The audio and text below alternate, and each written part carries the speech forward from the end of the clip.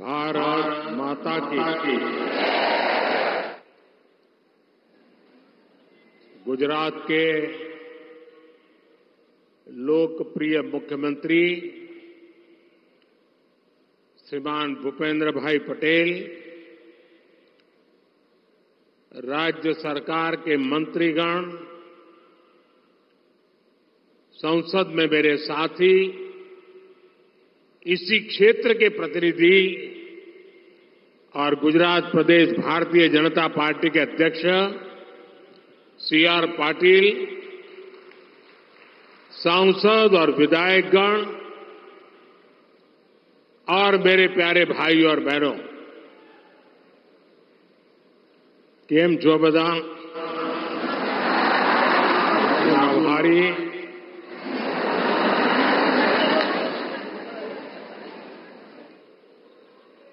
गुजरात में आज का ये मेरा तीसरा कार्यक्रम है। आज सुबह ही मुझे अहमदाबाद में पूरे गुजरात के लाखों पशुपालक साथी, डेयरी उद्योग से जुड़े लोग उनके दर्शन करने का अवसर मिला, उनसे बात करने का मौका मिला। उसके बाद मैसाना में वाणीनाथ मंदिर की प्राण प्रतिष्ठा के आयोजन से जुड़ने का सौभाग्य मिला। और अब यहाँ नवसारी में आप सभी के बीच विकास के इस उत्सव में शामिल हो रहा हूँ।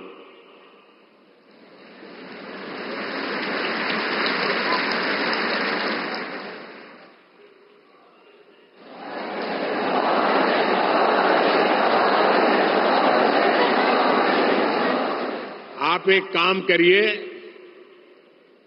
जैसा भूपेंद्र भाई ने कहा જેમ ભૂપેન્દ્રભાઈ કહ્યું કે કદાચ આઝાદી પછી એક જ દિવસમાં આટલા બધા રૂપિયાનું કામ થયું એવું કદાચ પહેલી વાર બન્યું હશે. તો વિકાસનો આવડો મોટો ઉત્સવ છે. તો એક કામ કરો બધા. કરશો? તમારો મોબાઈલ ફોન કાઢીને એની ફ્લેશ લાઇટ ચાલુ કરો અને વિકાસ ઉત્સવમાં ભાગીદાર બનો.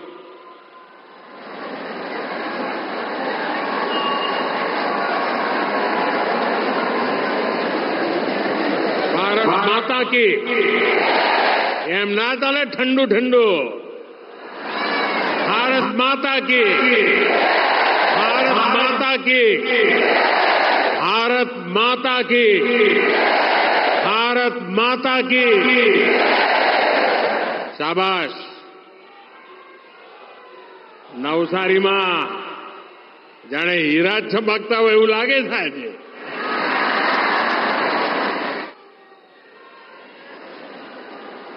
थोड़ी देर पहले वडोदरा, नवसारी, भरूच, सूरत और दूसरे क्षेत्रों को हज़ारों करोड़ रुपए के नए प्रोजेक्ट्स मिले हैं।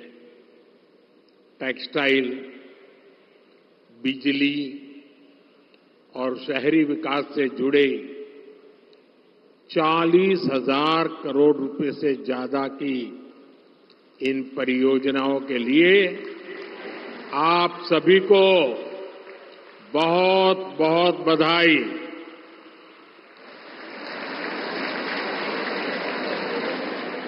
साथियों, आजकल पूरे देश में एक चर्चा बड़ी जोरों पर चल रही है। पार्लियामेंट में भी चलती है। और गली मोहल्ले में भी चल रही है। और वो चर्चा है मोदी की गारंटी।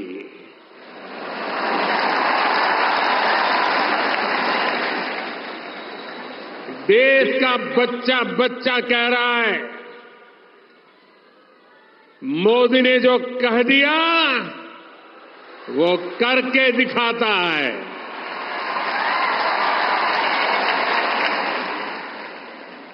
देश के बाकी लोगों के लिए तो शायद ये बात नहीं है, लेकिन गुजरात के लोग तो बरसों से जानते हैं कि मोदी की गारंटी, यानी गारंटी पूरा होने की गारंटी। आपको याद होगा, जब मैं गुजरात में था तो मैं एक फाइव एफ़ की बात करता था। इसका मतलब था, पाँच एफ़ क्या है?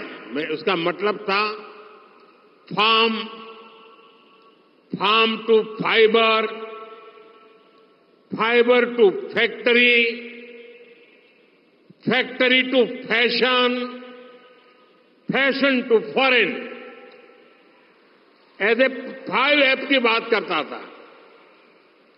यानी किसान कपास उगाएगा, कपास फैक्ट्री में जाएगा फैक्ट्री में बने धागे से परिधान बनेंगे, यही परिधान विदेशों के लिए निर्यात होंगे। मेरा लक्ष्य था कि टेक्सटाइल सेक्टर की एक पूरी सप्लाई और वैल्यू चेन हमारे पास होनी चाहिए। होनी चाहिए ना? होनी चाहिए ना?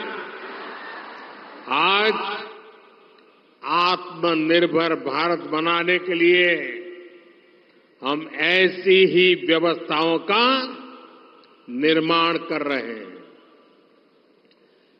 पीएम मित्र पार्क, ये पीएम मित्र पार्क भी इसी अभियान का हिस्सा है। नवसारी में आज जिस पीएम मित्र पार्क का काम शुरू हो रहा है, वो टेक्सटाइल सेक्टर के लिए देश का ऐसा पहला पार्क है। तो सुन नवसारी वाला। मेरा जवाब तो आपको। इससे कपड़ा उद्योग को बल मिलेगा। कपड़ा निर्यात में भारत की हिस्सेदारी बढ़ेगी। आप कल्पना कर सकते हैं, सूरत का डायमंड और नवसारी का परिधान दुनिया के फ़ैशन बाज़ार में, गुजरात में कितना बड़ा। गुजरात की चारों तरफ़ जय जयकार होगा कि नहीं? गुजरात गुजरात की गुंज सुनाई देगी कि नहीं? साथियों, आज एक प्रकार से सूरत सिल्क सिटी का विस्तार नवसारी तक हो रहा है। आज इस सेक्टर में दुनिया के सबसे बड़े उत्पादकों और निर्यातकों को भारत टक्कर देने लगा है। और इसमें गुजरात की टेक्सटाइल इंडस्ट्री का बहुत बड़ा योगदान है। बीते वर्षों में सूरत के कपड़े की अपनी एक अच्छी पहचान बन गई है। यहाँ जब ये पीएम मित्र पार्क तैयार हो जाएगा तो इस पूरे क्षेत्र की तस्वीर बदल जाएगी।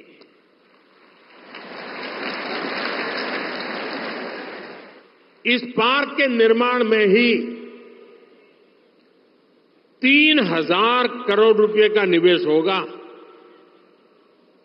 यहाँ पर कताई, बुनाई जिनिंग गारमेंट टेक्निकल टेक्सटाइल और टेक्सटाइल मशीनरी, ऐसे हर काम के लिए वैल्यू चेन का इकोसिस्टम बनेगा।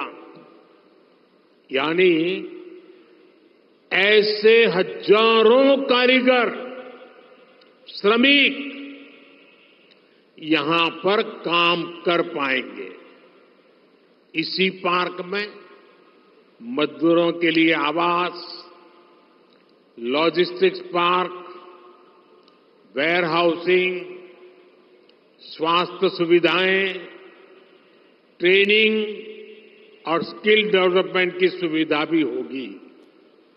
यानी ये पार्क यहाँ आसपास के गाँवों में भी रोज़गार, स्वरोजगार के अवसर लेकर आएगा। साथियों, आज सूरत के लोगों के लिए एक और अहम प्रोजेक्ट पर काम शुरू हो रहा है। 800 करोड़ रुपए से ज़्यादा राशि से बनने वाले तापी रिवर बैराज ये तापी रिवर बैराज का आज शिलान्यास हुआ है। तापी रिवर बैराज ये बनने से सूरत में आने वाले कई वर्षों तक सूरत में वाटर सप्लाई की चुनौती उसका समाधान हो जाएगा।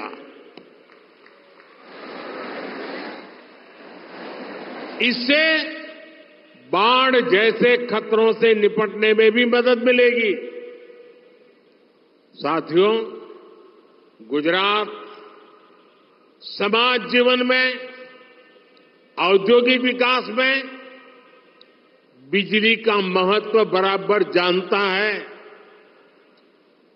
20-25 साल पहले एक समय ऐसा था जब गुजरात में घंटों घंटों तक बिजली की कटौती हुआ करती थी। आज जो 25-30 साल के लोग हैं ना, उनको पता भी नहीं होगा कि हम उस जमाने में अंधेरे में ज़िंदगी गुजारते थे। जब मैं सीएम बना तो लोग मेरे पास आकर गुहार लगाते थे, किसी तरह शाम के भोजन के समय बिजली का इंतज़ाम हो जाए। आप विचार करो બે હજાર એકમાં લોકો માંગણી શું કરતા હતા કે સાહેબ સાંજે વાળું કરતી વખતે વીજળી મળે એટલું કરો કાંઈક ऐसे हाल थे बिजली उत्पादन में तब यहां अनेक मुश्किलें थी कोयला चाहिए था तो हमें दूर से लाना पड़ता था फिर विदेश से मंगाना पड़ता था गैस से बिजली बनाते तो वो भी इंपोर्ट करनी पड़ती थी। पानी से बिजली बनाने की संभावना बहुत कम थी। इन संकटों के साथ गुजरात का विकास असंभव था। लेकिन असंभव को संभव करने के लिए तो मोदी है।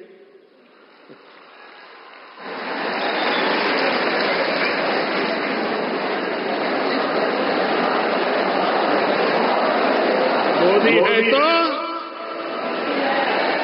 इसलिए हमने गुजरात को बिजली के संकट से निकालने के लिए आधुनिक टेक्नोलॉजी को बढ़ावा देना शुरू किया। हमने सौर ऊर्जा सोलर एनर्जी पर बल दिया। हमने विंड एनर्जी पवन ऊर्जा पर बल दिया। आज गुजरात में सौर और पवन ऊर्जा से बहुत बड़े पैमाने पर बिजली बनाई जा रही है। साथियों 21वीं सदी के भारत में बिजली पैदा करने में हमारे परमाणु घरों की भूमिका और बढ़ने जा रही है। आज ही तापी के काकरापार परमाणु ऊर्जा प्लांट में दो नए रिएक्टर राष्ट्र को समर्पित किए गए हैं। ये दोनों reactor made in India technology से तैयार किए गए हैं। एक बार भारत माता की जय बोल करके इस आत्मनिर्भर की सिद्धि के लिए गर्व से हाथ ऊपर कीजिए, भारत माता की। ये दिखाता है कि आज भारत कैसे? हर क्षेत्र में आत्मनिर्भर हो रहा है। अब इस प्लांट से गुजरात को अधिक बिजली मिल पाएगी। यहाँ के औद्योगिक विकास में और मदद मिलेगी। साथियों, नवसारी हो, वलसाड़ हो, दक्षिण गुजरात का एक क्षेत्र आज अभूतपूर्व विकास के दौर से गुजर रहा है यहां का इंफ्रास्ट्रक्चर लगातार आधुनिक हो रहा है और जब मैं सोलार एनर्जी की बात करता हूं અને જ્યારે આપણા ગુજરાત એટલે તો આપણે તો કાણી પાઈ પાઈનો હિસાબ રાખનારા લોકો બરાબર કે નહીં હિસાબ કિતાબમાં પાક્કા ને હમણાં મોદી એક બીજી ગેરંટી આપી છે. તમારા તો એકદમ લાભની જ છે. ત્રણસો યુનિટ સુધી મફત વીજળીનો કાર્યક્રમ.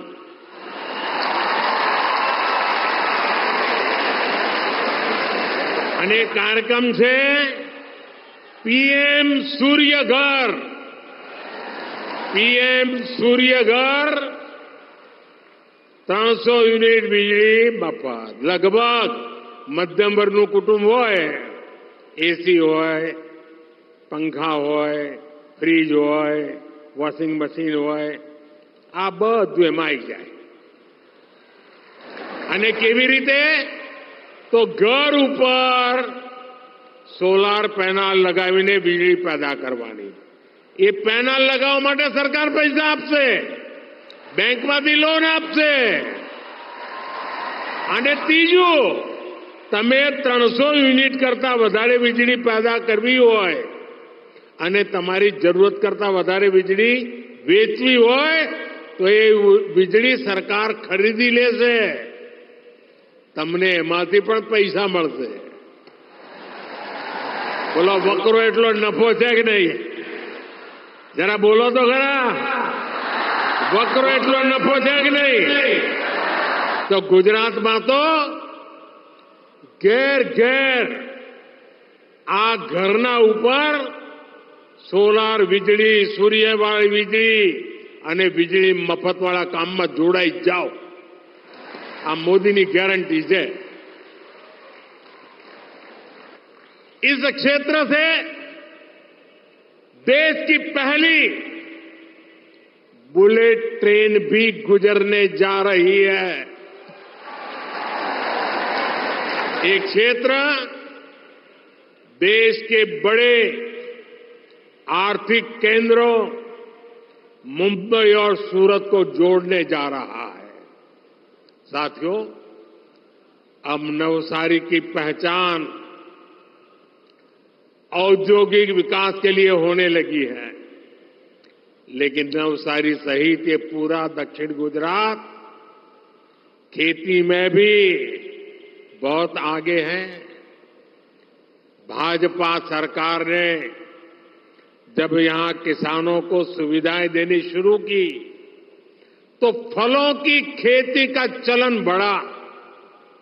यहाँ का हाफुस आम बलसाड़ी आम, नवसारी का चीकू, ये तो पूरी दुनिया में कितना मशहूर है। मैं जहाँ भी जाता हूँ, लोग ये सुनाते हैं मुझे। डबल इंजन सरकार आज हर कदम पर किसानों को मदद दे रही है। नवसारी के किसानों को पीएम किसान सम्मान निधि से भी 350 करोड़ रुपए से ज़्यादा की मदद मिली है। साथियों, मोदी ने देश के गरीब, किसान, युवा और महिला सभी को सशक्त करने की गारंटी दी है। और ये गारंटी सिर्फ़ योजनाएँ बनाने की नहीं है, बल्कि जो हकदार है, उन तक योजनाओं का पूरा लाभ पहुँचाने की भी गारंटी है। मोदी की गारंटी इस बात के लिए है कि देश का कोई भी परिवार अभाव में न रहे उसे गरीबी में जीना न पड़े। इसलिए सरकार अपनी तरफ़ से लाभार्थियों के पास आ रही है। लाभार्थियों को जा जा करके खोज रही है। उन्हें योजनाओं से जोड़ रही है। साथियों, कांग्रेस ने लंबे समय तक देश में और गुजरात में सरकारें चलाई हैं। लेकिन कभी आदिवासी क्षेत्रों की, समंदर के तट पर बसे गाँवों की सूद नहीं ली। यहाँ गुजरात में भाजपा सरकार ने उमर गाँव से लेकर अंबाजी तक पूरे आदिवासी पट्टे में हर मूल सुविधा पहुँचाने के लिए अविरत काम किया लेकिन देश के स्तर पर ऐसा नहीं हुआ। 2014 तक देश में 100 से अधिक ज़िले विकास में अंतिम छोर पर थे, कोई पूछने वाला नहीं था। इनमें से अधिकतर आदिवासी बाहुल्य ज़िले थे। पिछले दस वर्षों में हमने इन जिलों को तेज विकास के लिए आकांक्षी बनाया। आज आकांक्षी जिला अभियान उसकी वजह से देश के सौ ज़िले विकास में तेज़ी से आगे बढ़ रहे हैं। भाई और बहनों, मोदी की गारंटी वहाँ से शुरू होती है, जहाँ दूसरों से उम्मीद खत्म होती है। देश के गरीब को पहली बार ये भरोसा हुआ है कि उसे पक्का घर मिलेगा, क्योंकि मोदी की, क्योंकि मोदी की गारंटी है। गरीब से गरीब को पहली बार ये भरोसा हुआ है कि उसे भूखा नहीं सोना पड़ेगा, उसे दर्द नहीं सहना पड़ेगा, क्योंकि क्योंकि दूर सुदूर के गाँव में रहने वाली बहन को भी भरोसा है कि उसके घर बिजली आएगी नल से जल आएगा क्योंकि मोदी की गारंटी है क्योंकि गरीब किसान दुकानदार मजदूर इन्होंने कभी सोचा भी नहीं था कि इनके लिए भी बीमा और पेंशन की योजनाएँ बनेगी।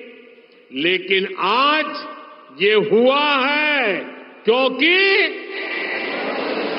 पूरी आवाज़ से बताइए, क्योंकि साथियों, आदिवासी क्षेत्रों में सिकल सेल एनीमिया एक बहुत बड़ी चुनौती रही है।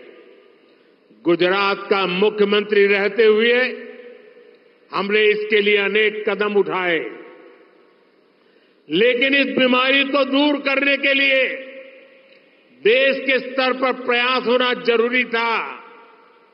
अब हमने सीकल सेल एनीमिया से मुक्ति दिलाने के लिए राष्ट्रीय मिशन शुरू किया है। इसके तहत देश भर के आदिवासी क्षेत्रों में सीकल सेल एनीमिया की जाँच की जा रही है। विकसित भारत संकल्प यात्रा के दौरान भी लाखों लोगों की जाँच हुई है। अब तो यहाँ मेडिकल कॉलेज भी बन रहा है। आदिवासी बहुल ज़िले में मेडिकल कॉलेज बनना पहले कितनी बड़ी बात होती थी। आज अनेक आदिवासी जिलों में मेडिकल कॉलेज बन चुके हैं। साथियों, गरीब हो या मध्यम वर्ग, गाँव हो या शहर, हमारी सरकार का प्रयास है कि हर देशवासी का जीवन स्तर और सुधरे। अपने दशकों के शासन में कांग्रेस भारत को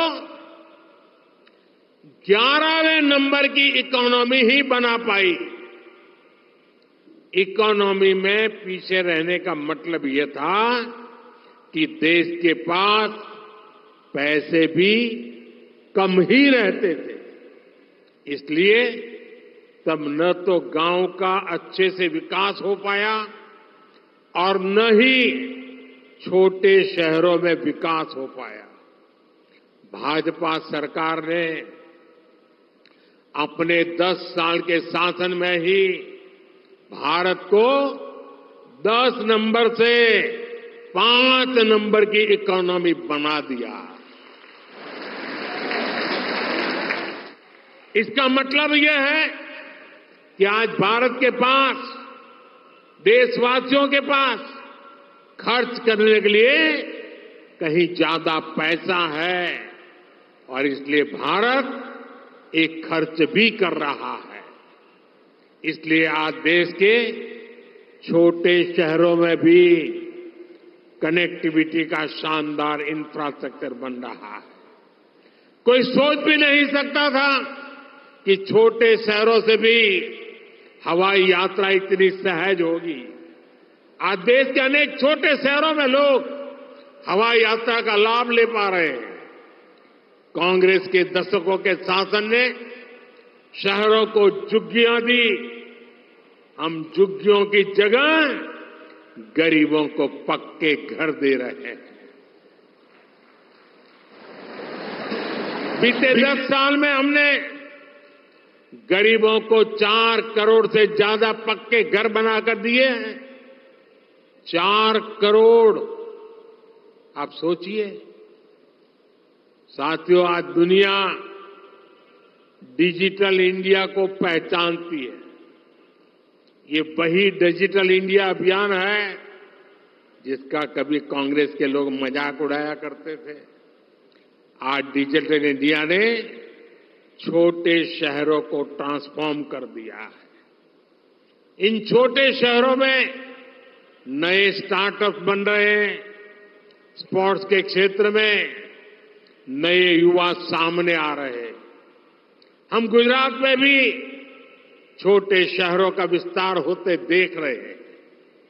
इन छोटे शहरों में एक न्यू मिडिल क्लास का उभार होते देख रहे हैं। यही न्यू मिडिल क्लास भारत को तीसरे नंबर की आर्थिक ताकत बनाएगा। भाई और बहनों, भाजपा सरकार जितना ज़ोर विकास पे दे रही है, उतना ही ध्यान अपनी विरासत पर भी दे रही है। एक क्षेत्र तो हमारी आस्था और इतिहास का एक महत्वपूर्ण केंद्र रहा। आज़ादी का आंदोलन हो या फिर राष्ट्र निर्माण का मिशन, इस क्षेत्र का योगदान बहुत अधिक है। लेकिन जब परिवारवाद, तुष्टिकरण और भ्रष्टाचार ही राजनीति का एकमात्र लक्ष्य बन जाए तो विरासत पर ध्यान नहीं जाता। दुर्भाग्य से कांग्रेस ने दशकों तक देश के साथ लगातार यह न्याय किया है। आज पूरी दुनिया में भारत की समृद्ध विरासत की गुंज सुनाई दे रही है। आप दुनिया में कहीं भी जाएँगे तो पाएँगे कि लोग भारत आना चाहते हैं, भारत के बारे में जानना चाहते हैं। लेकिन कांग्रेस ने दशकों तक दुनिया को भारत की असली विरासत से दूर रखा। आज़ादी की लड़ाई में पूज्य बापू ने नमक और खादी को आज़ादी का प्रतीक बनाया। कांग्रेस ने खादी को भी बर्बाद कर दिया और नमक सत्याग्रह की इस भूमि को भी भुला दिया।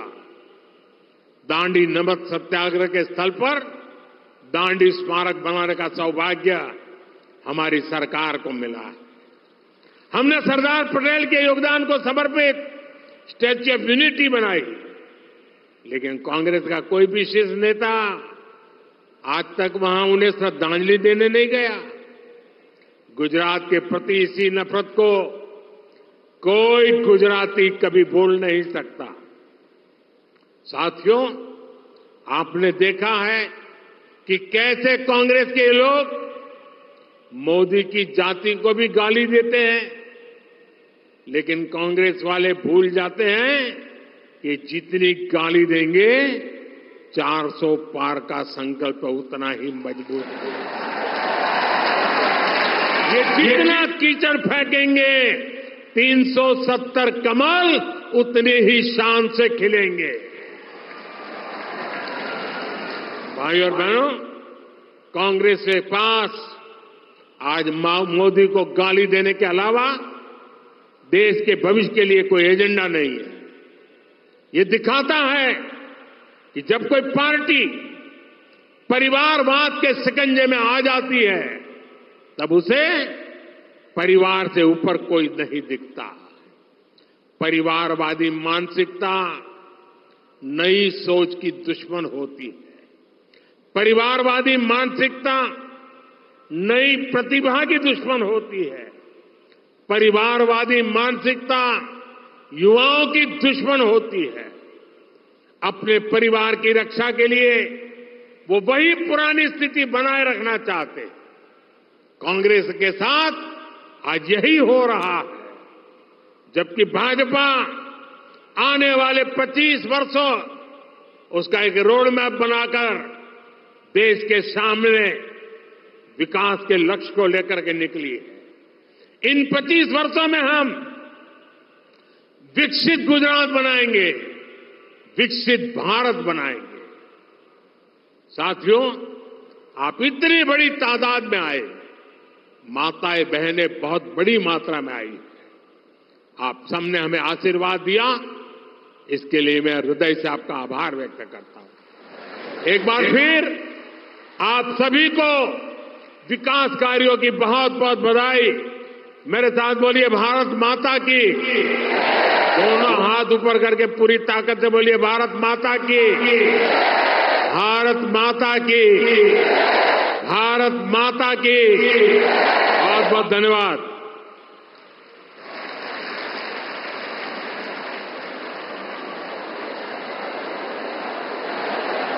माननीय प्रधानमंत्री श्री आपके प्रोत्साहन भरे संबोधन के लिए आपकी मानक उपस्थिति और गुजरात की जनता को इतनी विशेष भेंट देने के लिए आपका बहुत बहुत धन्यवाद આવો આ ઐતિહાસિક અવસર પર સમાપન કરતા ફરી એકવાર માનનીય પ્રધાનમંત્રીશ્રીનો ખૂબ ખૂબ તાળીઓ સાથે આભાર માનીએ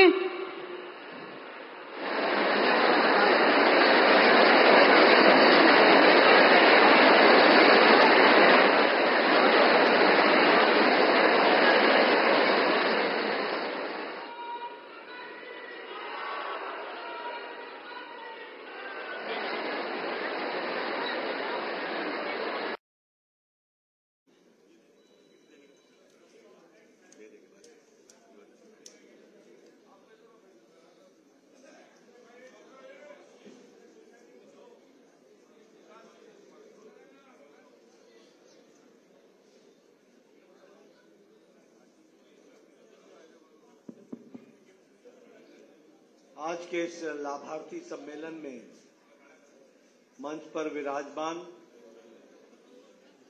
भारतीय जनता पार्टी महाराष्ट्र प्रदेश के अध्यक्ष चंद्रशेखर बावनकुले जी, हमारे मुंबई प्रदेश के जुझारू अध्यक्ष और मेरे साथी आशीष शेलार जी, हमारे राष्ट्रीय सह संगठन मंत्री शिव प्रकाश जी महाराष्ट्र सरकार में मंत्री मंगल प्रभात लोढ़ा जी, हमारे विधान परिषद के नेता प्रवीण दरेकर जी, हमारे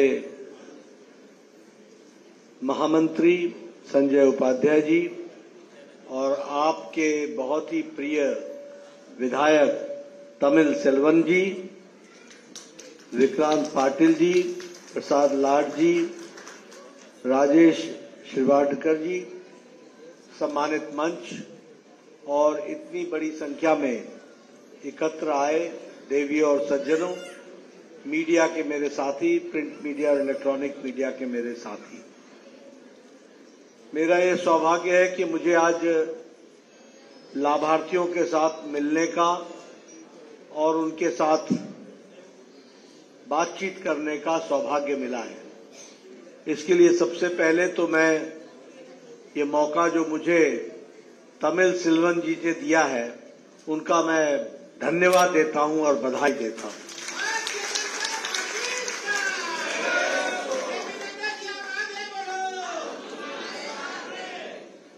मित्रों, देश के अंदर आज़ादी के पश्चात लंबे समय तक कांग्रेस पार्टी ने राज किया। और उन्होंने लंबे समय तक गरीबों के बारे में चर्चा की। लेकिन, और जब मैं कहता हूँ कि यथार्थ में नहीं हुआ तो कहने के लिए नहीं कहता। गरीबों की चर्चा लाल किले के मैदान से, प्राचीर से, जवाहरलाल नेहरू जी ने नौ बार की थी, नाइन टाइम्स। चौदह भाषण दिए, जिसमें से नौ बार उन्होंने गरीबों के बारे में चर्चा की। और उस समय 50 प्रतिशत से ज़्यादा गरीबी भारत में थी।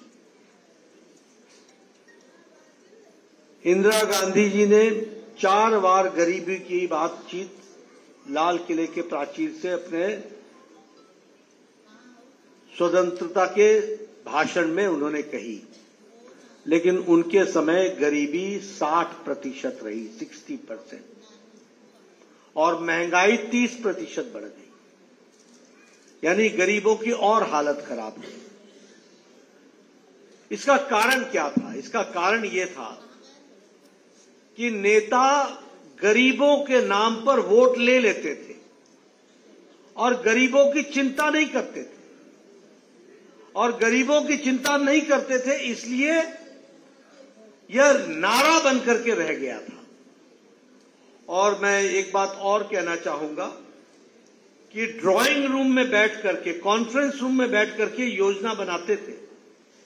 लेकिन वह योजना धरती पर कैसे पहुँचे, इसकी उनको चिंता नहीं थी। इसलिए गरीब गरीब रहा, गरीबी हटाओ का नारा चलता रहा, गरीबी गई नहीं, गरीब भी रहा, गरीब हटाओ का नारा भी रहा और गरीबी भी रही। ये हमने कांग्रेस के समय में देखा है और इस पर उनकी राजनीति चलती रही।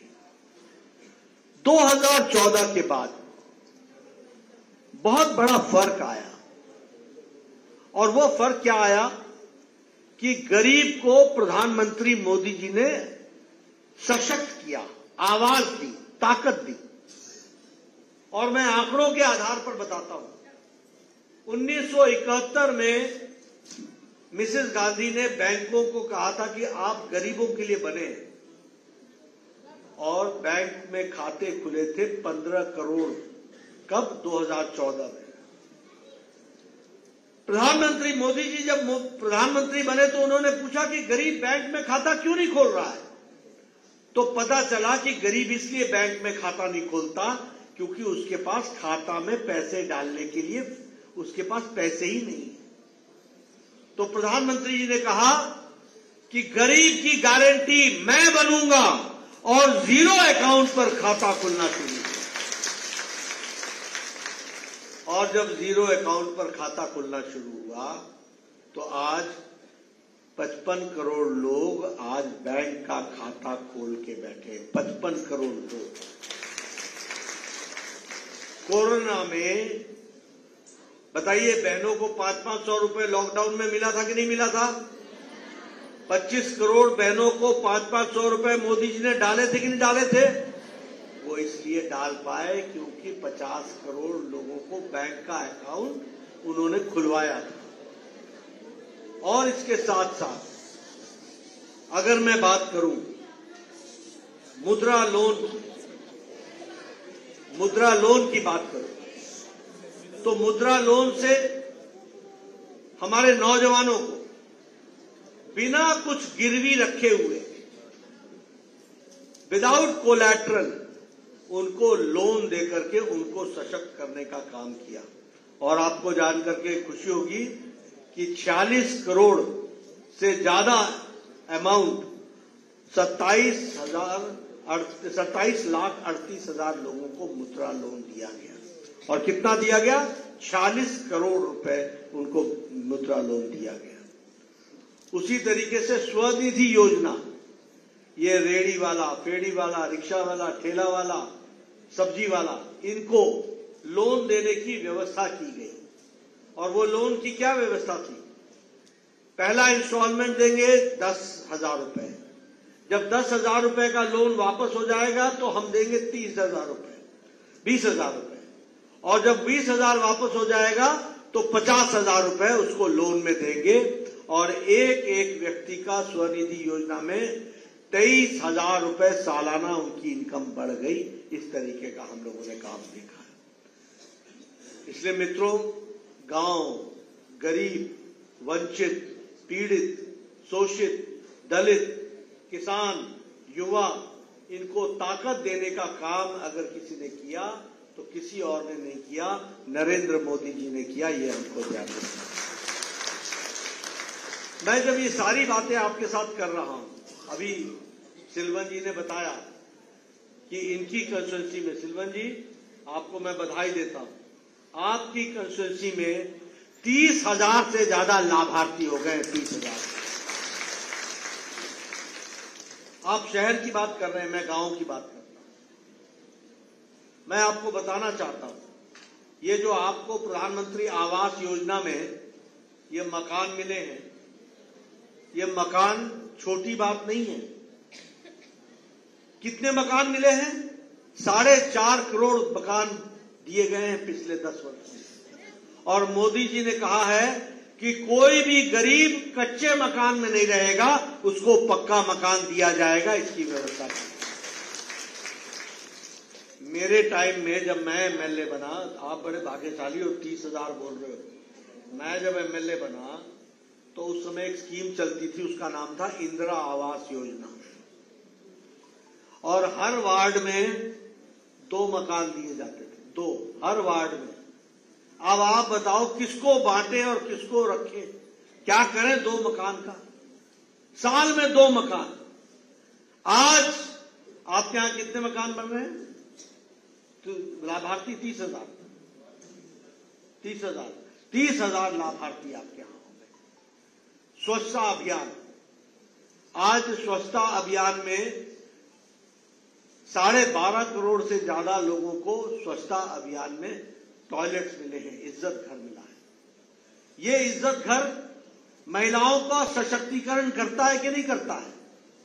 बताइए मतलब महिलाओं का सशक्तिकरण करता है कि नहीं करता इसके पहले इसके बारे में क्यों नहीं सोचा गया?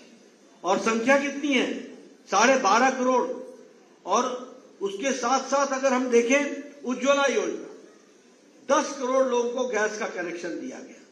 अड़तालीस लाख लोगों को महाराष्ट्र में दिया गया। प्रधानमंत्री गरीब कल्याण अन्न योजना, मैंने शुरू में कहा था, गरीब गरीब रहा, गरीबी चलती रही और गरीब पर राजनीति चलती रही। आज मैं ये कह सकता हूँ दावे के साथ कि 25 करोड़ लोग अब भारत के गरीबी की रेखा से ऊपर उठ चुके हैं। प्रधानमंत्री गरीब कल्याण अन्न योजना से पाँच किलो गेहूँ या पाँच किलो चावल, एक किलो दाल, दो किलो बीस किलो फ्री तो ये आपको मिला कि नहीं मिला? तो इससे गरीबी 25 करोड़ जनता की गरीबी से हम ऊपर उठ गए, इसको भी हमको समझ लेना चाहिए। और इसी तरीके से अगर हम बात करें, प्रधानमंत्री किसान सम्मान, यहाँ किसान नहीं होंगे, लेकिन फिर भी महाराष्ट्र में 18 लाख किसानों को यह योजना दी गई है। आयुष्मान भारत, यहाँ बैठे हैं सब लोग। ये सारे एमएलए चिट्ठी लिखते थे, चीफ मिनिस्टर को। इसका बाईपास होना है, इसकी हार्ट की सर्जरी होनी है, इसका किडनी का ऑपरेशन होना है, इसको डेढ़ लाख दे दो, इसको तीन लाख दे दो, इसको दो लाख दे दो। और मुख्यमंत्री राहत कोष से जितना संभव होता था देते थे, लेकिन सबको नहीं मिलता था। आज दुनिया की सबसे बड़ी हेल्थ स्कीम 55 करोड़ लोगों को पाँच लाख रुपए गंभीर बीमारी से लड़ने का हर साल पाँच लाख रुपए दिया जाना है। और उसमें भी अगर मैं कहूँ कि आयुष्मान भारत में तिरासी लाख परिवार वह महाराष्ट्र के हैं, जिनको यह फ़ायदा मिल रहा है। उसी तरीके से सेल्फ हेल्प ग्रुप में महिलाओं को सशक्तिकरण किया गया। अब मोदी जी ने वायदा किया है कि तीन करोड़ से ज़्यादा महिलाओं को लखपति दीदी बनाना है। तीन करोड़ से ज़्यादा लोगों को लखपति दीदी। तो इसके लिए भी काम चल रहा है।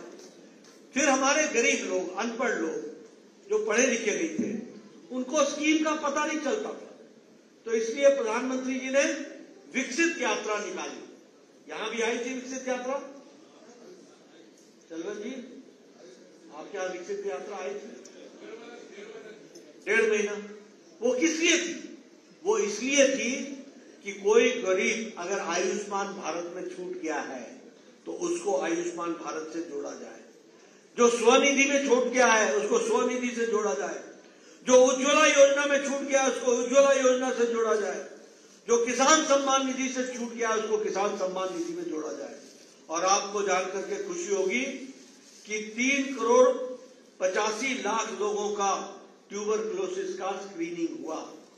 उसी तरीके से पंद्रह लाख से ज़्यादा लोगों का, बयालीस लाख से ज़्यादा लोगों का सिकल सेल का स्क्रीनिंग हुआ। और 15 लाख से ज़्यादा लोगों को स्वनिधि योजना से फ़ायदा मिला और 28 लाख लोगों को जीवन ज्योति बीमा योजना से जोड़ा गया। 22 लाख लोगों को उज्ज्वला योजना का गैस का कनेक्शन दिया गया और 45 लाख लोगों को किसान सम्मान निधि में और जोड़ लिया गया। इस तरीके से काम हुआ है। मैं ये सारी बातें आपके सामने इसलिए बोल रहा हूँ कि मित्रों, लाभार्थी की चर्चा तो सबने की। लेकिन जो काम प्रधानमंत्री मोदी जी के नेतृत्व में गरीबों के लिए हुआ, वो कभी नहीं हुआ था। और इसी कारण आज गरीबी की रेखा से उठकर लोग 25 करोड़ लोग अब मध्य इनकम ग्रुप में आ गए हैं और भारत आगे बढ़ रहा है। मित्रों, मैं आपका ज़्यादा समय नहीं लूँगा और इसलिए नहीं लूँगा क्योंकि आप सब लोग जानते हैं कि किस तरीके से गरीबों की सेवा पिछले दस वर्षों में मोदी जी ने की है।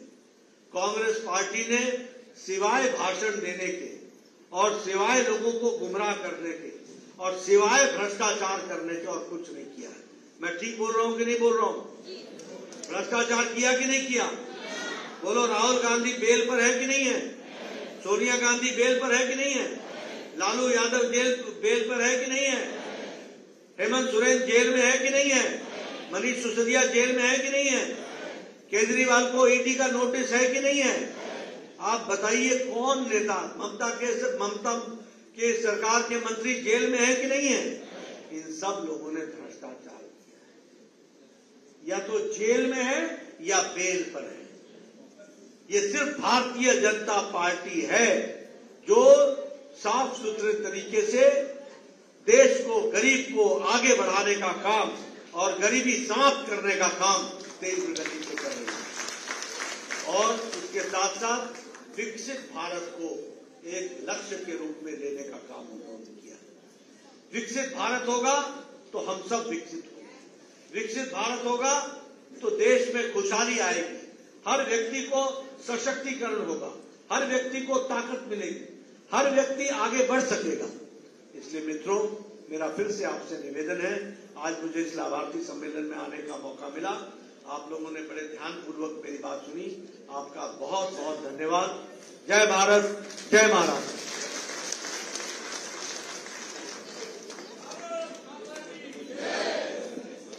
मैं हमारे मंडल के महामंत्री लोहित से विनती करूँगा। विमर्श नहीं की गई। वार्ता भी नहीं की गई। तो मैंने प्राथमिक सतह से भी इस्तीफा देने का निर्णय लिया। आज प्राथमिक सतह से इस्तीफा का पत्र मैंने राष्ट्रीय अध्यक्ष जी को भी भेज दिया। और चूँकि समाजवादी पार्टी के प्रत्याशी के रूप में विधानसभा उत्तर प्रदेश निर्वाचन क्षेत्र से मैं विधान परिषद में सदस्य निर्वाचित हुआ था, इसलिए नैतिकता के आधार पर विधान परिषद के माननीय सभापति जी को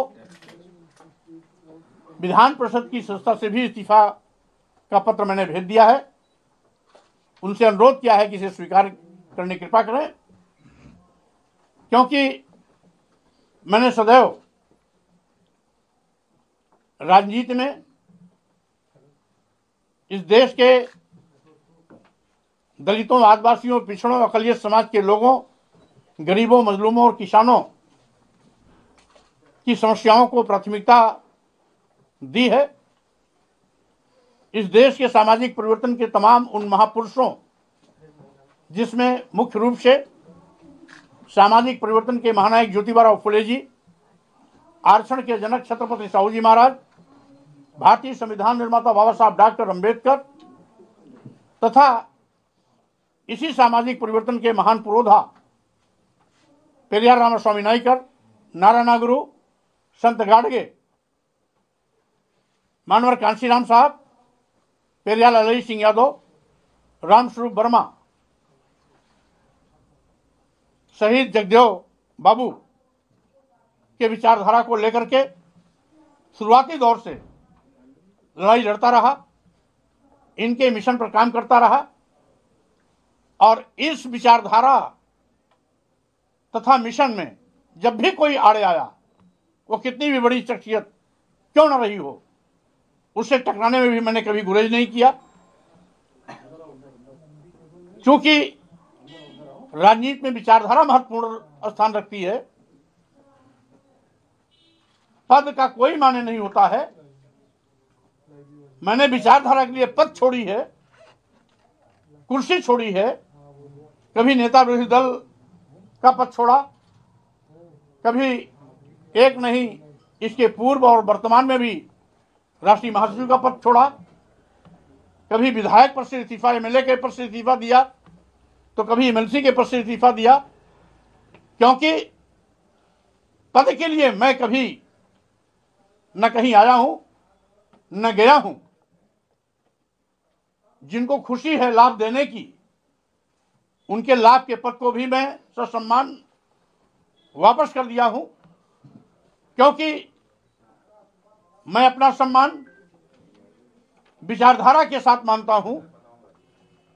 पद गौड़ है, पद और आता जाता है, विचारधारा शाश्वत होती है, टिकाऊ होती है, वैचारिक राजनीति का ही महत्व होता है। इसलिए मैं इन अपने तमाम महापुरुषों की विचारधारा को, इनके मिशन को अपनी थाती मानता हूँ और इसी विचारधारा को जीवंत बनाए रखने के लिए मैंने सभी प्रकार के पद का त्याग किया है, विधान परिषद का भी त्याग किया है।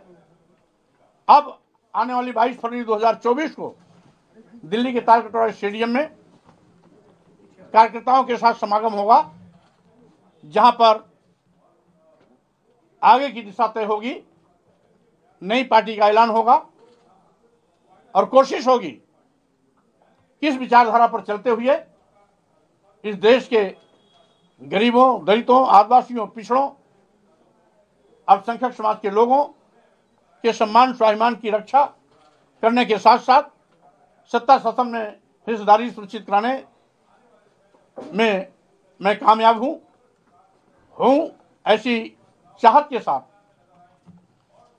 मैं कदम आगे बढ़ा रहा हूँ और आज जिस तरीके से प्रदेश और देश में बैठी हुई सरकारें इस देश के अनुसूचित जात, अनुसूचित जनजात और पिछड़ों का आरक्षण खत्म कर रही है।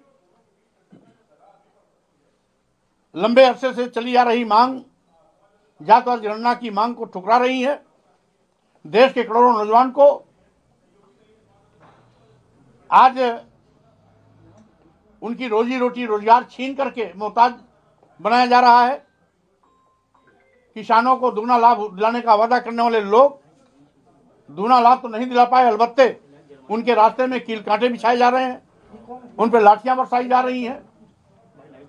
व्यापारियों को कमर तोड़ने के लिए ईडी का दुरुपयोग किया जा रहा है। लोकतंत्र को कमज़ोर करने के लिए ईडी सीबीआई इनकम टैक्स के माध्यम से आवाज़ को कुचलने का प्रयास किया जा रहा है। भारतीय संविधान की भावनाओं से खिलवाड़ किया जा रहा है। देश की राष्ट्रीय संपत्तियों को अपने चहेते उद्योगपतियों के हाथों में कौड़ियों के भाव बेचा जा रहा है, जिससे स्पष्ट है आज देश खतरे में है, संविधान खतरे में है, लोकतंत्र खतरे में है। मैं लोकतंत्र, संविधान और देश को बचाने के लिए स्वाभाविक रूप से जो समान विचारधारा के लोग हैं, उनके साथ मिलजुल करके हम काम करेंगे और लोकतंत्र संविधान तथा देश को बचाने की कोशिश करेंगे। आपका अगला कदम जो है राजनीति में तो लोकसभा चुनाव है तो आपका इस सारे से लोकसभा चुनाव के मद्देनजर आपका क्या देखिए फ़िलहाल अभी इंडिया अलायंस में मैं रहा हूँ क्योंकि अब समाजवादी पार्टी से रास्ता जुदा हो रहा है। तो मेरी कोशिश होगी कि मैं इंडिया अलायंस में रहकर या बाहर से जिस भी रूप में हो सकेगा मैं उसको सशक्त बनाने की कोशिश करता रहूँगा। राहुल गांधी की यात्रा में शामिल होंगे आगे क्या रणनीति रहेगी आपकी अब चूँकि अभी दो तीन दिन मेरा बहुत ही व्यस्त समय है इसके बाद खाली होने के बाद अवसर मिलेगा तो मैं न्याय यात्रा में भी शामिल होने की कोशिश करूँगा। आपके इस बीच कोई मतलब राम गोविंद चौधरी और कई नेताओं ने आपसे संपर्क करके मनाने की कोशिश की क्या वार्ता कुछ सफल नहीं हो पाई? या अखिलेश यादव बिल्कुल ही आपसे बात नहीं कर देखिए इसी को ऐसे जोड़ लीजिए कि राम गोविंद अखिलेश जी ने राम गोविंद चौधरी को आपके पास भेजा था अपना दूध बनाकर। नहीं माननीय राम गोविंद जी स्वयं बहुत बड़े नेता हैं। नेताजी मुलायम सिंह यादव जी के हम उम्र भी रहे हैं उनके साथियों में भी रहे हैं। अनेकों बार विधान सभा में भी रहे, मंत्री भी रहे, लंबा संसदीय ज्ञान भी उन्हें है। वो किसी के भेजने से नहीं आए थे। समाजवादी पार्टी को बचाने की चिंता को लेकर स्वयं मुझसे उन्होंने बात किया। मैं उनका सम्मान करता हूँ। आगे भी उनका सम्मान करता रहूँगा और इसके पहले भी मैं जब एक पार्टी में नहीं था तो भी उनका मैं सम्मान करता रहा हूँ और आगे भी करता रहूँगा। अखिलेश यादव ने कहा आपको एमएलसी बना दिया गया उसके बावजूद भी आप पार्टी की उनकी नीतियों के साथ नहीं चल रहे हैं। अब उनकी उनका सेकुलरिज्म सबके सामने आ गया। जिस पीडीए का उन्होंने नारा दिया उसकी हवा खुद निकाल दी। जो खुद अंधेरे में है वो दूसरों को उजाले में कैसे ले जा सकता है? जो खुद किंग कर्तव्य विमूढ़ है, ना इधर है, ना उधर है, वह दूसरों को रास्ता कैसे दिखा सकता है? समाजवादी पार्टी के लोग आज समाजवाद के रास्ते से भटक गए हैं। मैंने नेताजी श्री मुलायम सिंह यादव को भी देखा है। शुरुआती दौर में मैंने राजनीति भी उन्हीं के नेतृत्व में शुरू की थी। लेकिन कभी भी उन्होंने संविधान की भावना के विपरीत काम नहीं किया। कार्यालय में तो दूर, वो कभी घर में पूजा घंटों करते थे, लेकिन कभी भी किसी मंदिर में नहीं गए। लेकिन आज तो समाजवादी पार्टी के लोग पार्टी कार्यालय में भी पूजा की शुरुआत किए। यहाँ तक कि भारतीय जनता पार्टी भी कभी कभी देवी देवता भगवान की पूजा पार्टी कार्यालय में नहीं की? ये ऐसे धर्मनिरपेक्ष हैं जिन्होंने समाजवादी पार्टी कार्यालय में भगवान शालीराम की पूजा करवा दी। तो कैसा इनका धर्मनिरपेक्ष है? उसको पूरा देश देख रहा है, पूरी दुनिया देख रहा है, पूरा समाज देख रहा है। हम तो समझते हैं कि भारतीय जनता पार्टी भी इनके पूजा पाठ के आगे शर्मा गई होगी कि हमसे कहाँ चूक हो गई। बाजी मार ले गए श्री अखिलेश यादव जी। तो स्वाभाविक रूप से उनका ये धर्मनिरपेक्ष चेहरा जनता देख रही है। अब हमें कुछ नहीं दिखाना। जिसको जनता देख रही है उसको आने दिखाने की ज़रूरत नहीं। आपको लेकर पल्लवी पटेल भी नाराज़ है लगातार पल्लवी पटेल कह रही है कि राज्यसभा में हम वोटिंग नहीं करेंगे। क्या आपसे उनसे बातचीत चल रही है? देखिए पल्लवी पटेल जी बहुत ही सशक्त और बुलंद आवाज़ उठाती रही है। माननीय सोनेलाल पटेल जी की पुत्री है। सोनेलाल पटेल जी की विचारधारा, बाबा साहब डॉक्टर अंबेडकर मानव काश्याम की विचारधारा रही है।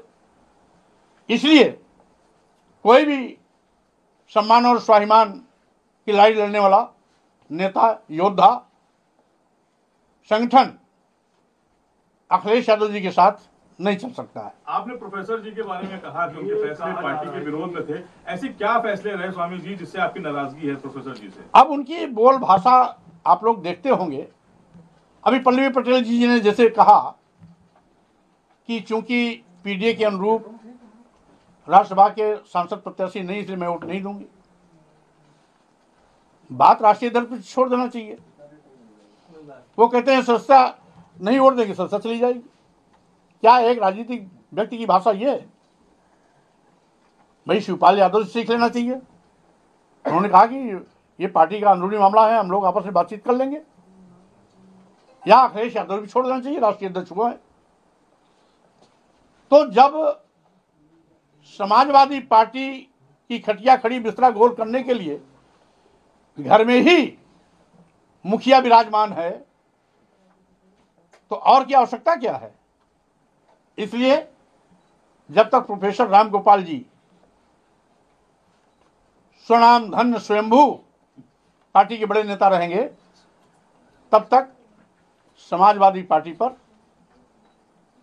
इसी प्रकार से अंधेरा छाया रहेगा। ये कह रहे हैं जी की अखिलेश यादव और राहुल गांधी यात्रा में शामिल नहीं हो रहे, गठबंधन नहीं हो रहा खबरें आ रही है। तो तो भाई, देखिए, समाजवादी पार्टी इंडिया अलायंस से गठबंधन कर रही है या नहीं कर रही है, इसकी जानकारी मुझे नहीं है, इसलिए इस पर मैं किसी प्रकार की टिप्पणी नहीं करूँगा।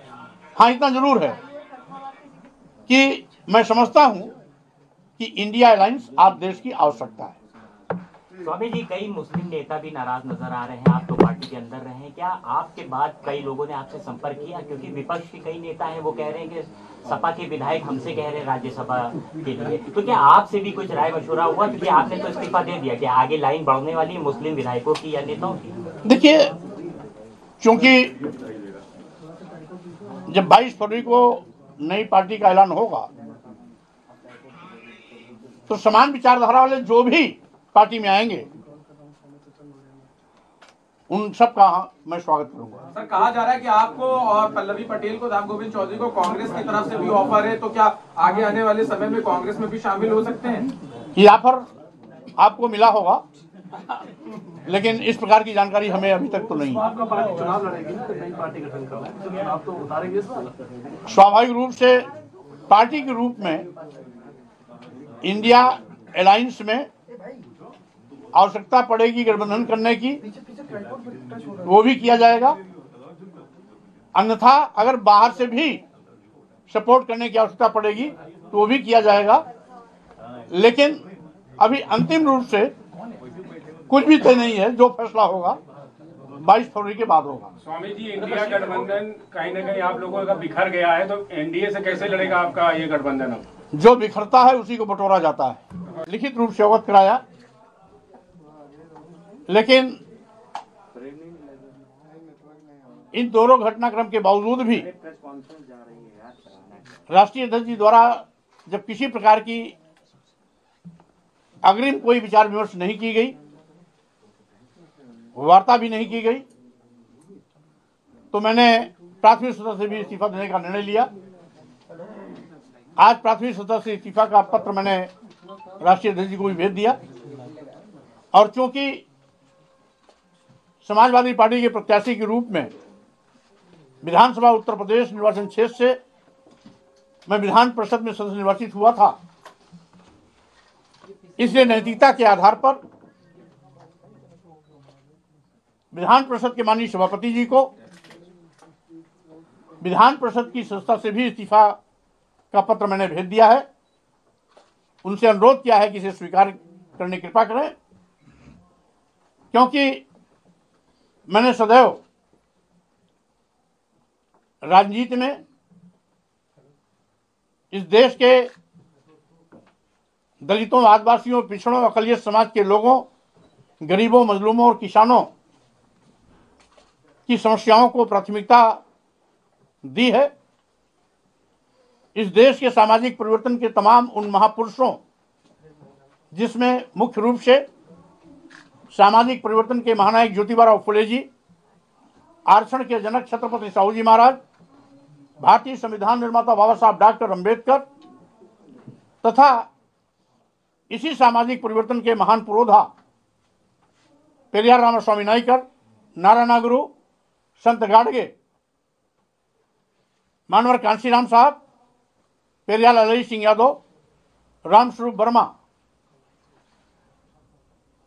शहीद जगदेव बाबू के विचारधारा को लेकर के शुरुआती दौर से लड़ाई लड़ता रहा, इनके मिशन पर काम करता रहा और इस विचारधारा तथा मिशन में जब भी कोई आड़े आया, वो कितनी भी बड़ी शख्सियत क्यों न रही हो उससे टकराने में भी मैंने कभी गुरेज नहीं किया।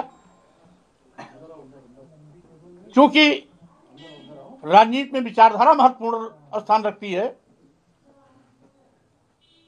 पद का कोई माने नहीं होता है।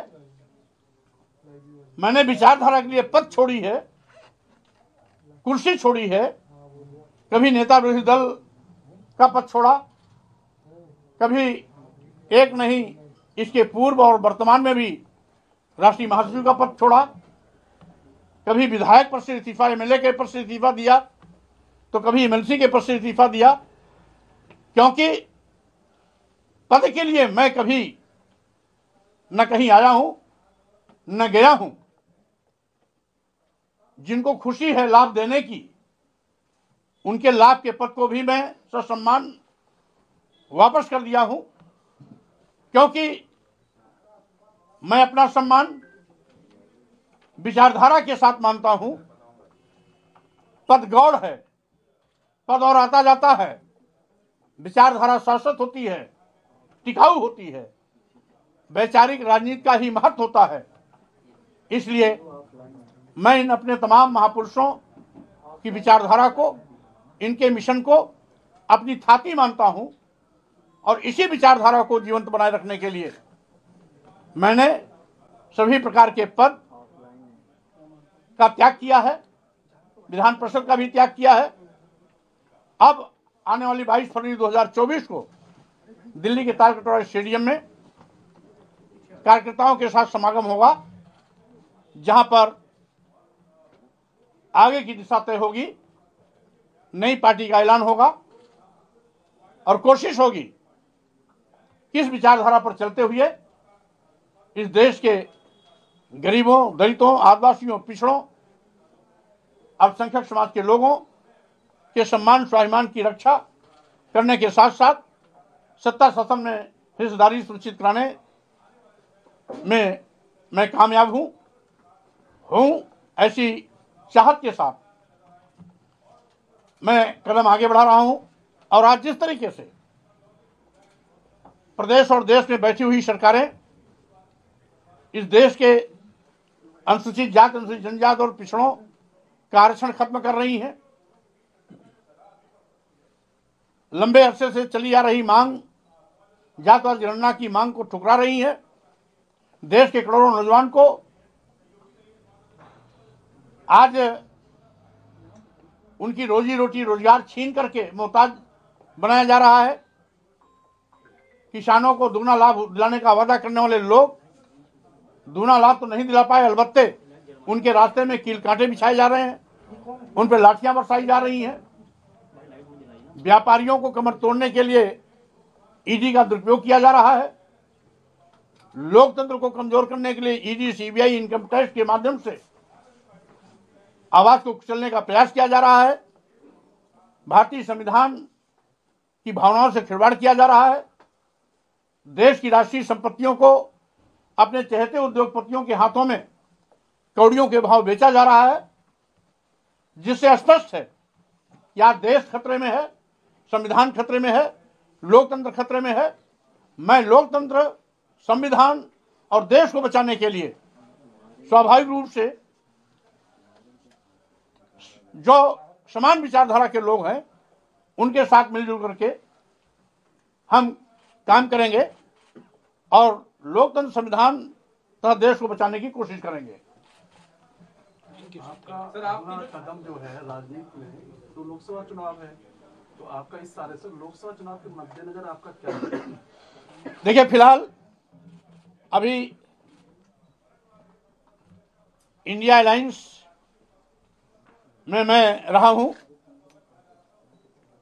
क्योंकि अब समाजवादी पार्टी से रास्ता जुदा हो रहा है तो मेरी कोशिश होगी कि मैं इंडिया अलायंस में रहकर या बाहर से जिस भी रूप में हो सकेगा मैं उसको सशक्त बनाने की कोशिश करता रहूँगा। राहुल गांधी की यात्रा में शामिल होंगे आगे क्या रणनीति रहेगी अब चूँकि अभी दो तीन दिन मेरा बहुत ही व्यस्त समय है इसके बाद खाली होने के बाद अवसर मिलेगा तो मैं न्याय यात्रा में भी शामिल होने की कोशिश करूँगा। आपके इस बीच कोई मतलब राम गोविंद चौधरी और कई नेताओं ने आपसे संपर्क करके मनाने की कोशिश की क्या वार्ता कुछ सफल नहीं हो पाई?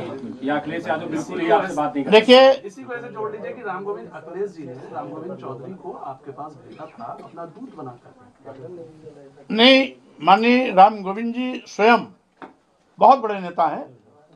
नेताजी मुलायम सिंह यादव जी के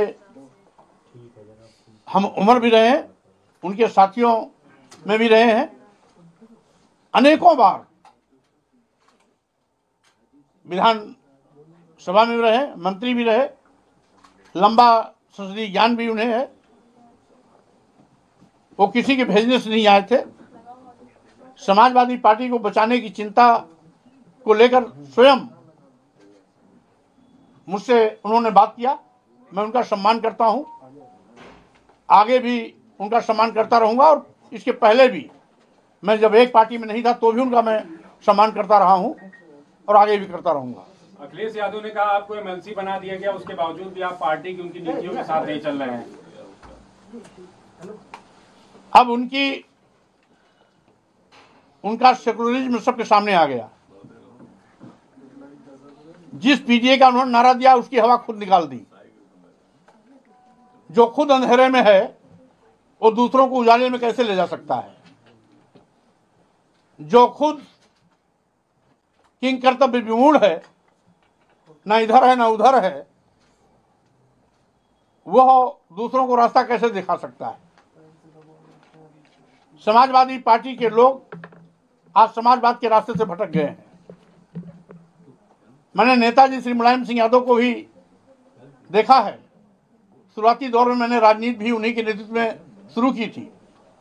लेकिन कभी भी उन्होंने संविधान की भावना के विपरीत काम नहीं किया।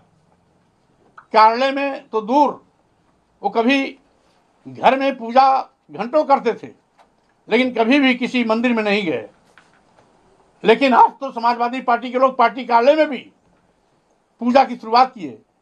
यहाँ तक कि भारतीय जनता पार्टी भी कभी कभी देवी देवता भगवान की पूजा पार्टी कार्यालय में नहीं की।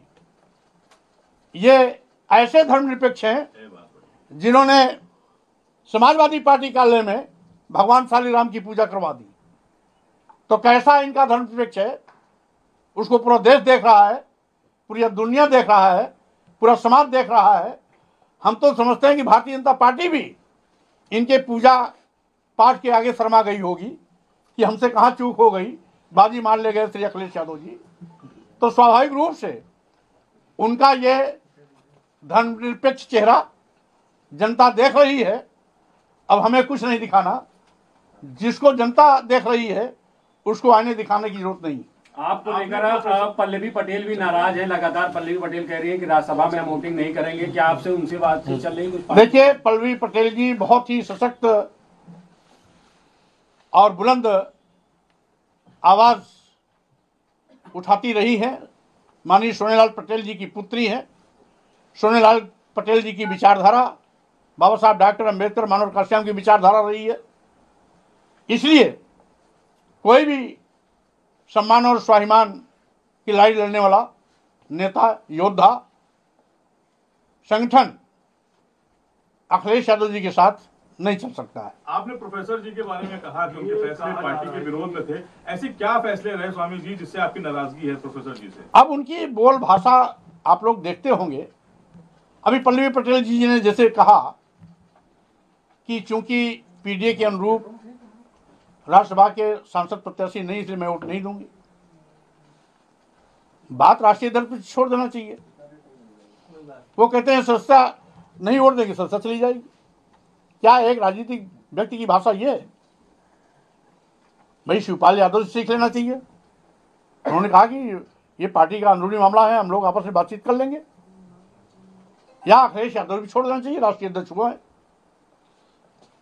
तो जब समाजवादी पार्टी की खटिया खड़ी बिस्तरा गोल करने के लिए घर में ही मुखिया विराजमान है तो और क्या आवश्यकता क्या है? इसलिए जब तक प्रोफेसर राम गोपाल जी स्वनाम धन्य स्वयंभू पार्टी के बड़े नेता रहेंगे, तब तक समाजवादी पार्टी पर इसी प्रकार से अंधेरा छाया रहेगा। ये कह रहे हैं मोदी जी कि अखिलेश यादव और राहुल गांधी यात्रा में शामिल नहीं हो रहे गठबंधन नहीं हो रहा खबरें आ रही हैं। तो आप तो अंदर रहे पार्टी के फैसलों क्या वजह है? भाई देखिए समाजवादी पार्टी इंडिया अलायंस से गठबंधन कर रही है या नहीं कर रही है इसकी जानकारी मुझे नहीं है इसलिए इस पर मैं किसी प्रकार की टिप्पणी नहीं करूँगा। हाँ इतना ज़रूर है कि मैं समझता हूँ कि इंडिया अलायंस आज देश की आवश्यकता है। स्वामी जी कई मुस्लिम नेता भी नाराज़ नज़र आ रहे हैं आप तो पार्टी के अंदर रहे हैं। क्या आपके बाद कई लोगों ने आपसे संपर्क किया? क्योंकि विपक्ष के कई नेता हैं वो कह रहे हैं कि सपा के विधायक हमसे कह रहे हैं राज्यसभा के लिए। तो क्या आपसे भी कुछ राय मशुरा हुआ? क्योंकि आपने तो इस्तीफा दे दिया कि आगे लाइन बढ़ने वाली है मुस्लिम विधायकों की या नेताओं की। देखिए क्योंकि जब 22 फरवरी को नई पार्टी का ऐलान होगा तो समान विचारधारा वाले जो भी पार्टी में आएँगे उन सब का मैं स्वागत करूँगा। सर कहा जा रहा है कि आपको और पल्लवी पटेल को राम गोविंद चौधरी को कांग्रेस की तरफ़ से भी ऑफ़र है तो क्या आगे आने वाले समय में कांग्रेस में भी शामिल हो सकते हैं? ये ऑफ़र आपको मिला होगा। लेकिन इस प्रकार की जानकारी हमें अभी तक तो नहीं। है आपका पार्टी चुनाव लड़ेगी तो तो स्वाभाविक रूप से पार्टी के रूप में इंडिया अलायंस में आवश्यकता पड़ेगी गठबंधन करने की। वो भी किया जाएगा। अन्यथा अगर बाहर से भी सपोर्ट करने की आवश्यकता पड़ेगी तो वो भी किया जाएगा। लेकिन अभी अंतिम रूप से कुछ भी तय नहीं है जो फैसला होगा 22 फरवरी के बाद होगा। स्वामी जी इंडिया गठबंधन कहीं ना कहीं आप लोगों का बिखर गया है तो एनडीए से कैसे लड़ेगा आपका ये गठबंधन अब? जो बिखरता है उसी को बटोरा जाता है। लिखित रूप से अवगत कराया। लेकिन इन दोनों घटनाक्रम के बावजूद भी राष्ट्रीय अध्यक्ष जी द्वारा जब किसी प्रकार की अग्रिम कोई विचार विमर्श नहीं की गई वार्ता भी नहीं की गई। तो मैंने प्राथमिक सदस्य से भी इस्तीफा देने का निर्णय लिया। आज प्राथमिक सदस्य से इस्तीफा का पत्र मैंने राष्ट्रीय अध्यक्ष जी को भी भेज दिया। और चूँकि समाजवादी पार्टी के प्रत्याशी के रूप में विधानसभा उत्तर प्रदेश निर्वाचन क्षेत्र से मैं विधान परिषद में सदस्य निर्वाचित हुआ था, इसलिए नैतिकता के आधार पर विधान परिषद के माननीय सभापति जी को, विधान परिषद की संस्था से भी इस्तीफा का पत्र मैंने भेज दिया है। उनसे अनुरोध किया है कि इसे स्वीकार करने कृपा करें, क्योंकि मैंने सदैव राजनीति में इस देश के दलितों, आदिवासियों, पिछड़ों अकलियत समाज के लोगों, गरीबों, मजलूमों और किसानों की समस्याओं को प्राथमिकता दी है। इस देश के सामाजिक परिवर्तन के तमाम उन महापुरुषों, जिसमें मुख्य रूप से सामाजिक परिवर्तन के महानायक ज्योतिबाराव फुले जी, आरक्षण के जनक छत्रपति साहू जी महाराज, भारतीय संविधान निर्माता बाबा साहब डॉक्टर अंबेडकर तथा इसी सामाजिक परिवर्तन के महान पुरोधा, पेरियार रामास्वामी नाइकर, नारायणा गुरु संत गाडगे। मानवर कांशीराम साहब, पेरियाल अली सिंह यादव, रामस्वरूप वर्मा, शहीद जगदेव बाबू के विचारधारा को लेकर के शुरुआती दौर से लड़ाई लड़ता रहा, इनके मिशन पर काम करता रहा और इस विचारधारा तथा मिशन में जब भी कोई आड़े आया वो कितनी भी बड़ी शख्सियत, क्यों ना रही हो? उससे टकराने में भी मैंने कभी गुरेज नहीं किया। क्योंकि राजनीति में विचारधारा महत्वपूर्ण स्थान रखती है। पद का कोई माने नहीं होता है। मैंने विचारधारा के लिए पद छोड़ी है, कुर्सी छोड़ी है। कभी नेता विरोधी दल का पद छोड़ा, कभी एक नहीं, इसके पूर्व और वर्तमान में भी राष्ट्रीय महासचिव का पद छोड़ा।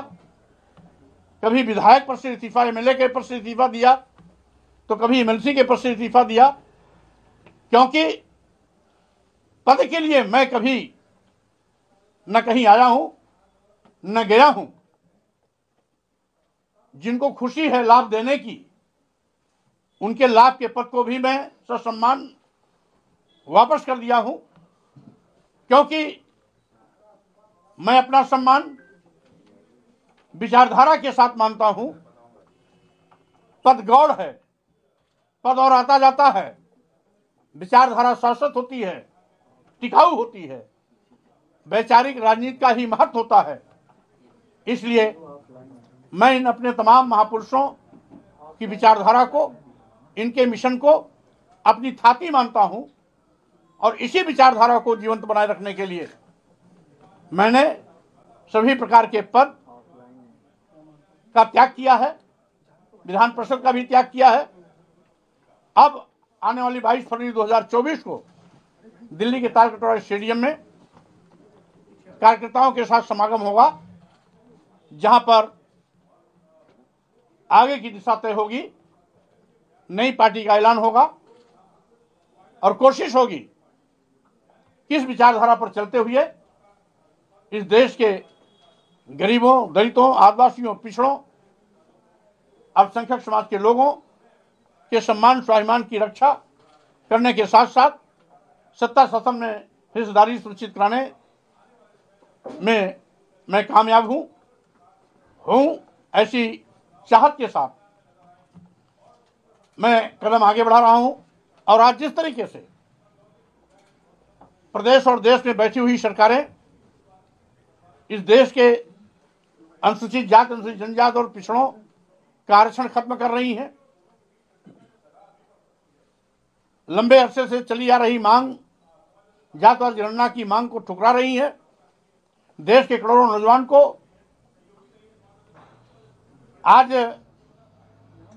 उनकी रोजी रोटी रोज़गार छीन करके मोहताज बनाया जा रहा है। किसानों को दुगना लाभ दिलाने का वादा करने वाले लोग दूना लाभ तो नहीं दिला पाए, अलबत्ते उनके रास्ते में कील कांटे बिछाए जा रहे हैं, उन पर लाठियाँ बरसाई जा रही हैं। व्यापारियों को कमर तोड़ने के लिए ईडी का दुरुपयोग किया जा रहा है। लोकतंत्र को कमज़ोर करने के लिए ईडी, सीबीआई इनकम टैक्स के माध्यम से आवाज़ को कुचलने का प्रयास किया जा रहा है। भारतीय संविधान की भावनाओं से खिलवाड़ किया जा रहा है। देश की राष्ट्रीय संपत्तियों को अपने चहेते उद्योगपतियों के हाथों में कौड़ियों के भाव बेचा जा रहा है, जिससे स्पष्ट है कि आज देश खतरे में है, संविधान खतरे में है, लोकतंत्र खतरे में है। मैं लोकतंत्र, संविधान और देश को बचाने के लिए स्वाभाविक रूप से जो समान विचारधारा के लोग हैं, उनके साथ मिलजुल करके हम काम करेंगे और लोकतंत्र संविधान तथा देश को बचाने की कोशिश करेंगे आपका अगला कदम जो है राजनीति में तो लोकसभा चुनाव है तो आपका इस सारे से लोकसभा चुनाव के मद्देनजर आपका क्या है? देखिए फ़िलहाल अभी इंडिया अलायंस में मैं रहा हूँ क्योंकि अब समाजवादी पार्टी से रास्ता जुदा हो रहा है। तो मेरी कोशिश होगी कि मैं इंडिया अलायंस में रहकर या बाहर से जिस भी रूप में हो सकेगा मैं उसको सशक्त बनाने की कोशिश करता रहूँगा। राहुल गांधी की यात्रा में शामिल होंगे आगे क्या रणनीति रहेगी अब चूँकि अभी दो तीन दिन मेरा बहुत ही व्यस्त समय है इसके बाद खाली होने के बाद अवसर मिलेगा तो मैं न्याय यात्रा में भी शामिल होने की कोशिश करूँगा। आपके इस बीच कोई मतलब राम गोविंद चौधरी और कई नेताओं ने आपसे संपर्क करके मनाने की कोशिश की क्या वार्ता कुछ सफल नहीं हो पाई? या अखिलेश यादव बिल्कुल ही आपसे बात नहीं देखिए इसी को ऐसे जोड़ लीजिए कि राम गोविंद अखिलेश जी ने राम गोविंद चौधरी को आपके पास भेजा था अपना दूत बनाकर नहीं माननीय राम गोविंद जी स्वयं बहुत बड़े नेता हैं। नेताजी मुलायम सिंह यादव जी के हम उम्र भी रहे हैं, उनके साथियों में भी रहे हैं, अनेकों बार विधान सभा में भी रहे, मंत्री भी रहे, लंबा संसदीय ज्ञान भी उन्हें है। वो किसी के भेजने से नहीं आए थे। समाजवादी पार्टी को बचाने की चिंता को लेकर स्वयं मुझसे उन्होंने बात किया। मैं उनका सम्मान करता हूँ। आगे भी उनका सम्मान करता रहूँगा और इसके पहले भी। मैं जब एक पार्टी में नहीं था तो भी उनका मैं सम्मान करता रहा हूँ और आगे भी करता रहूँगा। अखिलेश यादव ने कहा आपको एमएलसी बना दिया गया उसके बावजूद भी आप पार्टी की उनकी नीतियों के साथ नहीं चल रहे हैं। अब उनकी उनका सेकुलरिज्म सबके सामने आ गया। जिस पीडीए का उन्होंने नारा दिया उसकी हवा खुद निकाल दी। जो खुद अंधेरे में है, वो दूसरों को उजाले में कैसे ले जा सकता है? जो खुद किंग कर्तव्य विमूढ़ है, ना इधर है, ना उधर है, वह दूसरों को रास्ता कैसे दिखा सकता है? समाजवादी पार्टी के लोग आज समाजवाद के रास्ते से भटक गए हैं। मैंने नेताजी श्री मुलायम सिंह यादव को भी देखा है। शुरुआती दौर में मैंने राजनीति भी उन्हीं के नेतृत्व में शुरू की थी। लेकिन कभी भी उन्होंने संविधान की भावना के विपरीत काम नहीं किया। कार्यालय में तो दूर, वो कभी घर में पूजा घंटों करते थे, लेकिन कभी भी किसी मंदिर में नहीं गए। लेकिन आज तो समाजवादी पार्टी के लोग पार्टी कार्यालय में भी पूजा की शुरुआत किए। यहाँ तक कि भारतीय जनता पार्टी भी कभी कभी देवी देवता भगवान की पूजा पार्टी कार्यालय में नहीं की। ये ऐसे धर्मनिरपेक्ष हैं जिन्होंने समाजवादी पार्टी कार्यालय में भगवान शालीराम की पूजा करवा दी। तो कैसा इनका धर्मनिरपेक्ष है? उसको पूरा देश देख रहा है पूरी दुनिया देख रहा है पूरा समाज देख रहा है। हम तो समझते हैं कि भारतीय जनता पार्टी भी इनके पूजा पाठ के आगे शर्मा गई होगी। कि हमसे कहाँ चूक हो गई? बाजी मार ले गए श्री अखिलेश यादव जी। तो स्वाभाविक रूप से उनका ये धर्मनिरपेक्ष चेहरा जनता देख रही है। अब हमें कुछ नहीं दिखाना। जिसको जनता देख रही है उसको आने दिखाने की ज़रूरत नहीं। आपको लेकर पल्लवी पटेल भी नाराज़ है लगातार पल्लवी पटेल कह रही है कि राज्यसभा में हम वोटिंग नहीं करेंगे। क्या आपसे उनसे बातचीत चल रही देखिए पल्लवी पटेल जी बहुत ही सशक्त और बुलंद आवाज़ उठाती रही है। माननीय सोनेलाल पटेल जी की पुत्री है। सोनेलाल पटेल जी की विचारधारा, बाबा साहब डॉक्टर अंबेडकर मानव काश्याम की विचारधारा रही है। इसलिए कोई भी सम्मान और स्वाभिमान की लड़ाई लड़ने वाला नेता, योद्धा, संगठन अखिलेश यादव जी के साथ नहीं चल सकता है। आपने प्रोफेसर जी के बारे में कहा कि उनके फैसले पार्टी के विरोध में थे। ऐसे क्या फैसले रहे स्वामी जी जिससे आपकी नाराज़गी है प्रोफेसर जी से? अब उनकी बोल भाषा आप लोग देखते होंगे। अभी पल्लवी पटेल जी ने जैसे कहा कि चूँकि पीडीए के अनुरूप राज्यसभा के सांसद प्रत्याशी नहीं इसलिए मैं वोट नहीं दूँगी। बात राष्ट्रीय दल पर छोड़ देना चाहिए। वो कहते हैं संस्था नहीं वोट देगी संस्था चली जाएगी। क्या एक राजनीतिक व्यक्ति की भाषा ये? भाई शिवपाल यादव से सीख लेना चाहिए। उन्होंने कहा कि ये पार्टी का अंदरूनी मामला है, हम लोग आपस में बातचीत कर लेंगे। या अखिलेश यादव भी छोड़ देना चाहिए, राष्ट्रीय अध्यक्ष हुआ है। तो जब समाजवादी पार्टी की खटिया खड़ी बिस्तरा गोल करने के लिए घर में ही मुखिया विराजमान है तो और क्या आवश्यकता क्या है? इसलिए जब तक प्रोफेसर राम गोपाल जी स्वनाम धन्य स्वयंभू पार्टी के बड़े नेता रहेंगे, तब तक समाजवादी पार्टी पर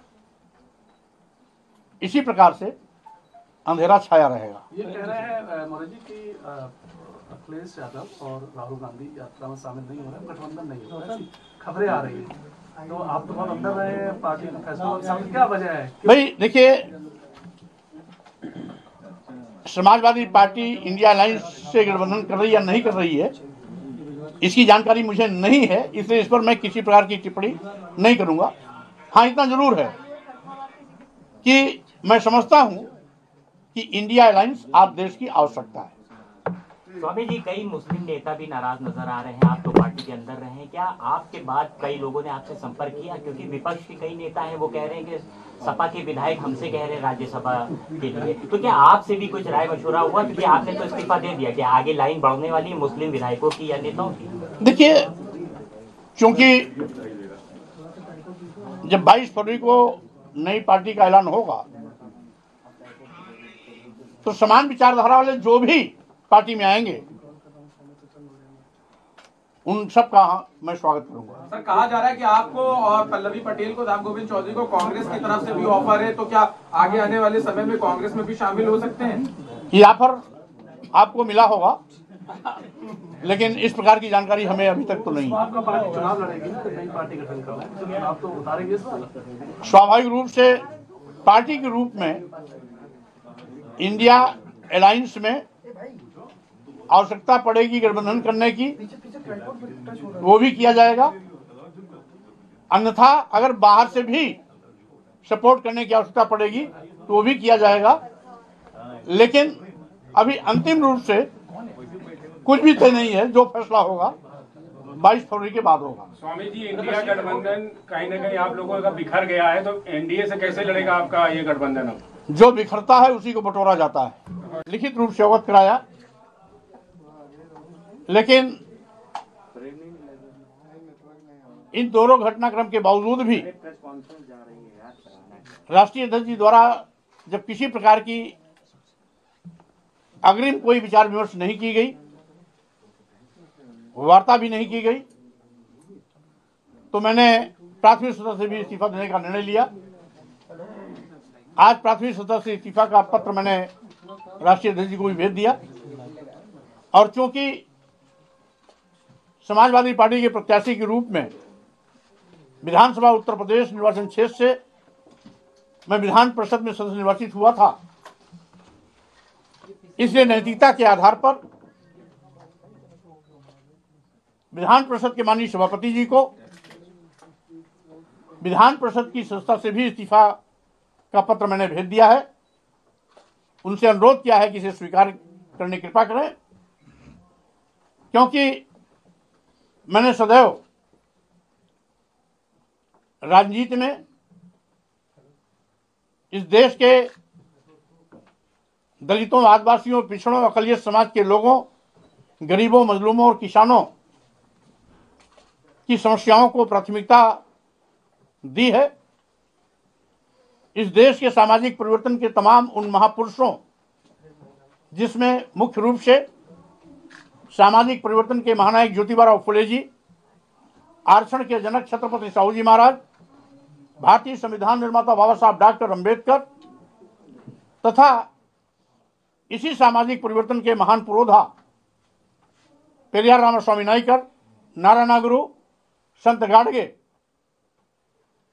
मानवर कांशीराम साहब पेरियार ललई सिंह यादव, रामस्वरूप वर्मा शहीद जगदेव बाबू, के विचारधारा को लेकर के शुरुआती दौर से लड़ाई लड़ता रहा, इनके मिशन पर काम करता रहा, और इस विचारधारा तथा मिशन में जब भी कोई आड़े आया, वो कितनी भी बड़ी शख्सियत क्यों न रही हो उससे टकराने में भी मैंने कभी गुरेज नहीं किया।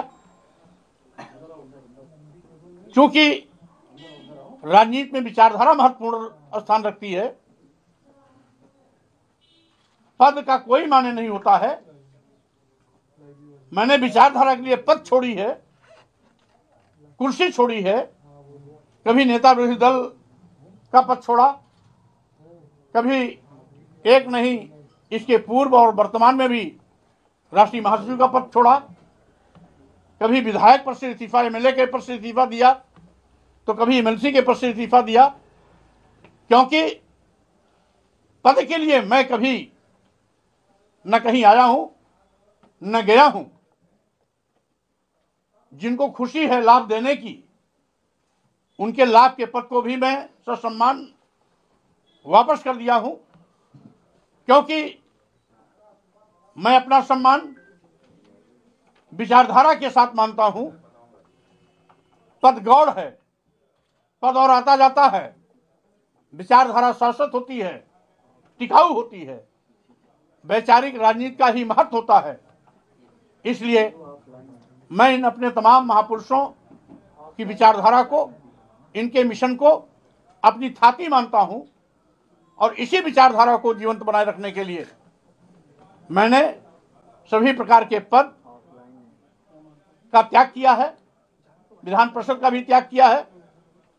अब आने वाली 22 फरवरी 2024 को दिल्ली के तालकटोरा स्टेडियम में कार्यकर्ताओं के साथ समागम होगा, जहाँ पर आगे की दिशा तय होगी, नई पार्टी का ऐलान होगा और कोशिश होगी किस विचारधारा पर चलते हुए इस देश के गरीबों, दलितों, आदिवासियों, पिछड़ों, अल्पसंख्यक समाज के लोगों के सम्मान, स्वाभिमान की रक्षा करने के साथ साथ सत्ता शासन में हिस्सेदारी सुनिश्चित कराने में मैं कामयाब हूँ। हूँ ऐसी चाहत के साथ मैं कदम आगे बढ़ा रहा हूँ और आज जिस तरीके से प्रदेश और देश में बैठी हुई सरकारें इस देश के अनुसूचित जात, अनुसूचित जनजात और पिछड़ों का आरक्षण खत्म कर रही हैं। लंबे अरसे से चली आ रही मांग जातवाद जनगणना की मांग को ठुकरा रही है। देश के करोड़ों नौजवान को आज उनकी रोजी रोटी रोज़गार छीन करके मोहताज बनाया जा रहा है। किसानों को दुगना लाभ दिलाने का वादा करने वाले लोग दुगना लाभ तो नहीं दिला पाए, अलबत्ते उनके रास्ते में कील कांटे बिछाए जा रहे हैं, उन पर लाठियाँ बरसाई जा रही हैं। व्यापारियों को कमर तोड़ने के लिए ईडी का दुरुपयोग किया जा रहा है। लोकतंत्र को कमज़ोर करने के लिए ईडी सीबीआई इनकम टैक्स के माध्यम से आवाज़ को कुचलने का प्रयास किया जा रहा है। भारतीय संविधान की भावनाओं से खिलवाड़ किया जा रहा है। देश की राष्ट्रीय संपत्तियों को अपने चहेते उद्योगपतियों के हाथों में कौड़ियों के भाव बेचा जा रहा है, जिससे स्पष्ट है कि आज देश खतरे में है। संविधान खतरे में है लोकतंत्र खतरे में है। मैं लोकतंत्र संविधान और देश को बचाने के लिए स्वाभाविक रूप से जो समान विचारधारा के लोग हैं उनके साथ मिलजुल करके हम काम करेंगे और लोकतंत्र संविधान तथा देश को बचाने की कोशिश करेंगे। आपका कदम जो है राजनीति में तो लोकसभा चुनाव है। तो आपका इस सारे से लोकसभा चुनाव के मद्देनजर आपका क्या देखिए, फ़िलहाल अभी इंडिया अलायंस में मैं रहा हूँ, क्योंकि अब समाजवादी पार्टी से रास्ता जुदा हो रहा है तो मेरी कोशिश होगी कि मैं इंडिया अलायंस में रहकर या बाहर से जिस भी रूप में हो सकेगा मैं उसको सशक्त बनाने की कोशिश करता रहूँगा। राहुल गांधी की यात्रा में शामिल होंगे आगे क्या रणनीति रहेगी अब चूँकि अभी दो तीन दिन मेरा बहुत ही व्यस्त समय है इसके बाद खाली होने के बाद अवसर मिलेगा तो मैं न्याय यात्रा में भी शामिल होने की कोशिश करूँगा। आपके इस बीच कोई मतलब राम गोविंद चौधरी और कई नेताओं ने आपसे संपर्क करके मनाने की कोशिश की क्या वार्ता कुछ सफल नहीं हो पाई? या अखिलेश यादव बिल्कुल ही आपसे बात नहीं कर देखिए इसी को ऐसे जोड़ दीजिए कि राम गोविंद अखिलेश जी ने राम गोविंद चौधरी को आपके पास भेजा था अपना दूत बनाकर। नहीं माननीय राम गोविंद जी स्वयं बहुत बड़े नेता हैं। नेताजी मुलायम सिंह यादव जी के हम उम्र भी रहे हैं उनके साथियों में भी रहे हैं। अनेकों बार। विधान सभा में रहे, मंत्री भी रहे, लंबा संसदीय ज्ञान भी उन्हें है। वो किसी के भेजने से नहीं आए थे। समाजवादी पार्टी को बचाने की चिंता को लेकर स्वयं मुझसे उन्होंने बात किया। मैं उनका सम्मान करता हूँ। आगे भी उनका सम्मान करता रहूँगा और इसके पहले भी मैं जब एक पार्टी में नहीं था तो भी उनका मैं सम्मान करता रहा हूँ और आगे भी करता रहूँगा। अखिलेश यादव ने कहा आपको एमएलसी बना दिया गया उसके बावजूद भी आप पार्टी की उनकी नीतियों के साथ नहीं चल रहे हैं। अब उनकी उनका सेकुलरिज्म सबके सामने आ गया। जिस पीडीए का उन्होंने नारा दिया उसकी हवा खुद निकाल दी। जो खुद अंधेरे में है वो दूसरों को उजाले में कैसे ले जा सकता है? जो खुद किंग कर्तव्य विमूढ़ है, ना इधर है, ना उधर है, वह दूसरों को रास्ता कैसे दिखा सकता है? समाजवादी पार्टी के लोग आज समाजवाद के रास्ते से भटक गए हैं। मैंने नेताजी श्री मुलायम सिंह यादव को भी देखा है। शुरुआती दौर में मैंने राजनीति भी उन्हीं के नेतृत्व में शुरू की थी। लेकिन कभी भी उन्होंने संविधान की भावना के विपरीत काम नहीं किया। कार्यालय में तो दूर, वो कभी घर में पूजा घंटों करते थे, लेकिन कभी भी किसी मंदिर में नहीं गए। लेकिन आज तो समाजवादी पार्टी के लोग पार्टी कार्यालय में भी पूजा की शुरुआत किए। यहाँ तक कि भारतीय जनता पार्टी भी कभी कभी देवी देवता भगवान की पूजा पार्टी कार्यालय में नहीं की। ये ऐसे धर्मनिरपेक्ष हैं जिन्होंने समाजवादी पार्टी कार्यालय में भगवान शालीराम की पूजा करवा दी। तो कैसा इनका धर्मनिरपेक्ष है? उसको पूरा देश देख रहा है पूरी दुनिया देख रहा है पूरा समाज देख रहा है। हम तो समझते हैं कि भारतीय जनता पार्टी भी इनके पूजा पाठ के आगे शर्मा गई होगी कि हमसे कहाँ चूक हो गई। बाजी मार ले गए श्री अखिलेश यादव जी। तो स्वाभाविक रूप से उनका ये धर्मनिरपेक्ष चेहरा जनता देख रही है अब हमें कुछ नहीं दिखाना। जिसको जनता देख रही है उसको आने दिखाने की ज़रूरत नहीं। आपको लेकर पल्लवी पटेल भी नाराज़ है लगातार पल्लवी पटेल कह रही है कि राज्यसभा में हम वोटिंग नहीं करेंगे। क्या आपसे उनसे बातचीत चल रही कुछ देखिए पल्लवी पटेल जी बहुत ही सशक्त और बुलंद आवाज़ उठाती रही है। माननीय सोनेलाल पटेल जी की पुत्री है। सोनेलाल पटेल जी की विचारधारा बाबा साहब डॉक्टर अंबेडकर मानव काश्याम की विचारधारा रही है। इसलिए कोई भी सम्मान और स्वाभिमान की लड़ाई लड़ने वाला नेता योद्धा संगठन अखिलेश यादव जी के साथ नहीं चल सकता है। आपने प्रोफेसर जी के बारे में कहा कि उनके फैसले पार्टी के विरोध में थे। ऐसे क्या फैसले रहे स्वामी जी जिससे आपकी नाराज़गी है प्रोफेसर जी से? अब उनकी बोल भाषा आप लोग देखते होंगे अभी पल्लवी पटेल जी ने जैसे कहा कि चूँकि पीडीए के अनुरूप राज्यसभा के सांसद प्रत्याशी नहीं, इसलिए मैं वोट नहीं दूँगी। बात राष्ट्रीय दल पर छोड़ देना चाहिए। वो कहते हैं, संस्था नहीं वोट देगी, संस्था चली जाएगी। क्या एक राजनीतिक व्यक्ति की भाषा ये? भाई, शिवपाल यादव से सीख लेना चाहिए। उन्होंने कहा कि ये पार्टी का अंदरूनी मामला है, हम लोग आपस में बातचीत कर लेंगे। या अखिलेश यादव भी छोड़ देना चाहिए राष्ट्रीय अध्यक्ष को है। तो जब समाजवादी पार्टी की खटिया खड़ी बिस्तरा गोल करने के लिए घर में ही मुखिया विराजमान है तो और की आवश्यकता क्या है? इसलिए जब तक प्रोफेसर राम गोपाल जी स्वनाम धन्य स्वयंभू पार्टी के बड़े नेता रहेंगे, तब तक समाजवादी पार्टी पर इसी प्रकार से अंधेरा छाया रहेगा। ये कह रहे हैं मोदी जी की अखिलेश यादव और राहुल गांधी यात्रा में शामिल नहीं हो रहे गठबंधन नहीं हो रहा खबरें आ रही है। तो आप तो अंदर रहे हैं पार्टी का फैसला क्या वजह है? भाई देखिए समाजवादी पार्टी इंडिया अलायंस से गठबंधन कर रही है या नहीं कर रही है इसकी जानकारी मुझे नहीं है इसलिए इस पर मैं किसी प्रकार की टिप्पणी नहीं करूँगा। हाँ इतना ज़रूर है कि मैं समझता हूँ कि इंडिया अलायंस आप देश की आवश्यकता है।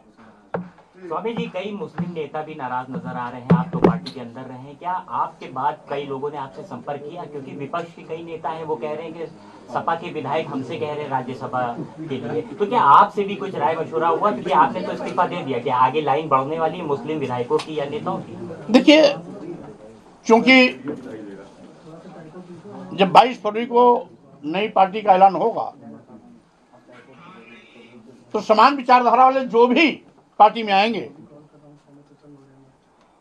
उन सब का मैं स्वागत करूँगा। सर कहा जा रहा है कि आपको और पल्लवी पटेल को राम गोविंद चौधरी को कांग्रेस की तरफ़ से भी ऑफ़र है तो क्या आगे आने वाले समय में कांग्रेस में भी शामिल हो सकते हैं? ये ऑफ़र आपको मिला होगा लेकिन इस प्रकार की जानकारी हमें अभी तक तो नहीं। तो आपका पार्टी चुनाव लड़ेगी ना नई पार्टी गठन करना तो तो उतारेंगे इस बार स्वाभाविक रूप से पार्टी के रूप में इंडिया अलायंस में आवश्यकता पड़ेगी गठबंधन करने की। वो भी किया जाएगा। अन्यथा अगर बाहर से भी सपोर्ट करने की आवश्यकता पड़ेगी तो वो भी किया जाएगा। लेकिन अभी अंतिम रूप से कुछ भी तय नहीं है जो फैसला होगा 22 फरवरी के बाद होगा। स्वामी जी इंडिया गठबंधन कहीं ना कहीं आप लोगों का बिखर गया है तो एनडीए से कैसे लड़ेगा आपका ये गठबंधन अब? जो बिखरता है उसी को बटोरा जाता है। लिखित रूप से अवगत कराया। लेकिन इन दोनों घटनाक्रम के बावजूद भी राष्ट्रीय अध्यक्ष जी द्वारा जब किसी प्रकार की अग्रिम कोई विचार विमर्श नहीं की गई वार्ता भी नहीं की गई। तो मैंने प्राथमिक सदस्य से भी इस्तीफा देने का निर्णय लिया। आज प्राथमिक सदस्य से इस्तीफा का पत्र मैंने राष्ट्रीय अध्यक्ष जी को भी भेज दिया। और चूँकि समाजवादी पार्टी के प्रत्याशी के रूप में विधानसभा उत्तर प्रदेश निर्वाचन क्षेत्र से मैं विधान परिषद में सदस्य निर्वाचित हुआ था, इसलिए नैतिकता के आधार पर विधान परिषद के माननीय सभापति जी को, विधान परिषद की संस्था से भी इस्तीफा का पत्र मैंने भेज दिया है।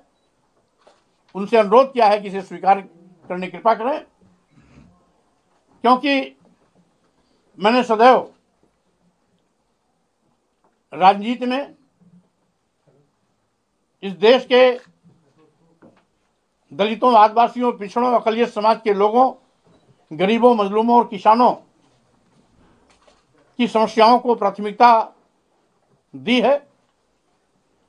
इस देश के सामाजिक परिवर्तन के तमाम उन महापुरुषों, जिसमें मुख्य रूप से सामाजिक परिवर्तन के महानायक ज्योतिबाराव फुले जी, आरक्षण के जनक छत्रपति साहू जी महाराज, भारतीय संविधान निर्माता बाबा साहब डॉक्टर अंबेडकर तथा इसी सामाजिक परिवर्तन के महान पुरोधा, पेरियार रामास्वामी नाइकर, नारायणा गुरु संत गाडगे। मानवर कांशीराम साहब, पेरियाल अली सिंह यादव, रामस्वरूप वर्मा, शहीद जगदेव बाबू के विचारधारा को लेकर के शुरुआती दौर से लड़ाई लड़ता रहा, इनके मिशन पर काम करता रहा और इस विचारधारा तथा मिशन में जब भी कोई आड़े आया वो कितनी भी बड़ी शख्सियत, क्यों ना रही हो? उससे टकराने में भी मैंने कभी गुरेज नहीं किया। क्योंकि राजनीति में विचारधारा महत्वपूर्ण स्थान रखती है। पद का कोई माने नहीं होता है। मैंने विचारधारा के लिए पद छोड़ी है, कुर्सी छोड़ी है, कभी नेता विरोधी दल का पद छोड़ा, कभी एक नहीं, इसके पूर्व और वर्तमान में भी राष्ट्रीय महासचिव का पद छोड़ा। कभी विधायक पद से इस्तीफा, एमएलए के पद से इस्तीफा दिया तो कभी एमएलसी के पद से इस्तीफा दिया, क्योंकि पद के लिए मैं कभी न कहीं आया हूँ, न गया हूँ। जिनको खुशी है लाभ देने की, उनके लाभ के पद को भी मैं ससम्मान वापस कर दिया हूँ। क्योंकि मैं अपना सम्मान विचारधारा के साथ मानता हूँ। पद गौड़ है, पद और आता जाता है, विचारधारा शाश्वत होती है, टिकाऊ होती है, वैचारिक राजनीति का ही महत्व होता है। इसलिए मैं इन अपने तमाम महापुरुषों की विचारधारा को, इनके मिशन को अपनी थाती मानता हूँ। और इसी विचारधारा को जीवंत बनाए रखने के लिए मैंने सभी प्रकार के पद का त्याग किया है, विधान परिषद का भी त्याग किया है। अब आने वाली 22 फरवरी 2024 को दिल्ली के तारकटोरा स्टेडियम में कार्यकर्ताओं के साथ समागम होगा, जहाँ पर आगे की दिशा तय होगी, नई पार्टी का ऐलान होगा और कोशिश होगी किस विचारधारा पर चलते हुए इस देश के गरीबों, दलितों, आदिवासियों, पिछड़ों, अल्पसंख्यक समाज के लोगों के सम्मान, स्वाभिमान की रक्षा करने के साथ साथ सत्ता शासन में हिस्सेदारी सुनिश्चित कराने में मैं कामयाब हूँ हूँ ऐसी चाहत के साथ मैं कदम आगे बढ़ा रहा हूँ और आज जिस तरीके से प्रदेश और देश में बैठी हुई सरकारें इस देश के अनुसूचित जात, अनुसूचित जनजात और पिछड़ों का आरक्षण खत्म कर रही हैं। लंबे अरसे से चली आ रही मांग, जातवाद जनगणना की मांग को ठुकरा रही है। देश के करोड़ों नौजवान को आज उनकी रोजी रोटी रोज़गार छीन करके मोहताज बनाया जा रहा है। किसानों को दुगना लाभ दिलाने का वादा करने वाले लोग दुगना लाभ तो नहीं दिला पाए, अलबत्ते उनके रास्ते में कील कांटे बिछाए जा रहे हैं, उन पर लाठियाँ बरसाई जा रही हैं। व्यापारियों को कमर तोड़ने के लिए ईडी का दुरुपयोग किया जा रहा है। लोकतंत्र को कमज़ोर करने के लिए ईडी, सीबीआई इनकम टैक्स के माध्यम से आवाज़ को कुचलने का प्रयास किया जा रहा है। भारतीय संविधान की भावनाओं से खिलवाड़ किया जा रहा है। देश की राष्ट्रीय संपत्तियों को अपने चहेते उद्योगपतियों के हाथों में कौड़ियों के भाव बेचा जा रहा है, जिससे स्पष्ट है कि आज देश खतरे में है, संविधान खतरे में है, लोकतंत्र खतरे में है। मैं लोकतंत्र, संविधान और देश को बचाने के लिए स्वाभाविक रूप से जो समान विचारधारा के लोग हैं, उनके साथ मिलजुल करके हम काम करेंगे और लोकतंत्र संविधान तथा देश को बचाने की कोशिश करेंगे। आपका अगला कदम जो है राजनीति में तो लोकसभा चुनाव है तो आपका इस सारे से लोकसभा चुनाव के मद्देनजर आपका क्या देखिए फ़िलहाल अभी इंडिया अलायंस में मैं रहा हूँ क्योंकि अब समाजवादी पार्टी से रास्ता जुदा हो रहा है। तो मेरी कोशिश होगी कि मैं इंडिया अलायंस में रहकर या बाहर से जिस भी रूप में हो सकेगा मैं उसको सशक्त बनाने की कोशिश करता रहूँगा। राहुल गांधी की यात्रा में शामिल होंगे आगे क्या रणनीति रहेगी अब चूँकि अभी दो तीन दिन मेरा बहुत ही व्यस्त समय है इसके बाद खाली होने के बाद अवसर मिलेगा तो मैं न्याय यात्रा में भी शामिल होने की कोशिश करूँगा। आपके इस बीच कोई मतलब राम गोविंद चौधरी और कई नेताओं ने आपसे संपर्क करके मनाने की कोशिश की क्या वार्ता कुछ सफल नहीं हो पाई? या अखिलेश यादव बिल्कुल ही आपसे बात नहीं देखिए इसी को ऐसे जोड़ लीजिए कि राम गोविंद अखिलेश जी ने राम गोविंद चौधरी को आपके पास भेजा था अपना दूत बनाकर नहीं माननीय राम गोविंद जी स्वयं बहुत बड़े नेता हैं। नेताजी मुलायम सिंह यादव जी के हम उम्र भी रहे हैं, उनके साथियों में भी रहे हैं, अनेकों बार विधान सभा में भी रहे, मंत्री भी रहे, लंबा संसदीय ज्ञान भी उन्हें है। वो किसी के भेजने से नहीं आए थे। समाजवादी पार्टी को बचाने की चिंता को लेकर स्वयं मुझसे उन्होंने बात किया। मैं उनका सम्मान करता हूँ। आगे भी उनका सम्मान करता रहूँगा और इसके पहले भी। मैं जब एक पार्टी में नहीं था तो भी उनका मैं सम्मान करता रहा हूँ और आगे भी करता रहूँगा। अखिलेश यादव ने कहा आपको एमएलसी बना दिया गया उसके बावजूद भी आप पार्टी की उनकी नीतियों के साथ नहीं चल रहे हैं। अब उनकी उनका सेकुलरिज्म सबके सामने आ गया। जिस पीडीए का उन्होंने नारा दिया उसकी हवा खुद निकाल दी। जो खुद अंधेरे में है वो दूसरों को उजाले में कैसे ले जा सकता है? जो खुद किंग कर्तव्य विमूढ़ है, ना इधर है, ना उधर है, वह दूसरों को रास्ता कैसे दिखा सकता है? समाजवादी पार्टी के लोग आज समाजवाद के रास्ते से भटक गए हैं। मैंने नेताजी श्री मुलायम सिंह यादव को भी देखा है। शुरुआती दौर में मैंने राजनीति भी उन्हीं के नेतृत्व में शुरू की थी। लेकिन कभी भी उन्होंने संविधान की भावना के विपरीत काम नहीं किया। कार्यालय में तो दूर, वो कभी घर में पूजा घंटों करते थे, लेकिन कभी भी किसी मंदिर में नहीं गए। लेकिन आज तो समाजवादी पार्टी के लोग पार्टी कार्यालय में भी पूजा की शुरुआत किए। यहाँ तक कि भारतीय जनता पार्टी भी कभी कभी देवी देवता भगवान की पूजा पार्टी कार्यालय में नहीं की। ये ऐसे धर्मनिरपेक्ष हैं जिन्होंने समाजवादी पार्टी कार्यालय में भगवान शालीराम की पूजा करवा दी। तो कैसा इनका धर्मनिरपेक्ष है?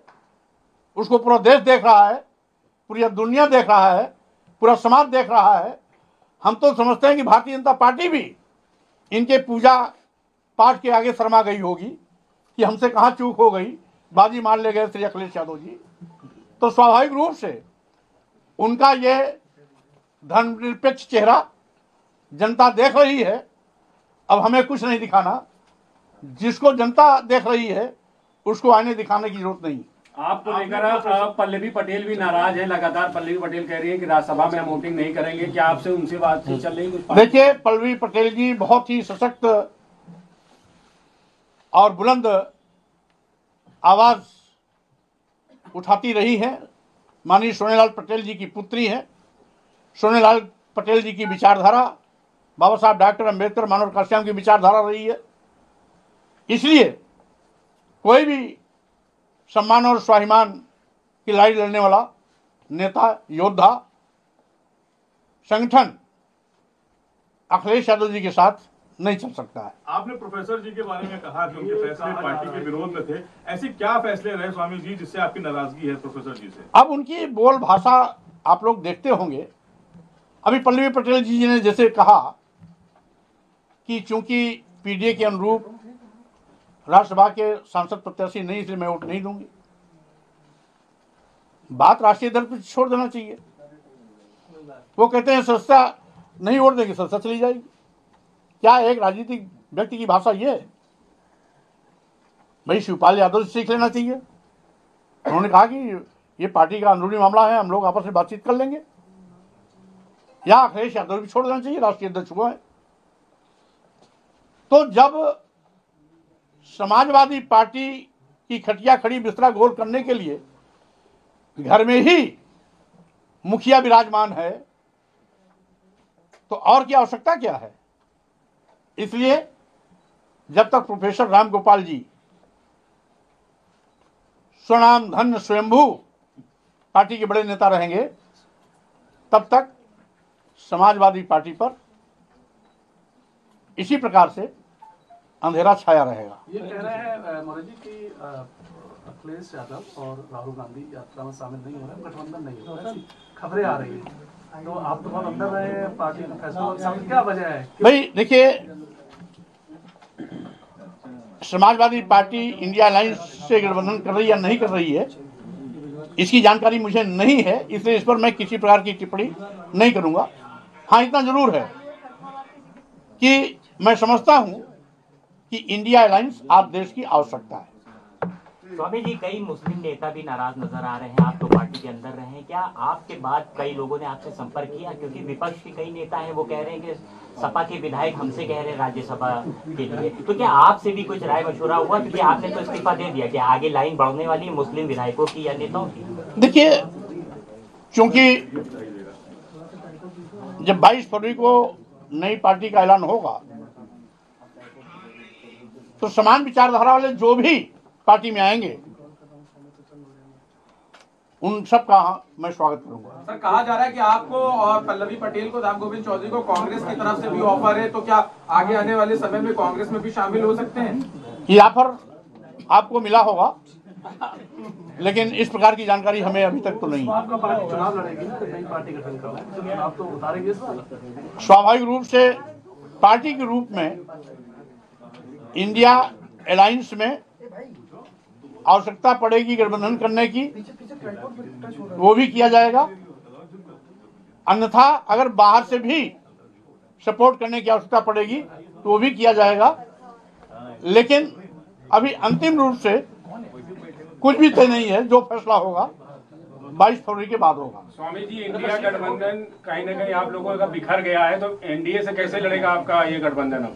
जो बिखरता है उसी को बटोरा जाता है। लिखित रूप से अवगत कराया लेकिन इन दोनों घटनाक्रम के बावजूद भी राष्ट्रीय अध्यक्ष जी द्वारा जब किसी प्रकार की अग्रिम कोई विचार विमर्श नहीं की गई, वार्ता भी नहीं की गई तो मैंने प्राथमिक सदस्य से भी इस्तीफा देने का निर्णय लिया। आज प्राथमिक सदस्य से इस्तीफा का पत्र मैंने राष्ट्रीय अध्यक्ष जी को भी भेज दिया। और चूँकि समाजवादी पार्टी के प्रत्याशी के रूप में विधानसभा उत्तर प्रदेश निर्वाचन क्षेत्र से मैं विधान परिषद में सदस्य निर्वाचित हुआ था। इसलिए नैतिकता के आधार पर विधान परिषद के माननीय सभापति जी को विधान परिषद की संस्था से भी इस्तीफा का पत्र मैंने भेज दिया है। उनसे अनुरोध किया है कि इसे स्वीकार करने कृपा करें, क्योंकि मैंने सदैव राजनीति में इस देश के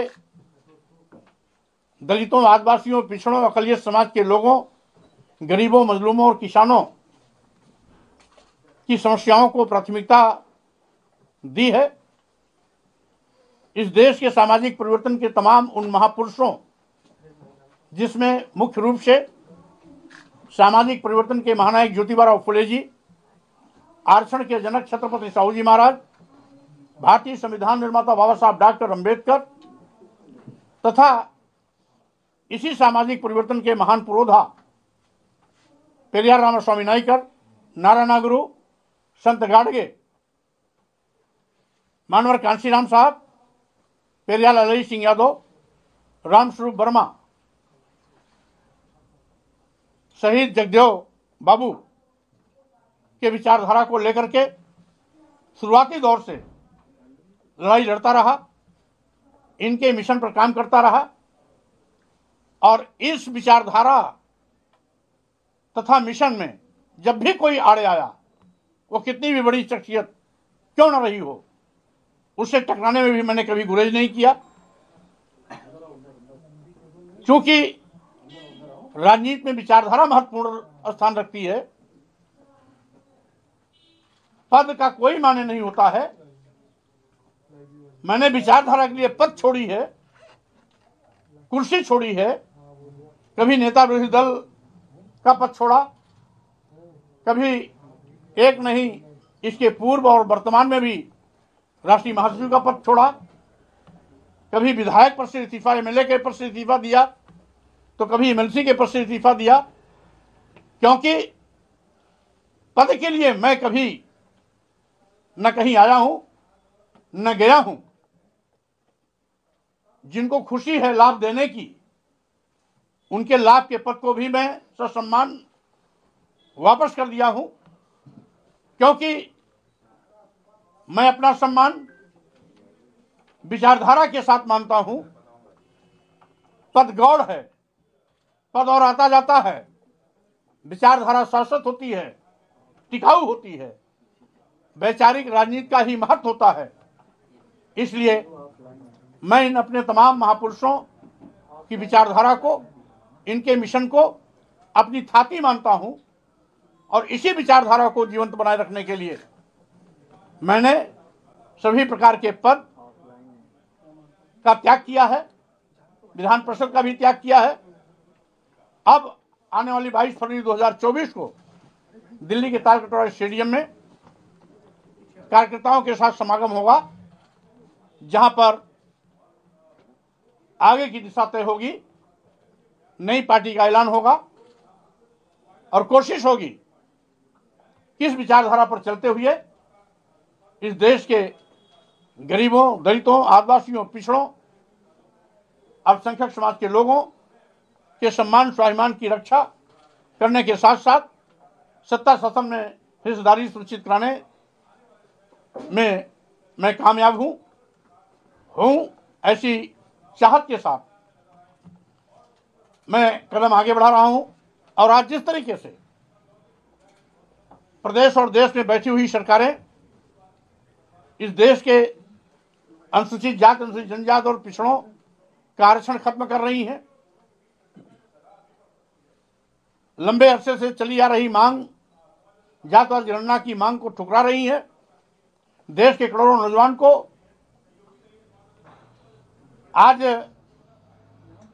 उनकी रोजी रोटी रोज़गार छीन करके मोहताज बनाया जा रहा है। किसानों को दुगना लाभ दिलाने का वादा करने वाले लोग दुगना लाभ तो नहीं दिला पाए, अलबत्ते उनके रास्ते में कील कांटे बिछाए जा रहे हैं, उन पर लाठियाँ बरसाई जा रही हैं। व्यापारियों को कमर तोड़ने के लिए ईडी का दुरुपयोग किया जा रहा है। लोकतंत्र को कमज़ोर करने के लिए ईडी सीबीआई इनकम टैक्स के माध्यम से आवाज़ को कुचलने का प्रयास किया जा रहा है। भारतीय संविधान की भावनाओं से खिलवाड़ किया जा रहा है।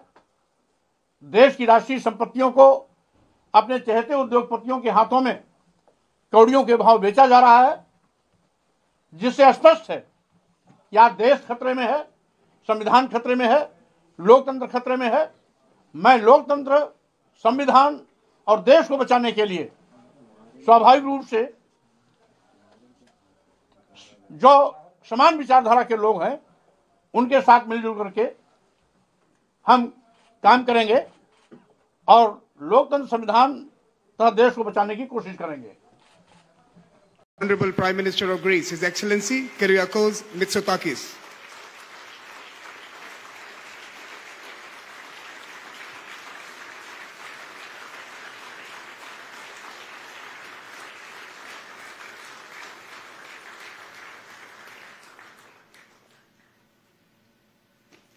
Honorable Prime Ministers, may I request you to take your seats?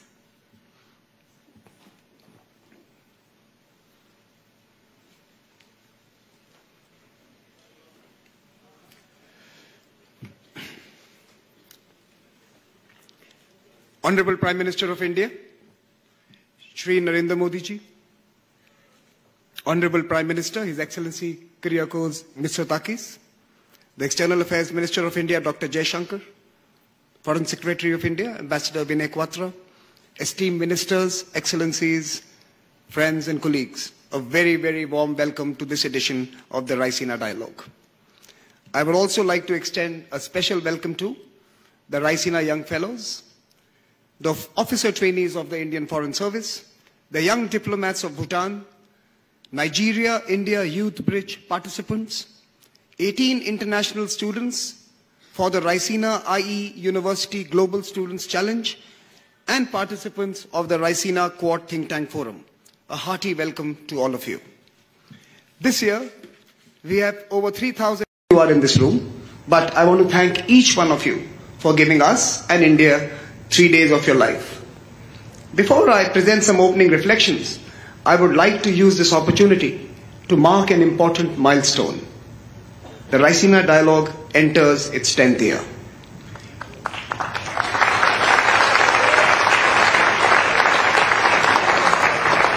To celebrate a decade of conversations, debates, and dialogue, we are releasing a volume that chronicles a journey so far. May I request my colleagues to play a short video?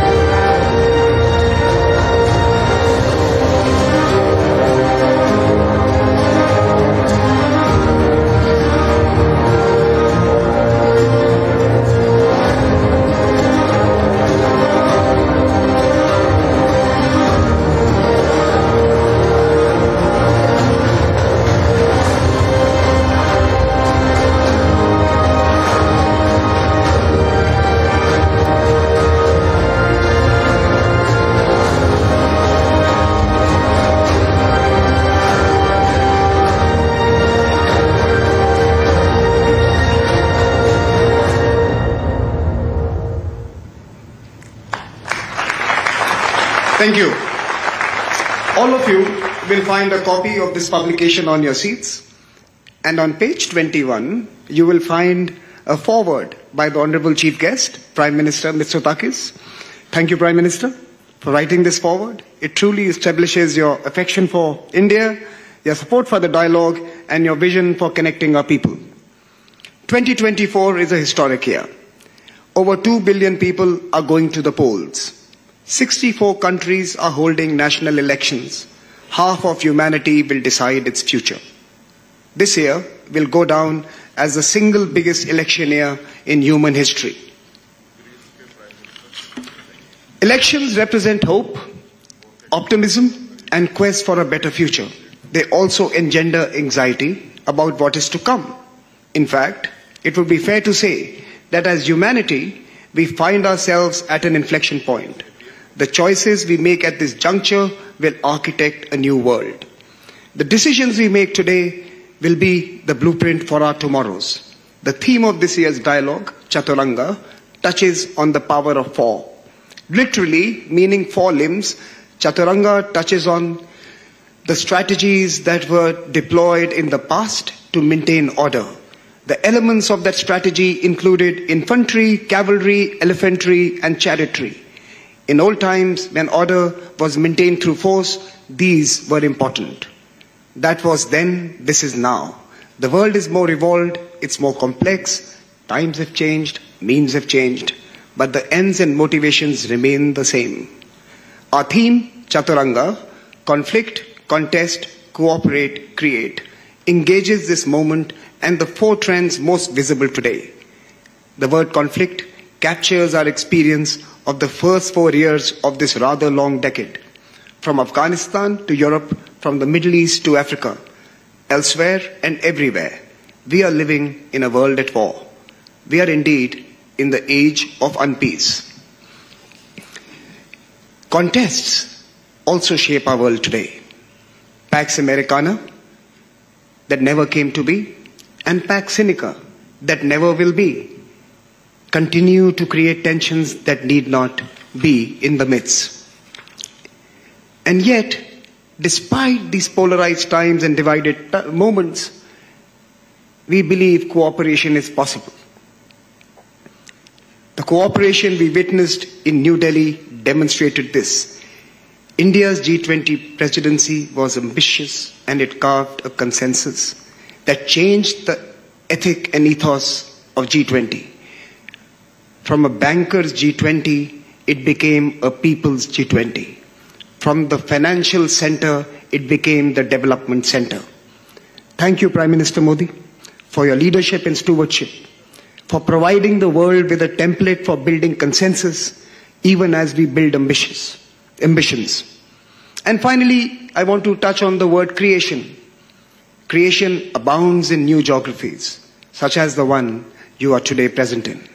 From digital public infrastructure to smart mobile based financial systems, we are experi- experiencing innovation that serves the next 7 billion people. In fact, innovations of the next 7 billion people, billion people.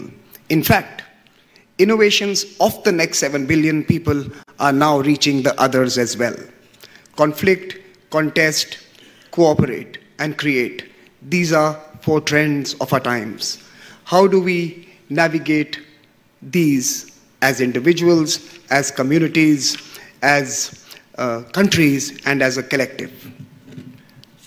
Being slightly poetic, let me just add the old order has withered away, the new order is still in its infancy. But there is no better moment than now. We must realize that we are not being acted upon, we are the actors. Our stories are not being written for us, we are the authors. The time to despair is behind us, and this year we pose that vital question to all of us. What is the strategy of our times? What is the chaturanga for this moment? This is the goal of this year's dialogue to write a truly forward looking script to ensure that the stories of tomorrow are not scripted by any single pen. And at this dialogue, we don't see conformity, we confront reality. Be kind, be real, be purposeful. And once again, thank you so much for being here.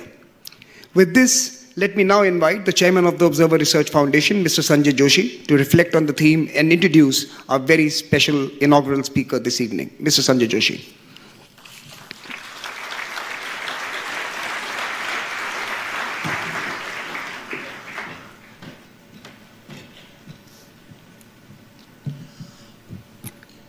Uh, thank you, Samir. A very good evening to our distinguished guests, Honorable Prime Minister of India, Shri Narendra Modi ji, our guest of honor, Excellency Kyriakos Mitsotakis, Prime Minister of Greece, Honorable External Affairs Minister Shri Jay Shankar, our partners from the Ministry of External Affairs, ministers, admirals, generals, and eminent guests from across the world. Speakers and delegates, the first quarter of the 21st century will probably go down in history as an interregnum, a period caught in the crosshairs of a transition, a time of questioning, of upheaval, and discord. And in this churn, we find ourselves in a divided world, a world cleft in two hemispheres, each scared and haunted by the shadow of the other. Many today actually despair over the return of another dark age. The parallels are many. First, the Black Death came calling in 2020. The prosperous fence themselves in. Now we see wars proliferate across the face of the globe, break out into conflicts, constrained by no rules or conventions. Nations struggle to guard borders, while others flee to escape the horrors of conflict. New instruments of war that cut off access to finance, food, energy, information are deployed at scale. Yet, these are not the dark ages. The digital dark age, the digital age actually, is not a dark age. It is no descent into darkness. If anything, it is a case of being blinded by too much light, being rendered sightless in the hypnotic glare of our sleepless screens day and night. Hypersaturated and hyperstimulated, our ability to, dis- to discriminate between is completely confounded. We can't tell between what is true and what is fake. Disinformation today spreads faster, deeper, and far wider than the truth can run. And every tweet chips away the foundations of trust. And as the majority of the world's population approaches elections this year, a fear looms. Can democracies endure attacks from ideological opponents on the one hand, and algorithms designed to deceive on the other? And so the dilemma of our times how do democracies surmount the temptation to copy the other? How do they prevent fear from transforming them to become the very enemy they seek to defeat? Because if they were to lose the sense of what is to be democracy, who would have won and who would have lost? So, this was how Chaturanga came and became the central idea for Raisina 2024. That board game of war, of moves and counter moves spreading across all domains. One version about the origin of Chaturanga claims that the game was devised by Queen Mandodari, the consort wife of the demon king Ravana. Now, this pious and God fearing woman hoped that this game would distract her war mongering lord away from real conflict by immersing him in a virtual board game. Today, actually, as the virtual acquires ever greater power over the real, the situation is actually inverted. It is time to wonder which is the real war? Is it the one where innocent lives are lost as collateral damage to algorithms run on not so intelligent machines? Or is it the one curated for our screens to sway us, to numb us, and to make our minds the products of conflict? But in the midst of all this, let me tell you, Chaturanga has another meaning. It stands for a genre of music. A musical composition, which is a 360 degree melodious performance in four parts, spun out spontaneously in real time by a group of artists responding to each other. Responding to make their notes, their words, their meaning, and their rhythm meld into one harmonious whole. That is Chaturanga. So, too, in the spirit of that music, in another corner of the world, 2023, the year also emerged as the year for forging a consensus within the global south as well as across the north and the south. And as we convene, convene this ninth edition of Raisina, we aspire to build upon India's G20 legacy of fostering consensus and devising solutions. And in this, we're delighted this year to welcome Excellency Kyriakos Mitsotakis, the Prime Minister of Greece. Welcome, sir. You spearheaded Greece's recovery momentum through effective policy reform aimed at modernizing the economy, enhancing social cohesion, and transitioning to a greener and more digital future. Your presence at this forum symbolizes the deep linkages between the people of our two nations, a relationship that has existed since times immemorial between a land proud of its democratic heritage and a land renowned for its pluralistic traditions. We look to Greece not only as a centuries old friend, but also as a partner with the collective aim of returning us from the Chaturanga war to the Chaturanga of Concord in order to revitalize a broken global community. Excellency, the floor is yours.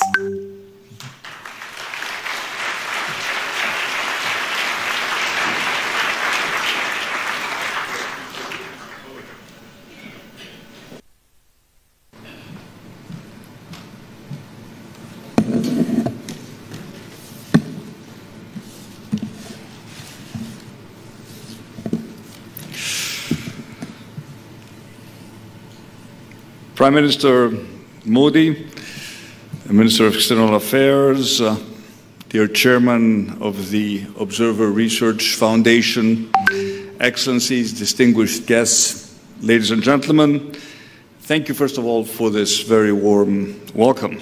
And it is an honor and a privilege to be here today with you at this ninth edition of the Raisina Dialogue. And if I may be allowed to say you have transformed uh, this event uh, from a regional into a global public square for dialogue and exchange of ideas. Uh, congratulations.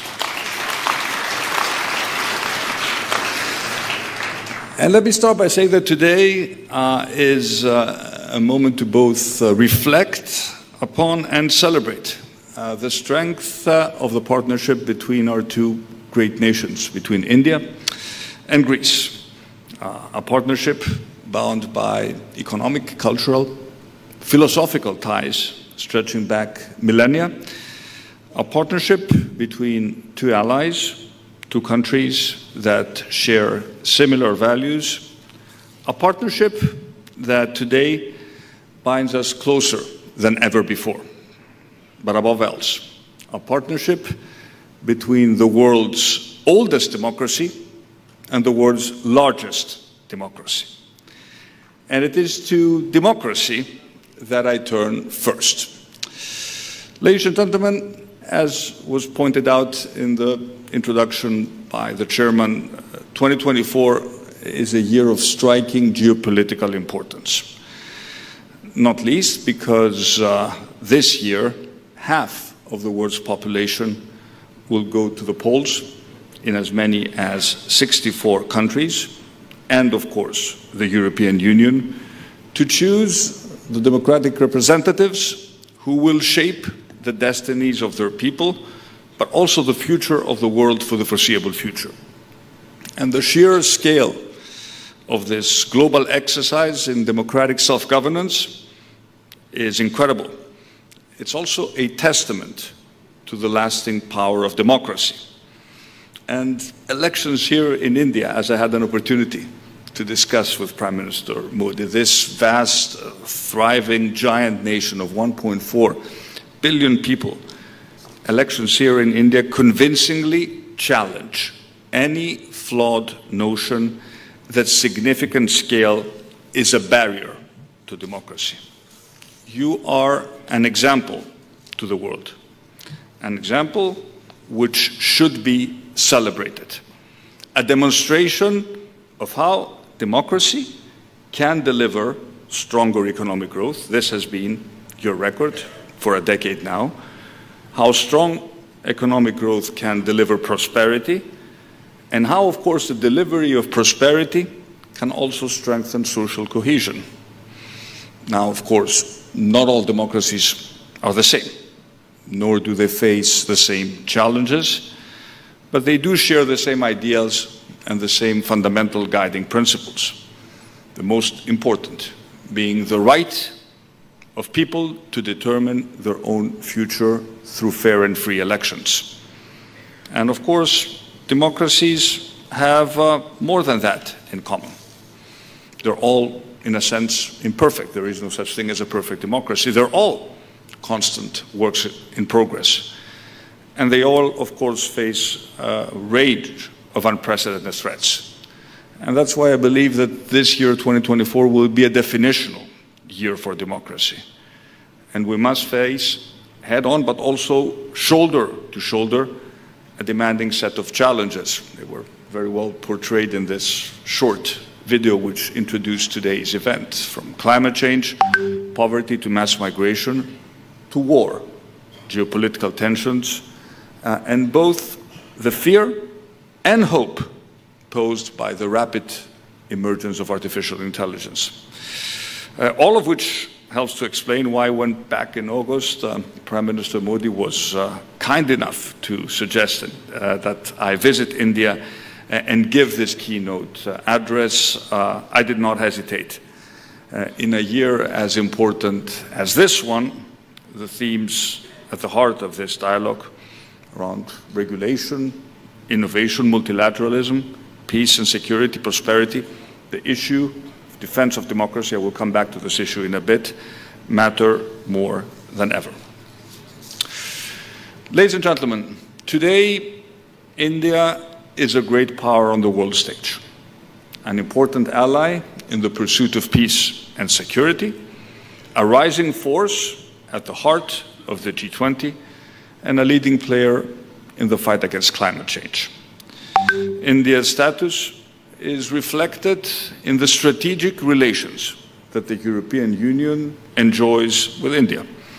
Uh, President uh, Ursula von der Leyen was at this stage two years ago uh, at the Raisina Dialogue, and she said, for the European Union, strengthening and energizing the partnership with India is a priority in this upcoming debate. I would dare Prime Minister Modi to go further. Strengthening our partnership with India, and I'm speaking about Europe, should be a cornerstone of Europe's foreign policy. And this is certainly, certainly true for my country.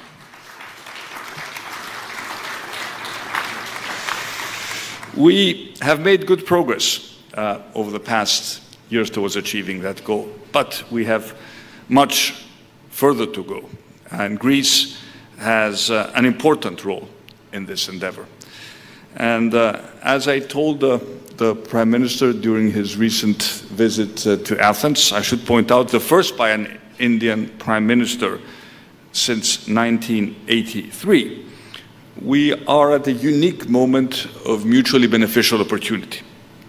One in which Greece, given its geographic, cultural, and strategic proximity, can act as an interlocutor between India and Europe, and I would dare to go even wider lens between the global north and the global south, and indeed between the east and the west. Since ancient times, Greece's position at uh, a physical and cultural crossroads means that it has always been uh, an a corridor for exchange in goods, in uh, knowledge, and in wisdom. Today, Greece has excellent relations with all countries in the Middle East, the Gulf countries, and is uh, uniquely placed as a connector between the Mediterranean Sea and the Indo Pacific it presents so much opportunity for both our countries. We are already a well-established logistics center, an international gateway, but we want to increase connectivity and promote trade still further. Piraeus is one of the busiest ports in Europe. More of our ports are in the process of being privatized. Greek shipowners, something which is absolutely critical also for India, control the largest merchant marine fleet in the world. And beyond the flow of goods, we are pursuing new corridors for data and energy. And the emergence of groundbreaking projects like IMEC, the India, Middle East, Europe corridor, hold great promise to supercharge connectivity between India, the growth economies of the Middle East, and Europe. One has just to look at the map to realize that Greece is sitting right in the center of this new corridor. And to our friends in India, I say, we are your natural doorstep to Europe and beyond. And the war in Gaza and the turmoil in the Middle East is undoubtedly destabilizing. But, but it does not undermine the profound, the powerful logic behind IMEC, nor should it weaken our resolve to work tirelessly towards materializing it. Instead, I would argue it gives us even more reasons uh, to promote peace, given that IMEC at its heart is also a peace project, which can bring about stability and prosperity for all participating countries. Countries which are at war don't trade with each other. The Indo-Pacific region is a major focus for the European Union's global policy. And earlier this month in Brussels, at the third EU Indo-Pacific Ministerial Forum, we took a series of measures aimed at intensifying the partnership between the European Union and the countries of the Indo-Pacific. Our two regions are increasingly connected because we face the same challenges, but we also share the same interests, promoting peace, prosperity, stability, and of course climate and environmental resilience. Dear Prime Minister, dear friends, recognizing the strategic importance of the role India plays in this evolving new order is fundamental. And the relationship between India and Greece, as we had an opportunity to reconfirm in our very fruitful bilateral discussions today, is one uh, based on respect, on friendship, on values, but also on the mutual will to see our people progress and prosper. And while obviously not all challenges are the same, the way we meet these challenges often is. The scale may be vastly different. But I see a lot of similarities in the way our two countries have implemented an ambitious reform agenda. Both India and Greece have pursued sustainable uh, growth and prosperity through innovation and bold changes. We have both um, encouraged and embraced the digital revolution. We have leveraged, you have done this here in India, at an unprecedented scale, uh, leveraging technology to transform the delivery of public services for the benefit of all citizens. And we have both demonstrated that the power of innovative and bold reforms that bring growth, spread opportunity, deliver prosperity, and create the higher paying jobs of the future, this is the path to go. And I believe that my country's, Greece's recent story of rapid change matters also to a country like India. And by extension, to what that change means for Indian investment in Greece and the European Union. The country I was called upon to govern when first elected to office in 2019 was seen by many analysts at the time as the sick man of Europe. Between 2015 and 2019, populism had promised much, delivered nothing, and left Greece teetering on the edge. And effective policy making has changed that, and it has transformed Greece's prospects. First, growth-oriented policies, but always, always underpinned by fiscal responsibility. Second, a robust approach to migration and security, supported by an assertive foreign policy and the shaping of new regional partnerships, like the one between Greece and India. And third, investing in health, in education, and using any fiscal headroom generated by a growing economy to tackle social inequality. And by cutting taxes, supporting entrepreneurs, spurring investments through market reforms, much like India has done, Greece has seen over the past years one of the highest growth rates in the Eurozone. And we have witnessed the fastest, the fastest reduction of debt to GDP ratio of any European country credit ratings have uh, returned, credit rating agencies have returned Greek debt to investment grade, and The Economist voted us country of the year for 2023.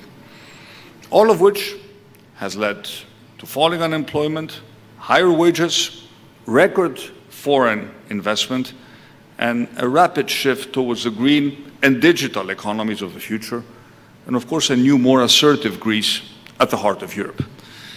And today, I am proud to be able to talk to you about a very different Greece to the country that many had written off as unreformable a few years ago.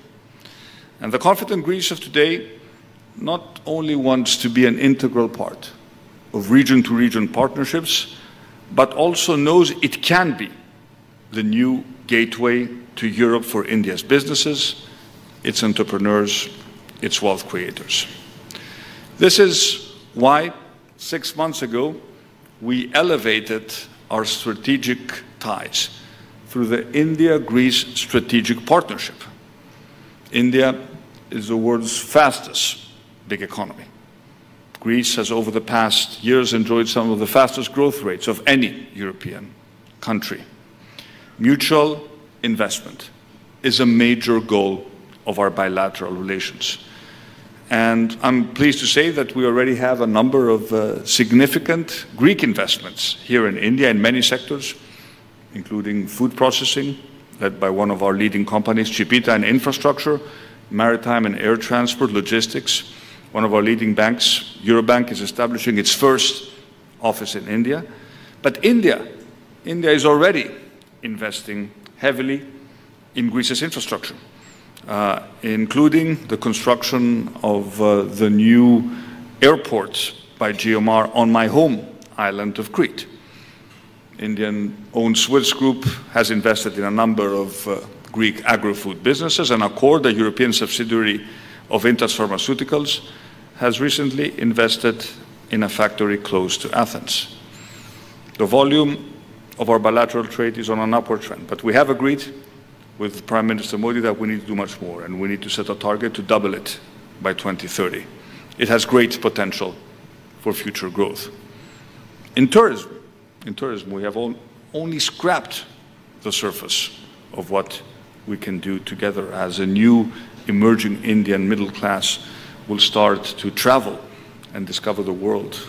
What better natural destination than Greece, given the cultural affinities between our two people? So I do believe that we can do much more, which is why the business delegation, the business leaders who have accompanied me to Greece, include nearly 100 leaders of some of Greece's biggest companies, but also for some of its most dynamic and fastest growing small and medium sized enterprises. And from Delhi, I will be traveling tomorrow to Mumbai, and my delegation will continue to Bangalore with a simple message. Greece is growing like never before, and uh, to Indian businesses, we say, please join us on that journey. Ladies and gentlemen, I touched a little earlier on the growing importance of the role of India on the international stage. It is the leading democracy in the global south.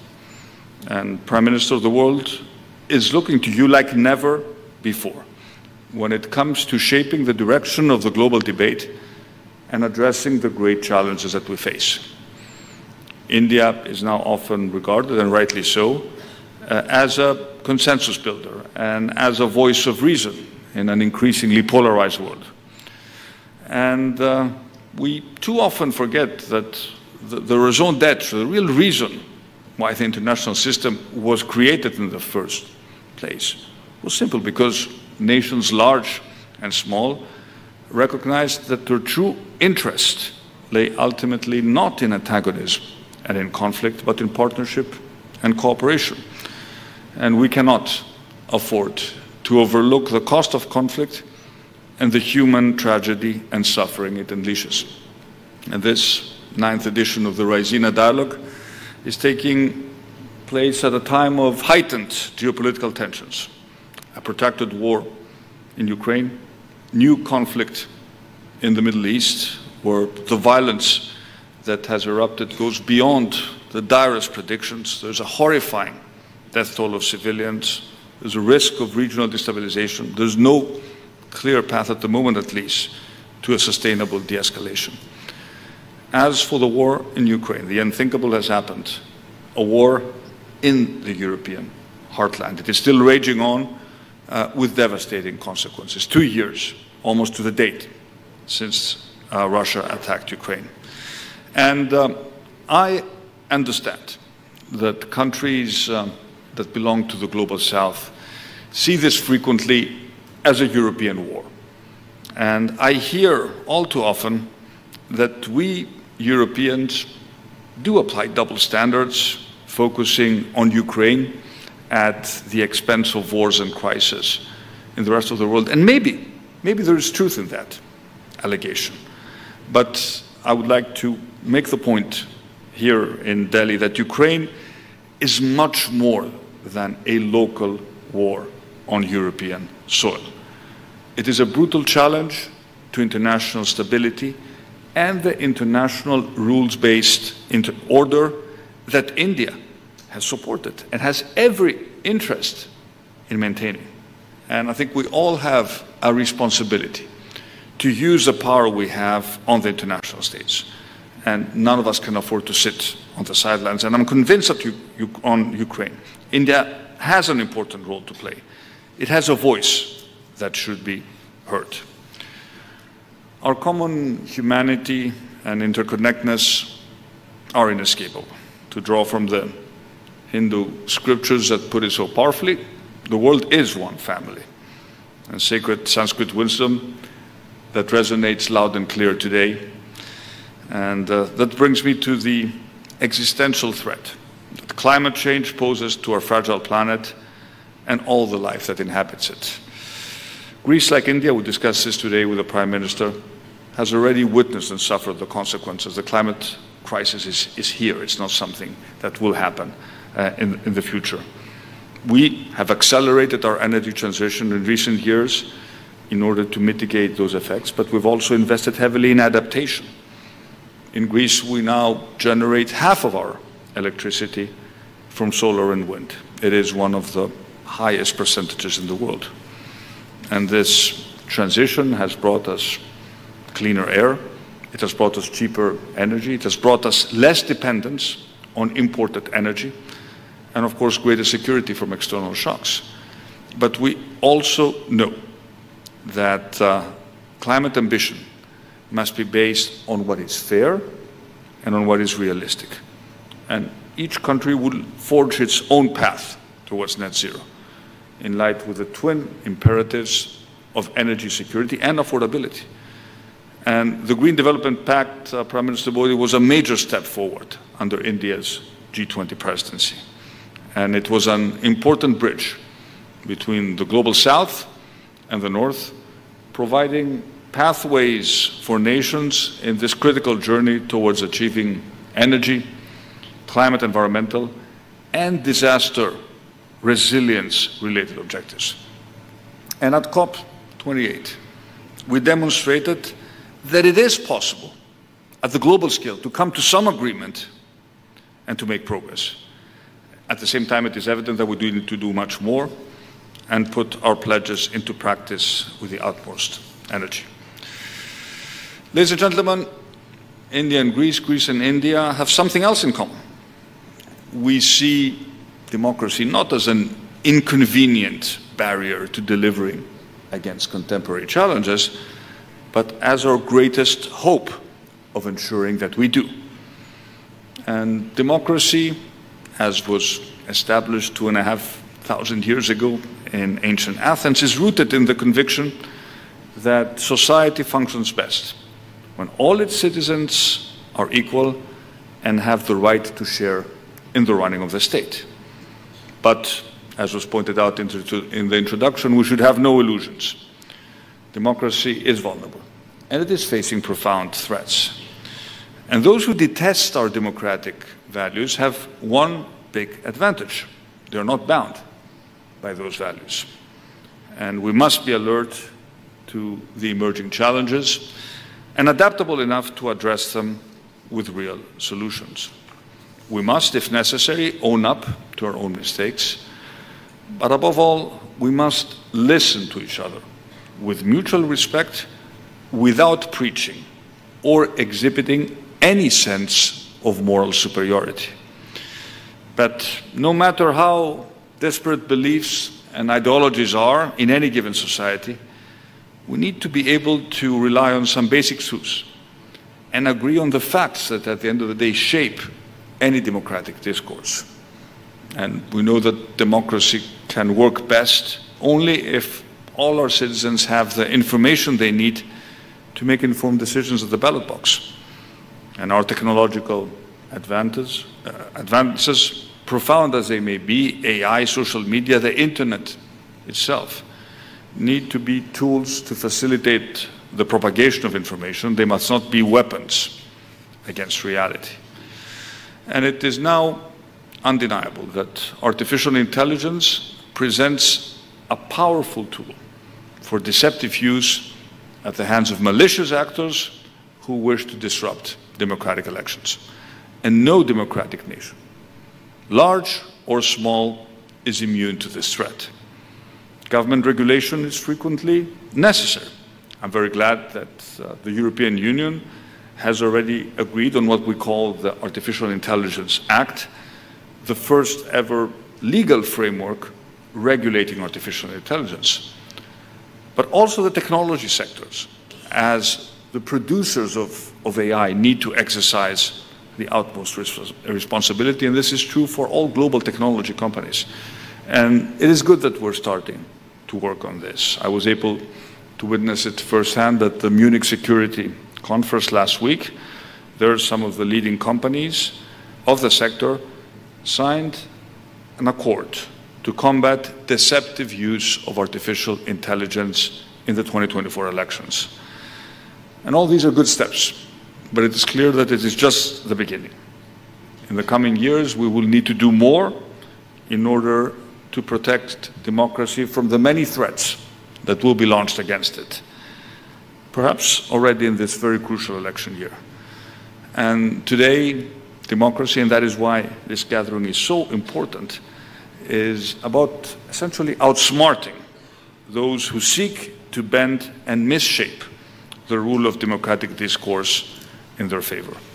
And India and Greece have vital roles to play in achieving that goal, whether at the United Nations, where Greece is seeking a rotating seat on the Security Council next year, at the G20, which was so expertly chaired by India last year, or through the European Union.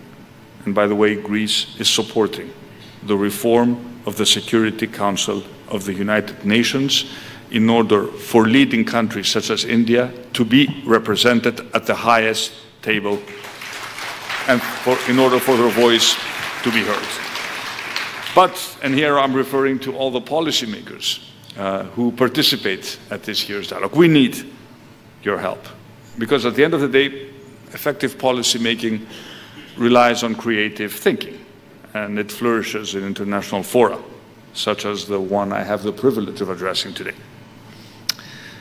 Prime Minister Modi, Minister Jaishankar, ladies and gentlemen, as I conclude, it is worth reflecting on the fact that while Greece and India discovered democracy and certainly each other many, a long time ago, it is today that they're discovering each other again.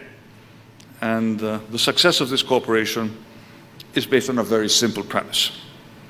We both believe in the virtues of discussion and debate. After all, ancient civilizations um, encouraged this debate and this cross fertilization uh, of, uh, of ideas. And there's a lot. We talk a lot about artificial intelligence, but there's also a lot to be learned by the ancestral intelligence which is hidden in our ancient civilizations. And we recognize that without such debate, the search for truth is meaningless. This world is increasingly divided. It's divided between the west, and the east, between the south and the north. And Greece and India stand essentially at the intersection of these divisions. These divisions can be managed, they can even be tempered by open discussions, which is why the world needs, and you, you called it a public square. I will call it an agora, agora, the ancient world word, not just a marketplace, but a new meeting place where ideas can be tested against each other. And uh, the Raisina dialogue is indeed providing us with this new agora. Uh, divided world needs more tangible and physical connections as well. And the integration of our two seas, the Indo-Pacific on the one hand, the Mediterranean Sea on the other, will benefit not just India and Greece, but our neighbors too. Our two people have much to learn from each other, and they also have much to give to the world.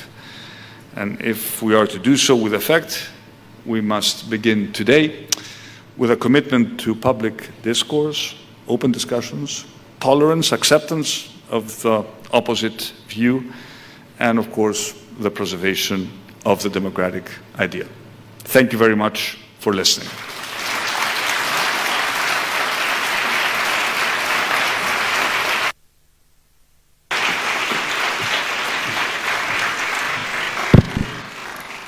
Thank you, Honorable Prime Minister.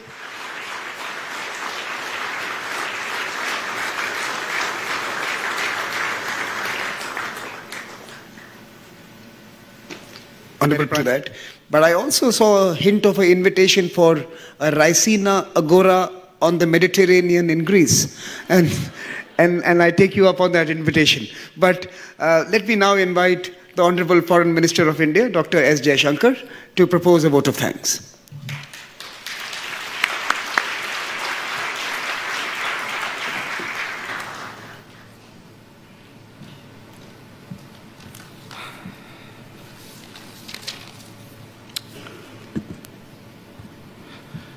Prime Minister Narendra Modi ji, Prime Minister Mitsotakis, Excellencies, dear friends.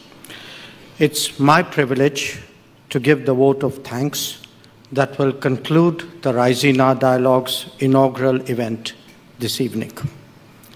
First and foremost, we thank the chief guest, the Prime Minister of Greece and his wife, for joining us today. Our collective appreciation to Prime Minister Mitsotakis for what I'm confident all of you will agree was a truly inspirational and thought provoking address.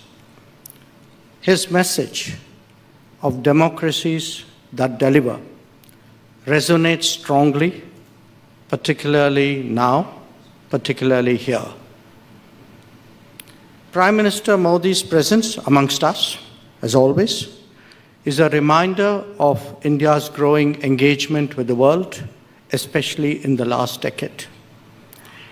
He has shown us why it is as important to listen and reflect as it is to articulate and express. This event takes place at the end of a day which has seen the intensification of the strategic partnership between India and Greece established during Prime Minister Modi's visit in 2023. As two civilizational states, our countries have a particular responsibility to contribute to the evolution of the contemporary global order. We both naturally tend to take a long view of challenges and a considered one of opportunities. In the flow of history, connectivity has always played a crucial role. It is only to be expected that the talks between the two prime ministers today focused on enhancing the linkage between two global economic centers, India and Europe. The IMEC corridor, as Prime Minister Mitsotakis pointed out, holds particular importance in this regard. As India deepens its footprint abroad, Greece has emerged as a favorable destination. Our pharmaceutical industry, our agro-business, and aviation are already established there. And the Prime Minister, in his address, men- mentioned growing Greek investment and interest in India. We expect that a mobility agreement will bring us even closer. Raisina is good for business as well. Ladies and gentlemen, India's growing interest in the Mediterranean region is an important facet of, it, of our steady rise. The India Greece partnership can surely serve as an anchor. Raisina Dialogue, as a made in India version of a global public square, has become what it is due to all of you. I thank you all for that. Please keep coming. Please keep talking. Please keep contributing. To Team Raisina and Team MEA, a special word of acknowledgement and encouragement. You have made all this possible. Please remain ambitious and keep challenging yourself even as you challenge others. Finally, let me recognize the Raisina Chronicles as we near the first decade. It captures what we have achieved, but more importantly, indicates the promise ahead. Once again, thank you all and a very good evening.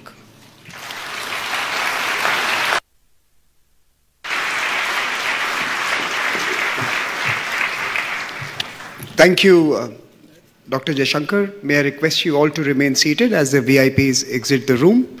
Uh, my colleague uh, Shub will take this mic and will guide you through the next steps post the exit of the VIPs. But I request you all to remain seated.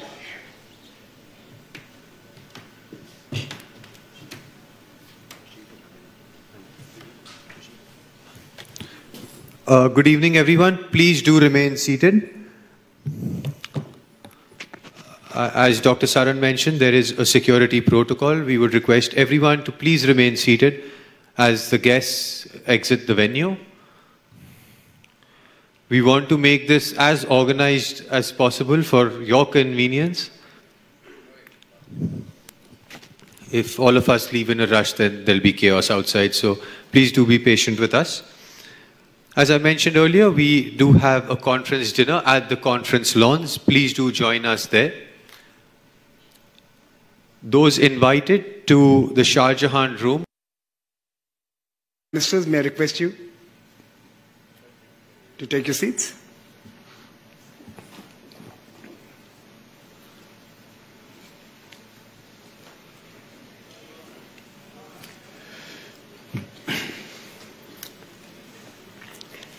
Honorable Prime Minister of India, Shri Narendra Modi ji, Honorable Prime Minister, His Excellency Kyriakos Mitsotakis, the External Affairs Minister of India, Dr. Jaishankar, Foreign Secretary of India, Ambassador Vinay Quatra, esteemed ministers, excellencies, friends and colleagues, a very, very warm on the Mediterranean in Greece. And, and, and I take you up on that invitation. But uh, let me now invite the Honorable Foreign Minister of India, Dr. S. Jaishankar, to propose a vote of thanks.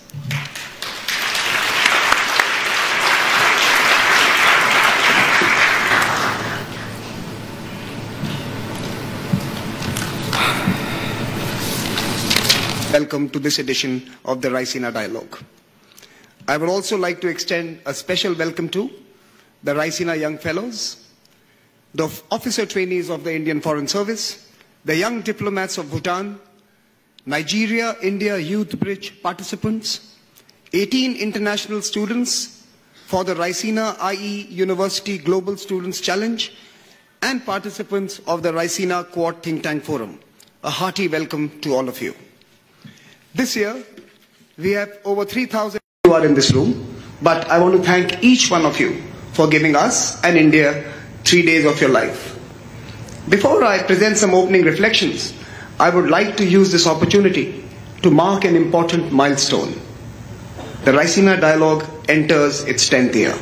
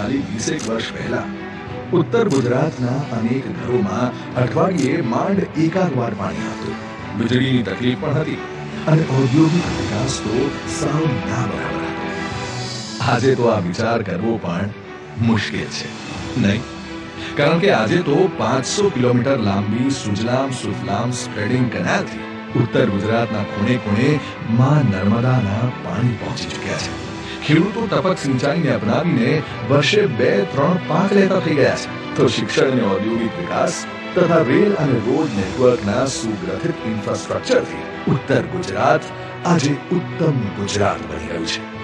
અને આ બધું જ શક્ય બન્યું છે અહીંના લોકોની મહેનતથી. અને અહીંના જ એક સપૂત ભારતના લોક લાડીલા પ્રધાનમંત્રી શ્રી નરેન્દ્રભાઈ મોદીના વિશનથી.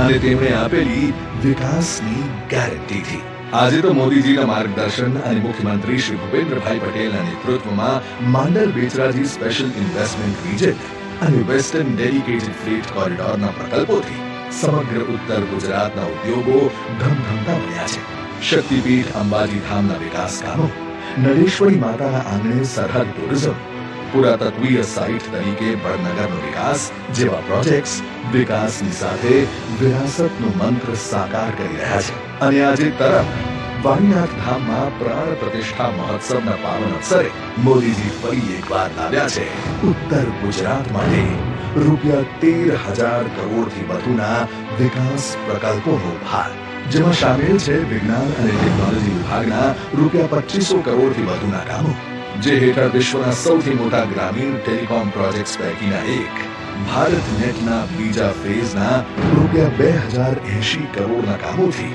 રાજ્યના ગ્રામીણ વિસ્તારો હાઈ સ્પીડ ઇન્ટરનેટ કનેક્ટિવિટીથી સજ્જ થશે અમદાવાદ ખાતે રૂપિયા ત્રણસો પંદર કરોડના ખર્ચે બનનાર human and biological science gallery વિજ્ઞાન રસિકો સહિત સૌ કોઈ માટે આકર્ષણનું કેન્દ્ર બનશે ગાંધીનગર જિલ્લાના શાહપુર ખાતે દસ એકર વિસ્તારમાં બનેલ ગુજરાત બાયોટેકનોલોજી યુનિવર્સિટીના અત્યાધુનિક શૈક્ષણિક ભવનમાં વિદ્યાર્થીઓને અદ્યતન લેબોરેટરીઝ પાયલટ અને પ્રોટોટાઇપ ડેવલપમેન્ટ તથા ઇન્ક્યુબેશન સહિતની વિવિધ સુવિધાઓ એક છત્ર હેઠળ ઉપલબ્ધ થશે તો ગિફ્ટ સિટીમાં રૂપિયા એકસો વીસ કરોડના ખર્ચે નિર્માણ થનાર ગુજરાત બાયોટેકનોલોજી રિસર્ચ સેન્ટરનું અત્યાધુનિક ભવન બાયોટેકનોલોજી ક્ષેત્રે સંશોધન કૌશલ્યવર્ધન અને તાલીમનું મહત્વનું કેન્દ્ર બનશે. તેવી જ રીતે રાધનપુર સામખિયાળી રેલવે સેક્શન તેમજ મહેસાણા ભાંડુ મોટી બહુ સેક્શન ડબલિંગ જગુદર મહેસાણા સેક્શનના ગેજ પરિવર્તન સહિતના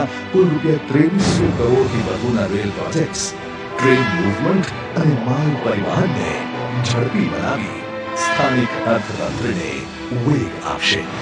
તો સડક પરિવહન અને રાજમાર્ગ મંત્રાલયના રૂપિયા સોળસો કરોડથી વધુના કામો અંતર્ગત મહેસાણા વડનગર ઈડર માર્ગના ચાર માર્ગીયકરણ સહિતના પ્રોજેક્ટ્સથી પરિવહન તો ઝડપી બનશે જ સાથે ટુરિઝમ સહિતના ઉદ્યોગોના વિકાસને પણ બળ મળશે વિકાસના કામો ઉત્તર ગુજરાતને અમૃતકાળમાં આધુનિકતાના રંગે રંગશે વાડીનાથ મહાદેવના વરદાન અને માં અંબાજીના આશીષથી ઉત્તર ગુજરાત વિકસિત ભારત અને વિકસિત ગુજરાતના નિર્માણનો નવો અધ્યાય લખશે.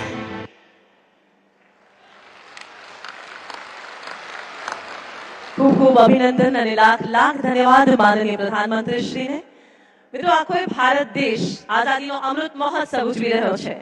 માં ભારતીના સૌભાગ્ય સમાન, સમર્પિત સુશાસક આ દેશને મળ્યા છે. જેમની કાર્યદક્ષતા અને કટિબદ્ધતા થકી સમગ્ર વિશ્વની આશાભરી મીટ ભારત પર મંડાઈ છે. અને આવનારા દાયકાઓ સુધી ભારતની વિકાસશીલતાની સુનિશ્ચિતતાના જેવો સ્વપ્ન દ્રષ્ટા છે, તે છે વિશ્વના સર્વાધિક લોકપ્રિય નેતા ભારતની જનતાના હૃદય સમ્રાટ યશસ્વી વડાપ્રધાન માન્ય શ્રી નરેન્દ્રભાઈ મોદી આવો જોરદાર તાળીઓના ગુંજ સાથે તેઓને આમંત્રિત કરીએ તેઓના ઉદ્બોધન માટે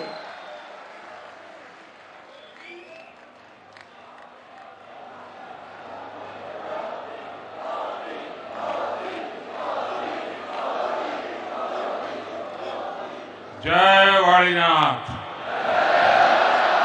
જય જય વાળીનાથ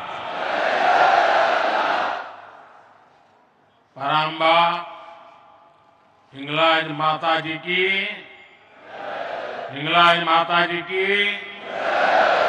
भगवान श्री दत्तात्रेय की भगवान श्री दत्तात्रेय की કેમ છો બધા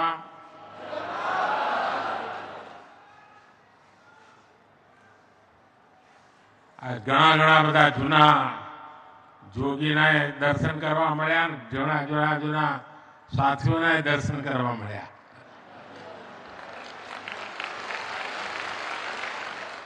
આજે વાળીના તે વટ પાડી દીધો.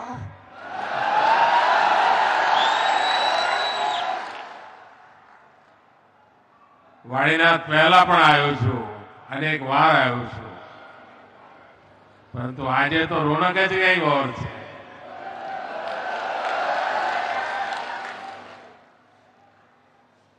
અને દુનિયામાં ગમે તેટલા સ્વાગત થતા હોય, સન્માન થતા હોય, પણ ઘરે જયારે થાય ને ત્યારે આનંદ ઓર હોય છે.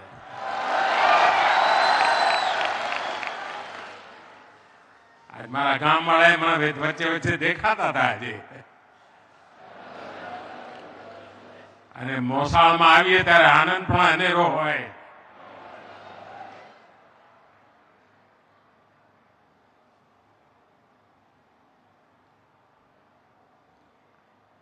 જે વાતાવરણ મેં જોયું છે એના આધારે હું કહી શકું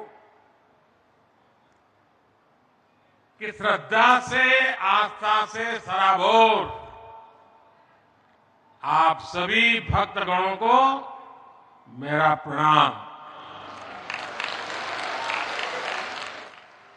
देखिए, संयोग कैसा है? आज से ठीक एक महीना पहले 22 जनवरी को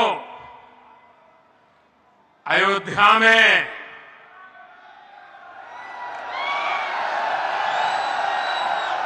प्रभु राम के चरणों में था। वहाँ मुझे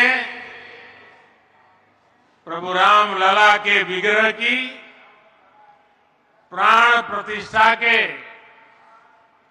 ऐतिहासिक आयोजन में शामिल होने का सौभाग्य मिला।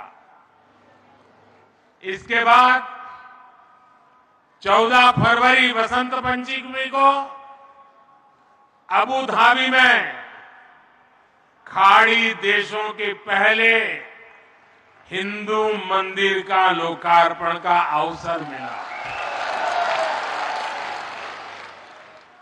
और अभी दो तीन दिन पहले ही मुझे यूपी के संबल में कल की धाम के शिलान्यास का भी मौका मिला। और अब आज मुझे यहाँ तरफ़ में इस भव्य दिव्य मंदिर में प्राण प्रतिष्ठा के बाद पूजा करने का समारोह में हिस्सा लेने का सौभाग्य प्राप्त हुआ। है साथियों, देश और दुनिया के लिए तो ये वाणीनाथ शिवधाम तीर्थ है। लेकिन समाज के रबारी समाज के लिए रबारी समाज के लिए पूज्य गुरु गादी है। देश भर से रबारी समाज के अन्य भक्तगण, आज मैं यहाँ देख रहा हूँ अलग अलग राज्यों के लोग भी मुझे नज़र आ रहे हैं। मैं आप सभी का अभिनंदन करता हूँ। साथियों, भारत की विकास यात्रा में एक अद्भुत कालखंड है। एक ऐसा समय है जब देव काज हो या फिर देश काज दोनों तेज गति से हो रहे हैं।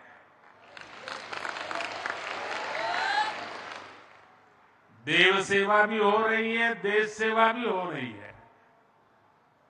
आज एक तरफ़ ये पावन कार्य संपन्न हुआ है, वहीं विकास से जुड़े तेरह हज़ार करोड़ रुपए के प्रोजेक्ट का भी शिलान्यास और लोकार्पण हुआ है। ये project rail, road, port, transport पानी, राष्ट्रीय सुरक्षा, शहरी विकास, टूरिज़्म, ऐसे कई महत्वपूर्ण विकास कामों से जुड़े हैं। और इनसे लोगों का जीवन आसान होगा और इस क्षेत्र के युवाओं के लिए रोज़गार के, स्वरोजगार के नए अवसर बनेंगे। मेरे परिवारजनों, आज मैं इस पवित्र धरती पर एक दिव्य ऊर्जा महसूस कर रहा हूँ। ये ऊर्जा हज़ारों वर्ष से चली आ रही, उस आध्यात्मिक चेतना से हमें जोड़ती है, जिसका संबंध भगवान कृष्ण से भी है और महादेव जी से भी है।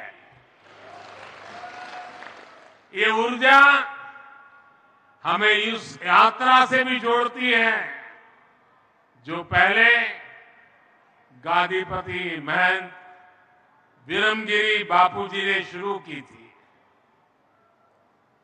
मैं गांधीपति पूज्य जयराम गिरी बापू को भी आदरपूर्वक प्रणाम करता हूँ। आपने गादीपति महंत बलदेव गिरी बापू के संकल्प को आगे बढ़ाया और उसे सिद्धि तक पहुँचाया। आप में से बहुत लोग जानते हैं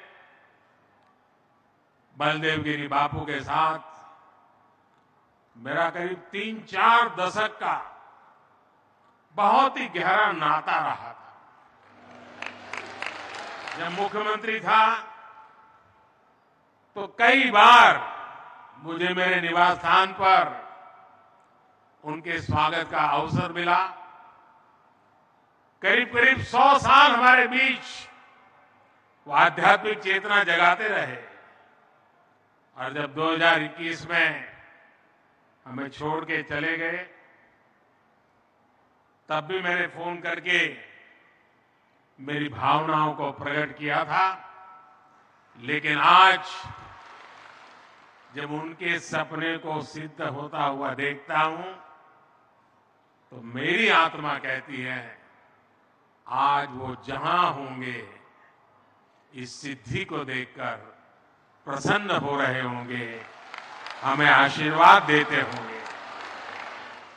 सैकड़ों वर्ष पुराना ये मंदिर आज 21वीं सदी की भव्यता और पुरातन दिव्यता के साथ तैयार हुआ है। ये मंदिर सैकड़ों शिल्पकारों, श्रमजीवियों के वर्षों के अथक परिश्रम का भी परिणाम है। इसी परिश्रम के कारण इस भव्य मंदिर में आज वाणीनाथ महादेव पराम्बा श्री हिंगलाज माता जी और भगवान दत्तात्रेय विराजे हैं। मंदिर निर्माण में जुटे रहे। अपने सभी श्रमिक साथियों का भी मैं वंदन करता हूँ। भाई और बहनों, हमारे ये मंदिर सिर्फ़ देवालय है, ऐसा नहीं है। सिर्फ़ पूजा पाठ करने की जगह है, ऐसा भी नहीं है। बल्कि ये हमारी हज़ारों वर्ष पुरानी संस्कृति के परंपरा के प्रतीक है। हमारे यहाँ मंदिर, ज्ञान और विज्ञान के केंद्र रहे। देश और समाज को अज्ञान से ज्ञान की तरफ़ ले जाने के माध्यम रहे। शिवधाम श्री वाणीनाथ अखाड़े ने तो शिक्षा और समाज सुधार की इस पवित्र परंपरा को पूरी निष्ठा से आगे बढ़ाया है।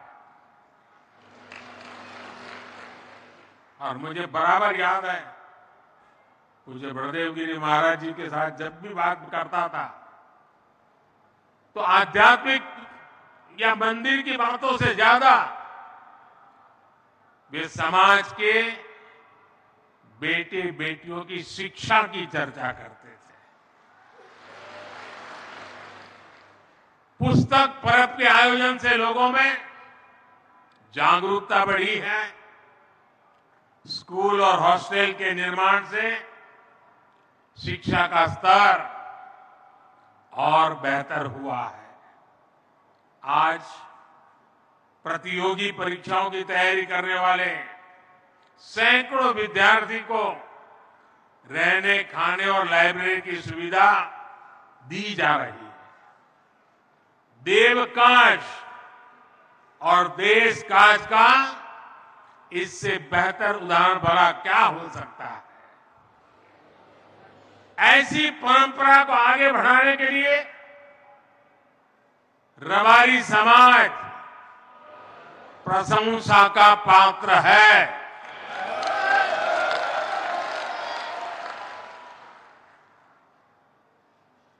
रबारी समाज को प्रशंसा बहुत कम मिलती है।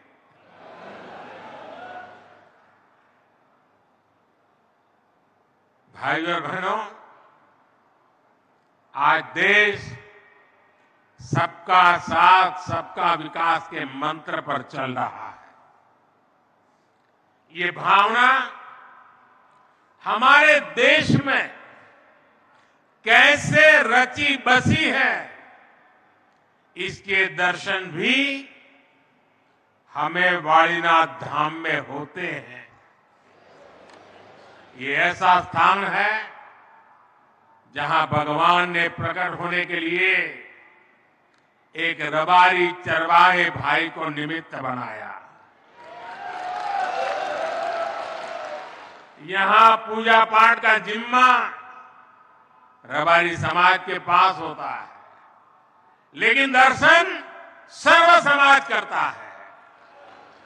संतों की इसी भावना के अनुकूल ही हमारी सरकार आज देश में हर क्षेत्र, हर वर्ग के जीवन को बेहतर बनाने में जुटी है। मोदी की गारंटी।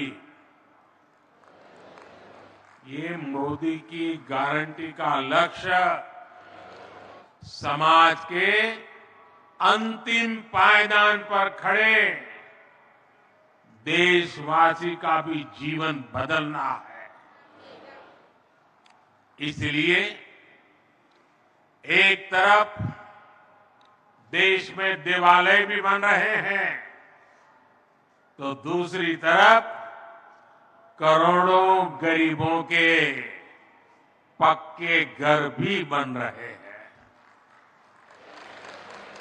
कुछ ही दिन पहले मुझे गुजरात में सवा लाख से अधिक गरीबों के घरों के लोकार्पण का और शिलान्यास का अवसर मिला। सवा लाख घर। ये गरीब परिवार कितने आशीर्वाद देंगे, आप कल्पना कीजिए। आज देश के 80 करोड़ लोगों को मुफ़्त राशन मिल रहा है, ताकि गरीब के घर का भी चूल्हा जलता रहे। ये एक प्रकार से भगवान का ही प्रसाद है। आज देश के 10 करोड़ नए परिवारों को नल से जल मिलना शुरू हुआ है। ये उन गरीब परिवारों के लिए किसी अमृत से कम नहीं है, जिन्हें पहले पानी के इंतजाम में दूर दूर तक जाना पड़ता था અને આપણા ઉત્તર ગુજરાત વાળાને તો ખબર છે બરાબર કે પાણી માટે કેટલી તકલીફો પડતી હતી બબે ત્રણ ત્રણ કિલોમીટર માથે બેડા લઈને જવું પડતું હતું અને મને યાદ છે જ્યારે મેં સુજલામ સુફલામ યોજના કરી ત્યારે ઉત્તર ગુજરાતના કોંગ્રેસના ધારાસભ્યોએ મને કહી ગયા હતા કે સાહેબ આવું કામ કોઈ ન કરી શકે અને તમે જે કામ કર્યું છે ને એ સો વર્ષ સુધી લોકો ભૂલશે નહીં એના સાક્ષી અહીંયા बैठा છે साथियों बीते दो दशकों में हमने गुजरात में विकास के साथ साथ विरासत से जुड़े स्थानों की भव्यता के लिए भी काम किया है। दुर्भाग्य से आज़ाद भारत में लंबे समय तक विकास और विरासत उसके बीच टकराव पैदा किया गया। दुश्मनी बना दी। इसके लिए अगर कोई दोषी है तो वही कांग्रेस है, जिन्होंने दशकों तक देश पर शासन किया। ये वही लोग हैं, जिन्होंने सोमनाथ जैसे पावन स्थल को भी विवाद का कारण बनाया। ये वही लोग हैं जिन्होंने पावागढ़ में धर्म ध्वजा फहराने की इच्छा तक नहीं दिखाई।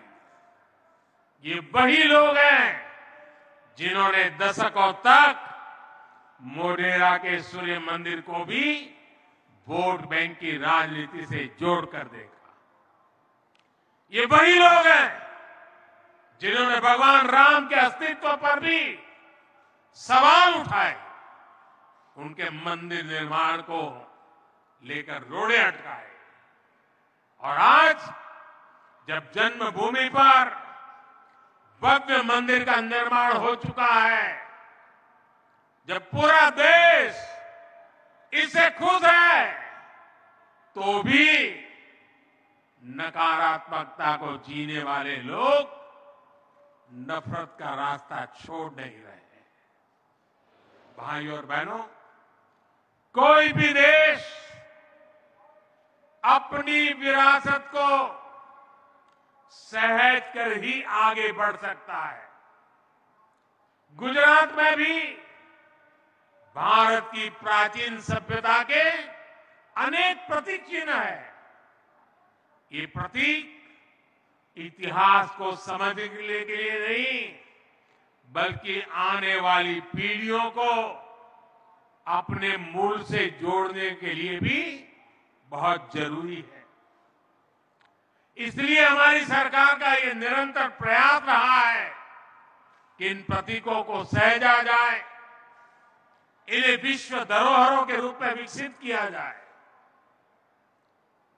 अब आप देखिए वडनगर में वडनगर में खुदाई में नया नया इतिहास कैसे सामने आ रहा है? पिछले महीने ही वडनगर में 2800 साल पुरानी बस्ती के निशान मिले हैं। 2800 साल पहले लोग वहाँ रहते थे। धौलावीरा में भी कैसे प्राचीन भारत के दिव्य दर्शन हो रहे हैं। ये भारत के गौरव है। हमें अपने इस समृद्ध अतीत पर गर्व है। साथियों, आज नए भारत में हो रहा हर प्रयास भावी पीढ़ी के लिए विरासत बनाने का काम कर रहा है।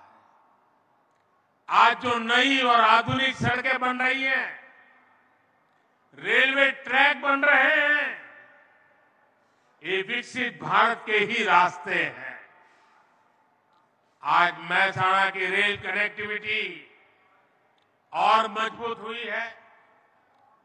रेल लाइन के दोहरीकरण से अब बनासकांठा और पाटन की कंडला, टूना और मुंद्रा पोर्ट से कनेक्टिविटी बेहतर हुई है। इससे नई ट्रेन चलाना भी संभव हुआ है और मालगाड़ियों के लिए भी सुविधा हुई है। आज डीसा के एयरफोर्स स्टेशन के रनवे उसका भी लोकार्पण हुआ है और भविष्य में ये सिर्फ़ रनवे नहीं, भारत की सुरक्षा का एयरफोर्स का एक बहुत बड़ा केंद्र विकसित होने वाला है। मुझे याद है, मुख्यमंत्री रहते हुए मैंने इस प्रोजेक्ट के लिए भारत सरकार को ढेर सारी चिट्ठियाँ लिखी थी। अनेक बार प्रयास किया था, लेकिन कांग्रेस की सरकार ने इस काम को, इस निर्माण को रोकने के लिए कोई कसर बाकी नहीं छोड़ी। एयरफोर्स के लोग कहते थे कि ये लोकेशन भारत की सुरक्षा के लिए बहुत महत्वपूर्ण है, लेकिन नहीं करते थे। 2004 से लेकर 2014 तक कांग्रेस सरकार इसकी फाइलें को लेकर के बैठी नहीं डेढ़ साल पहले मैंने इस रनवे के काम का शिलान्यास किया था। मोदी जो संकल्प लेता है, वो पूरे करता है। डीसा के ये रनवे। आज उसका लोकार्पण हो गया। ये उसका उदाहरण है। और यही तो है मोदी की गारंटी। साथियों 20-25 साल पहले का एक वो भी समय था जब उत्तर गुजरात में अवसर बहुत ही सीमित तब किसानों के खेतों में पानी नहीं था। पशुपालकों के सामने अपनी चुनौतियाँ थी। औद्योगिकरण का दायरा भी बहुत सीमित था। लेकिन भाजपा सरकार में आज स्थितियाँ लगातार बदल रही आज यहाँ के किसान साल में दो तीन फ़सल उगाने लगे हैं। पूरे इलाके का जल स्तर भी ऊँचा उठ गया है। आज यहाँ जल आपूर्ति और जल स्रोतों से जुड़ी आठ परियोजनाओं का उद्घाटन और शिलान्यास किया गया है। इन पर 1500 करोड़ रुपए से ज़्यादा खर्च किए जाएँगे। इससे उत्तर गुजरात की पानी की समस्याओं को दूर करने में और मदद मिलेगी। उत्तर गुजरात के किसानों ने टपक सिंचाई जैसी आधुनिक टेक्नोलॉजी को जैसे अपनाया है, वो अद्भुत है। अब तो मैं यहाँ देख रहा हूँ कि केमिकल मुक्त प्राकृतिक खेती का चलन भी बढ़ने लगा है। आपके प्रयासों से पूरे देश में किसानों का उत्साह बढ़ेगा। भाई और बहनों, हम इसी तरह विकास भी करेंगे और विरासत भी सहेजेंगे अंत में इस दिव्य अनुभूति का भागीदार बनाने के लिए मैं एक बार फिर आप सभी साथियों का आभार व्यक्त करता हूँ। आप सबका बहुत बहुत धन्यवाद। मेरे साथ बोलिए, भारत माता की भारत माता की भारत माता की धन्यवाद जी।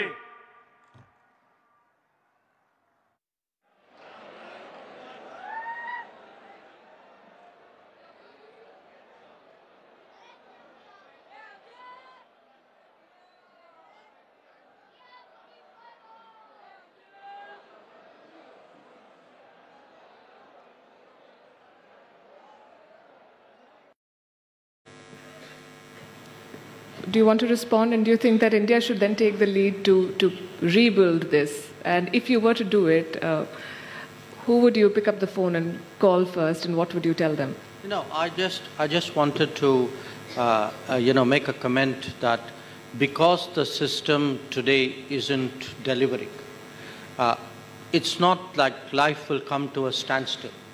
Countries, people will go out there and find their own solution. Uh, and uh, in, I'm giving India's case now, I looked at the last decade. We have actually uh, initiated or joined 36 different alliances or groups or coalitions or whatever it is in very different fields, from big cat and solar to disaster resilient and quad. Uh, so uh, what is happening today is there's a log jam up there. So because there's a log jam up there, everybody's doing their own thing, finding their own friends, making their own groups, depicting their own issues, and creating uh, the new reality.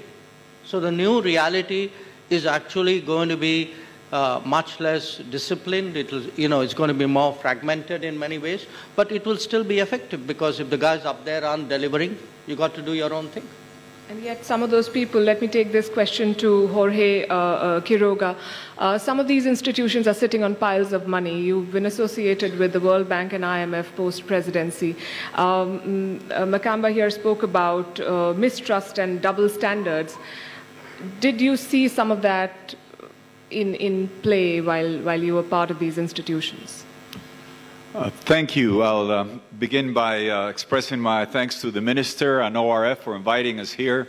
Great gathering, eclectic, from many different places in the world. I'd venture to say I'm probably here from the furthest because if you drill a hole from here, you probably wind up somewhere in South America. And I live in La Paz, Bolivia, 4,000 meters over sea level, the only place where Messi, the great soccer player, has been four times and never scored a goal. So welcome, uh, welcome over there. Um, yes, I'll um, make three quick points on trade, finance, and governance um, based on this. First, as a caveat, I know Ukraine, the Ukraine issue in Europe has reordered uh, things for Europe in particular. Uh, and we in Latin America or in Africa perhaps get asked, why are you not on the side of Ukraine overtly and openly? Perhaps it's because through COVID, the first vaccines that we saw were from China and Russia, while the West was hogging their vaccines.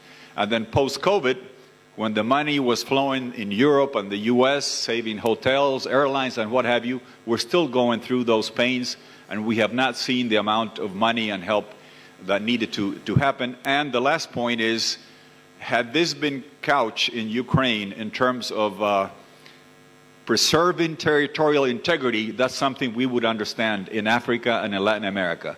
When it's autocracy against democracy and NATO and what have you, or the West versus the rest, then you lose some uh, goodwill in other parts. But the points I wanted to make on, on what you, you mentioned in the question.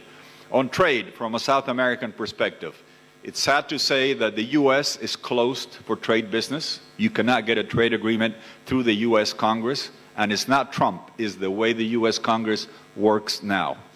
Europe, about the same thing. In South America, we have had the longest dating trade negotiation in the history of humanity, 25 years of European South America trade negotiations, and we, it hasn't come to fruition yet. So China is open for business. They are signing trade agreements. They are buying the minerals, the energy, the food from South America, so it creates natural links. On finance, you mentioned some of these organizations. Yes, they need to be capitalized. We got the SDRs uh, from the IMF, the International Monetary Fund, but we need to capitalize the regional banks.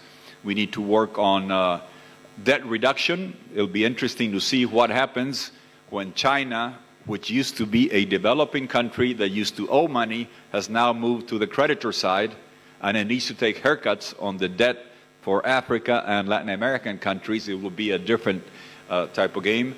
And uh, the final point on governance. The, the final point on governance. Uh, yes, it is inconceivable that the world, the governance mechanisms of the World Bank, the IMF, and the UN still work with rules that were imposed in 1944, 1945. That was even before the two U.S. presidential candidates were born, I think. That was a long time ago. Uh, and those are still uh, uh, operational.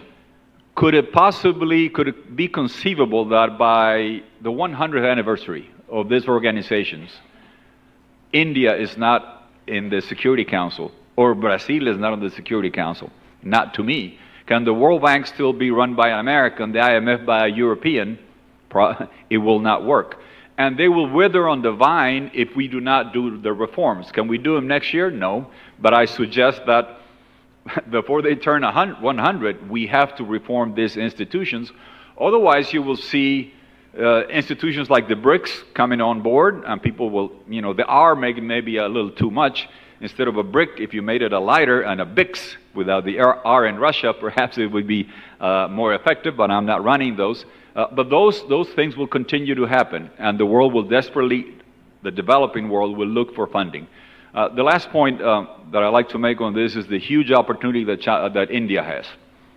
India showed deft diplomacy of the highest caliber on the G20 management. I hope my friends in, in Brazil can take a page from you, uh, Minister. That this cycle of Indonesia, India, Brazil, South Africa is a great opportunity to put all these issues on the table and to do trade reform, to do finance reform, debt reduction, to do governance reform, uh, and take on, on some of these issues. And India not only has that very goodwill minister, but also I would sub subject to you probably the strongest diaspora in the world. And I would like to be from a country that in the U.S. has the Indian ancestry people with uh, running the World Bank, uh, running Google, running Microsoft, number two job in the U.S. administration, and number two in the Republican Party. India has a lot to, uh, to be proud of. Absolutely. And taking from uh, what you've said, uh, this is for Dr. Jaishankar, countries will find solutions and partners who are willing to work with them. So we could say that it's not just a post-truth world, it's also a multi-truth world where we all have our own truths. For India, the truth is that we have a historical relationship with Russia that the West needs to accept. For US, you could say the truth is that, that they will give this relentless support to Israel no matter what how do you then find a middle ground and how do you uh, impress upon your Western partners that they, they must accept India's truths? Well, uh, look, uh, it will be everybody's endeavor to find middle ground. The reality in many cases is we won't find middle ground. We will find some ground, some common ground. Uh, but the idea that everybody would agree on the most important, bit of a fantasy. The uh, fact is competition is for real. Uh, you know, you spoke about uh, camp politics. Uh, you know, sometimes there's a logic to it.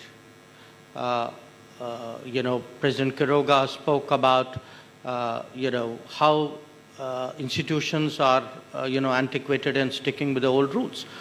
I agree, but I think in addition to the old issues, there are also the new issues. I mean, if today uh, there is, let us say, take the big debates of the day, connectivity, debt, trade. Uh, now, how these are leveraged today.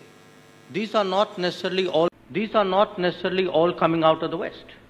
So, the, the you know, the West as the dominant force earlier is largely responsible for what, you know, where we are today. But I think the new players haven't helped. I mean, again, if you take UN Security Council uh, reform, the biggest opposer is not a Western country. So uh, let's, let's get the totality of the problem right. So I, I think the reality is we'll have to battle bit by bit to create groups which will push for change. Uh, I, I would say, uh, uh you know, on many issues, uh, you will get different combinations of countries. Uh, and we'll have to live with a long period of uh, uh, incremental progress before we get to some kind of landing point because, uh, as Anwar Gargash said, you're not going to get a second San Francisco conference. Right. Um, Hanke Bruinslot, how do these conversations typically go for you given the complicated history and the fact that your country was also a colonial power? So when you engage with the global south countries, how do you try to convince them that that Western values or European values are important, uh, given the fact that this, those same values have hurt them in the past? I'm, I'm not in favor of speaking of Western values. We have universal values. Uh, rule of law. I think if, if we, um, if the debate is about our Western values, uh, I think we, it, it's, it's better not to impose Western values upon other countries, but to speak about mutual interests and values you share. Um, and therefore, um, it's important that we have bridge builders in the world. And I want to compliment our host on the leadership uh, you have at the global stage, because last year you invited at the G20 uh, the African Union. That was a really important step. Because we are a small country, the Netherlands, with a relative large economy. And if you look at our history, but also at our, our present, we are always dependent on uh, doing trade and having international relations. So we are very much aware that we have to live in an interconnected world and that we have um, really have an eye for the mutual interests of other countries. But we need also countries who can build bridges in this world. And in my view, India, through, to, through its global leadership, is a country who can build a bridge between other countries. Um, with having more leadership on a global stage, it brings also responsibility. So let us unite on mutual interest and seek uh, the values which we share. And one of the rule of law, uh, but the interest of uh, giving welfare, uh, trying to build upon welfare on all our societies. Um, so it's, it's about mutual engagement and connecting each other instead of imposing something of one to another, in my view. Dr. Jaishankar, is that a responsibility India is keen to take? Do you want to be the bridging power? No, I think we are a bridging power to a great degree. We showed that. Uh, we showed that at the G20. Uh, I would say uh, whether it is uh, COVID uh, or today, uh, uh, you know, some of the regional conflicts, people would see us as relatively objective, unbiased, you know. so, so I mean, I, I agree with my Dutch colleague that, you know, at least to the extent we can get common ground, we should strive for common ground. Uh, it will never be perfect. There will be many issues where we won't be able to get common ground, but that should not deter us from seeking it where, where we can. Uh, and uh, I think here uh, uh, a lot of what India is trying to do, uh, I mean, there are different names, you know, but uh, the idea of a kind of multi-vector policy, what in in our own language we call like Vishwamitra, which is like a friend of the world. You know, you maximize your uh, relationships. I think that's the direction we are trying to take ourselves and take the world. January Yusuf Makamba, uh, we're talking about values, and is there an expectation that then Western values are universal values? Is is that uh, uh what you've experienced. And there's often also a tendency to uh, look at Africa as a monolith, as against 50 uh, or more than 50 different uh, independent, proud countries. Uh, with possibly some common challenges, but also some unique challenges. So, do you think that this approach that we have right now uh, does not take into account the, the cultural differences and the histories of, of various African nations? Yes, and obviously that's a challenge, and Africa is. Um a very diverse uh, uh, continent. Uh, as we, of course, pursue unity as a continent, so it's okay for us to be viewed as an entity that wants to be stronger and powerful and have a voice as a continent. but I think that the broad brush about um, uh, the condition and the engagement uh, sometimes is not helpful. Um, and we see it uh, in these partnerships. And actually, in the last uh, uh, summit a week ago in, in Addis, that was part of the conversation. How Africa engages with the rest of the world. is it okay for 55, 54 African heads of state to be summoned in one capital by one leader uh, to be read about the plan of that country and take pictures and leave. Uh, depends on what is the nature of the partnership uh, with that particular country and the work and the history uh, that has gone into uh, uh putting that initiative together. So there's a, a bit of resentment now um, and a bit of rethinking about Africa's partnership with the rest of the world.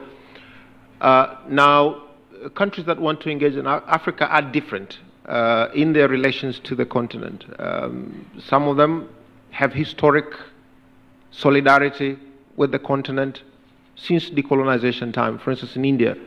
Uh, and an affinity is easier to find. Uh, and some engages us in an honest, transparent, uh, and equal and respectful uh, approach. Uh, that's what we're looking uh, for. I think that a just, equitable future has to start with acknowledgement of the structural asymmetry and historic injustices that has led to a condition that Africa finds itself. I think there have to be an honest conversation uh, in terms of how we get out of here. Uh, as I stated earlier, uh, I think that uh, you know we, we we have to reimagine uh, a setup that allows for a resolution of some of the challenges that exist. If we just scratch the surface, we will continue to experience uh, distrust and resentment uh, from uh, uh African countries as it relates to uh, international relations. That's, that's a very, very strong point that you make. Anwar Gargash, uh, West Asia's foreign policy seems very generous. you have good relations with the West, you have good ties with India, China, Russia, Africa, um, and, and the UAE is a prime example of that what is the end goal here? Is this purely transactional or is there more to it? Um, I, I, want to just uh, weigh in a little bit about the issue of values that has been uh, mentioned there. I think um, while there are principles of, univer- of universality, I think we should respect diversity. I think diversity in India is a good, good example of diversity, and I think we should actually celebrate diversity rather than put everybody in a straitjacket that there is a certain way, uh, certain values that represent all of us. We have to accept that there are there's a line between what is universal values and what actually is different and celebrated by different religions, different ethnicities, and, and, and regions. Uh, I think also, on the other hand, my worry is really is the international system able, I think we are moving away from traditional geopolitics, uh, which when the United Nations was formed was really at the core of uh, what was going on. And geoeconomics are an important part, important space where we're all working in. But we're moving to an area of geotechnology. And with geotechnology, my worry still is that basically changes in the ground, changes in the environment of the international system are not going to be encapsulated by ability to reform the international system. So again, uh, how are we going to deal with this? How are we going to deal with the various changes that we will see, which will only widen the divide because some countries are going to be very adept at bringing in new technology into their societies, into their economies. Other countries will fail miserably at it. So, how are we actually going to bridge that divide? Vis a vis our uh, relations uh, in West Asia, as you mentioned, I don't see it as transactional. I mean, for example, our relations with India today, which is going through really a golden age, is uh, not transactional. It's an age old historical relationship, but modernized by the future. Uh, with clear foresight, really, by Prime Minister Modi and by Sheikh Mohammed bin Zayed, and you can see it in all aspects. So clearly, some relations will remain transactional, but any country actually wants it, important relations to be uh, multifaceted uh, wants these relationships to uh, be mutually beneficial because that's the only way for these relationships to uh, move forward. So I would like to think that our relationships are not short term and they are definitely not transactional. And we are always looking for the sort of uh, strategic narrative in this relationship? Uh, since you mentioned values again, let me take this uh, to Hanke Bruinslot. Uh, there's also confusion on what these Western slash universal values are anymore, because in your own country you have a prime ministerial frontrunner who's saying some very disruptive things about uh, not taking in Ukrainian uh, refugees and not giving aid to Ukraine. Or, uh, for instance, in the US you have a Donald Trump who's talking about unilaterally abandoning multilateral commitments. Does this frayed national consensus in some of the Western powers uh, impact international institutions as well? And then why should global South countries trust the West? Ooh, um, putting me on the spot. Um, it's, it's also about humanity.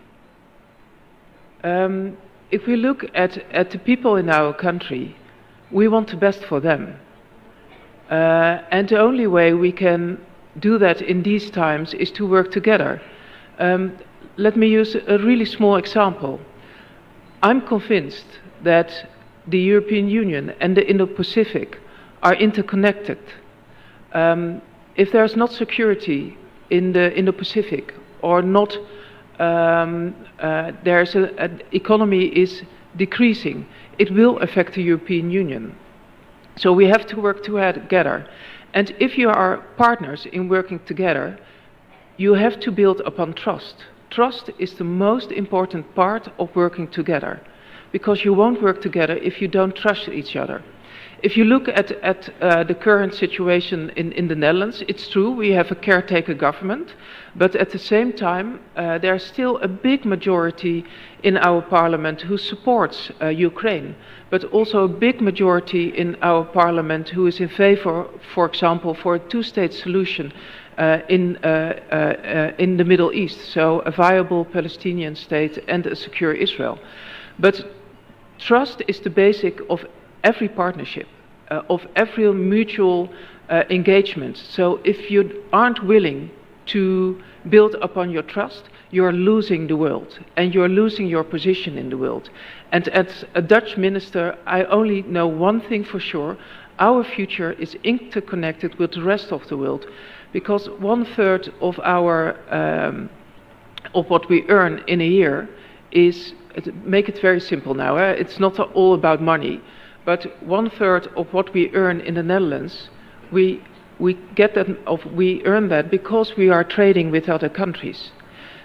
So, to conclude, we have to be trustworthy uh, because trust is the basis of every cooperation. And in the end, we have to look at the importance of building upon strong society and human welfare. And that is, it is in its all interests. Right, and I, I, understand it's also a challenging time for Europe given the economic situation and the war, and, and you have to find the financial resources and the uh, the political appetite to to to reinforce these points. But uh, let me take the next one uh, to uh, Jorge Quiroga. Uh, I think we all seem to agree that that we need uh, to reshape this as a more multilateral and, and uh, multilateral world, but is, is multilateralism then a viable plan for an international system given that continental multilateralism has not delivered in a lot of places, like we have SAARC here in Asia, which is lying dormant, or you have the Organization of American States, which rarely makes news. The, the remotely successful model, you could say, is the EU, but they're also um, uh, too many disputes and a lot of squabbling. So, uh, if continental multilateralism has not delivered, how do we assume that in, on an international scale it will? Uh, I would say a world that adapts to the reality of the emerging powers in our fellow global south uh, uh, nations. And I'll give you one practical example. I mentioned that US and Europe do not seem to be open to trade. Because of our Spanish, Portuguese ancestry in Latin America, we have affinity with Europe because of geographic uh, contiguity, contiguity, we have an affinity with the U.S. So that's where our hearts would normally be, but our pockets are with China when it comes to energy, food, and minerals. Mm-hmm. The rise of India brings an opportunity to line up our pockets and our hearts. A democracy that is a large market, that, that we can do business with. Uh, the word of caution here would be lithium. Um, I challenge you to go back to your rooms and count how many lithium batteries you have in your briefcase or backpack. I have nine between the watch, the phones, the iPod, the Kindle, the, the iPad, uh, the rechargers, and what have you. I don't have a car yet or a motorcycle yet, uh, but that world is coming. China is dominating that. Lithium batteries need cobalt, nickel, manganese on one side, graphite on the other, and the lithium are like the tennis balls that go back and forth. China is refining between 63 to 95% of each of those components in a lithium battery. And if you make it iron phosphate or you change it to sodium, I'm afraid they're still going to be strong.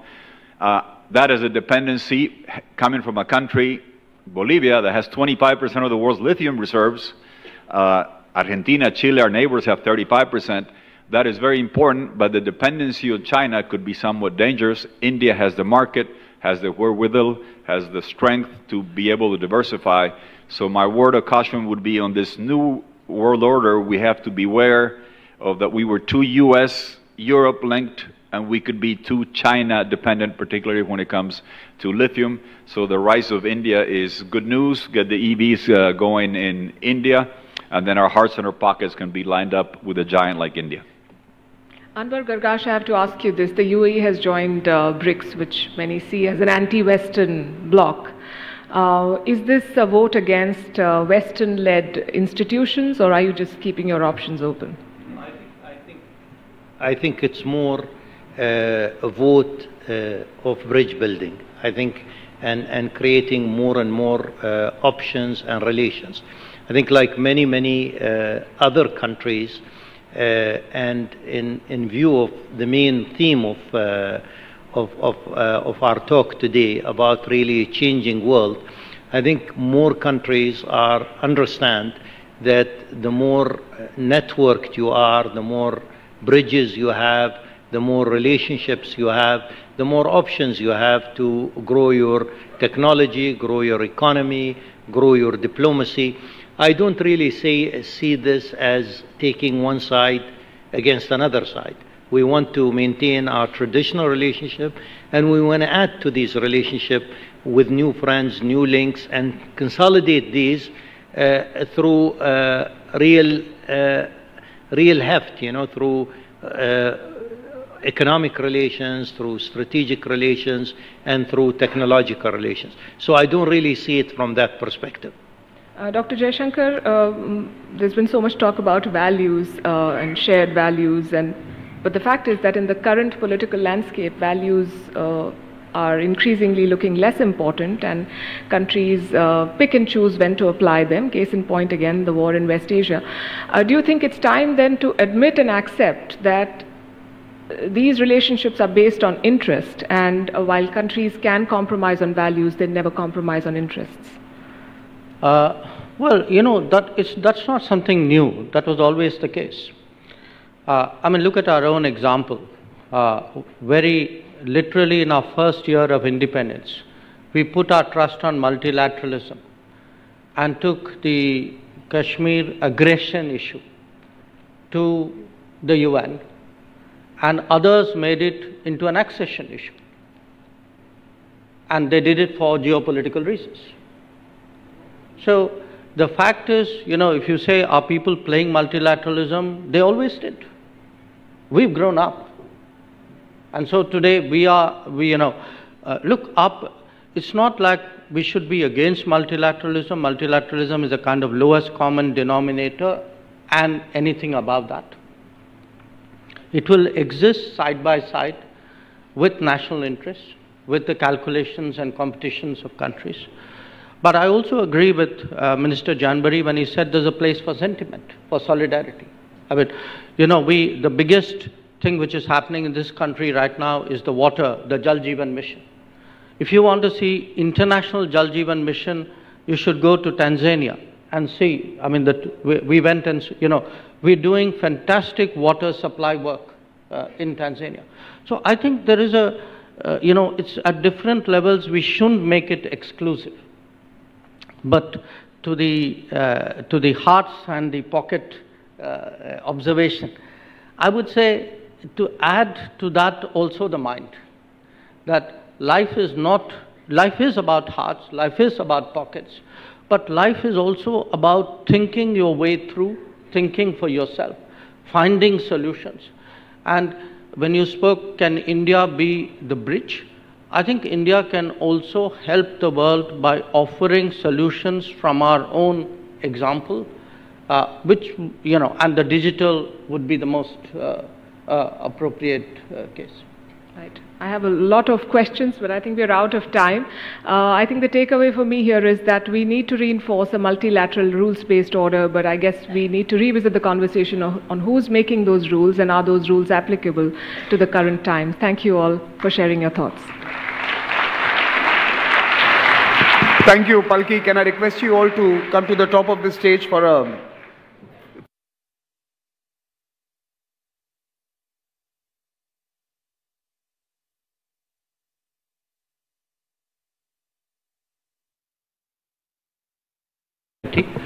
Uh, I would say uh, whether it is uh, COVID uh, or today, uh, uh, you know, some of the regional conflicts, people would see us as relatively objective, unbiased, you know.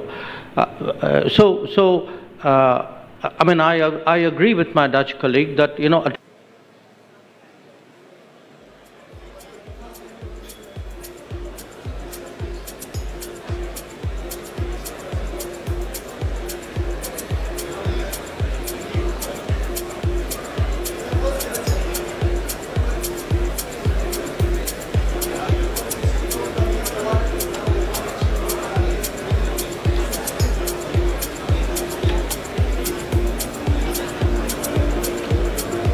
least to the extent we can get common ground, we should strive for common ground. Uh, it will never be perfect. There will be many issues where we won't be able to get common ground, but that should not deter us from seeking it where, where we can. Uh, and uh, I think here uh, uh, a lot of what India is trying to do, uh, I mean, there are different names, you know, but the idea of a kind of multi-vector uh, policy, what in in our own language we call like Vishwamitra, which is like a friend of the world. You know, you maximize your uh, relationships. I think that's the direction we are trying to take ourselves and take the world.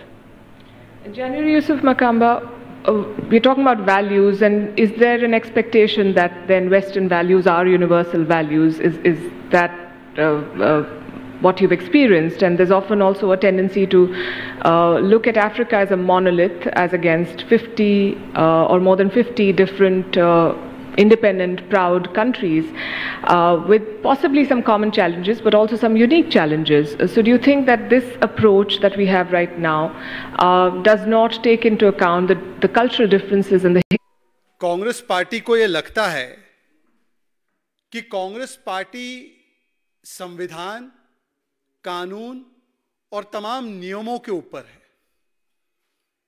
Today the Congress party continues to live in the sense of entitlement and arrogance despite being booted out of power thinking that it is above constitution law and all the rules and norms of this country और इसीलिए आज जो कांग्रेस ने अपने अधिकृत मंच से एक प्रेस वार्ता की, जिसमें केसी वेणुगोपाल जिसमें अजय माकन और उनके अन्य नेता वहाँ पर मौजूद थे, वो दरअसल एक प्रेस कॉन्फ्रेंस थी, एक मानसिकता का परिचायक देते हुए कि उल्टा चोर कोतवाल को डांटे। या यूँ कहें कि पहले करो चोरी और फिर सीना जोरी।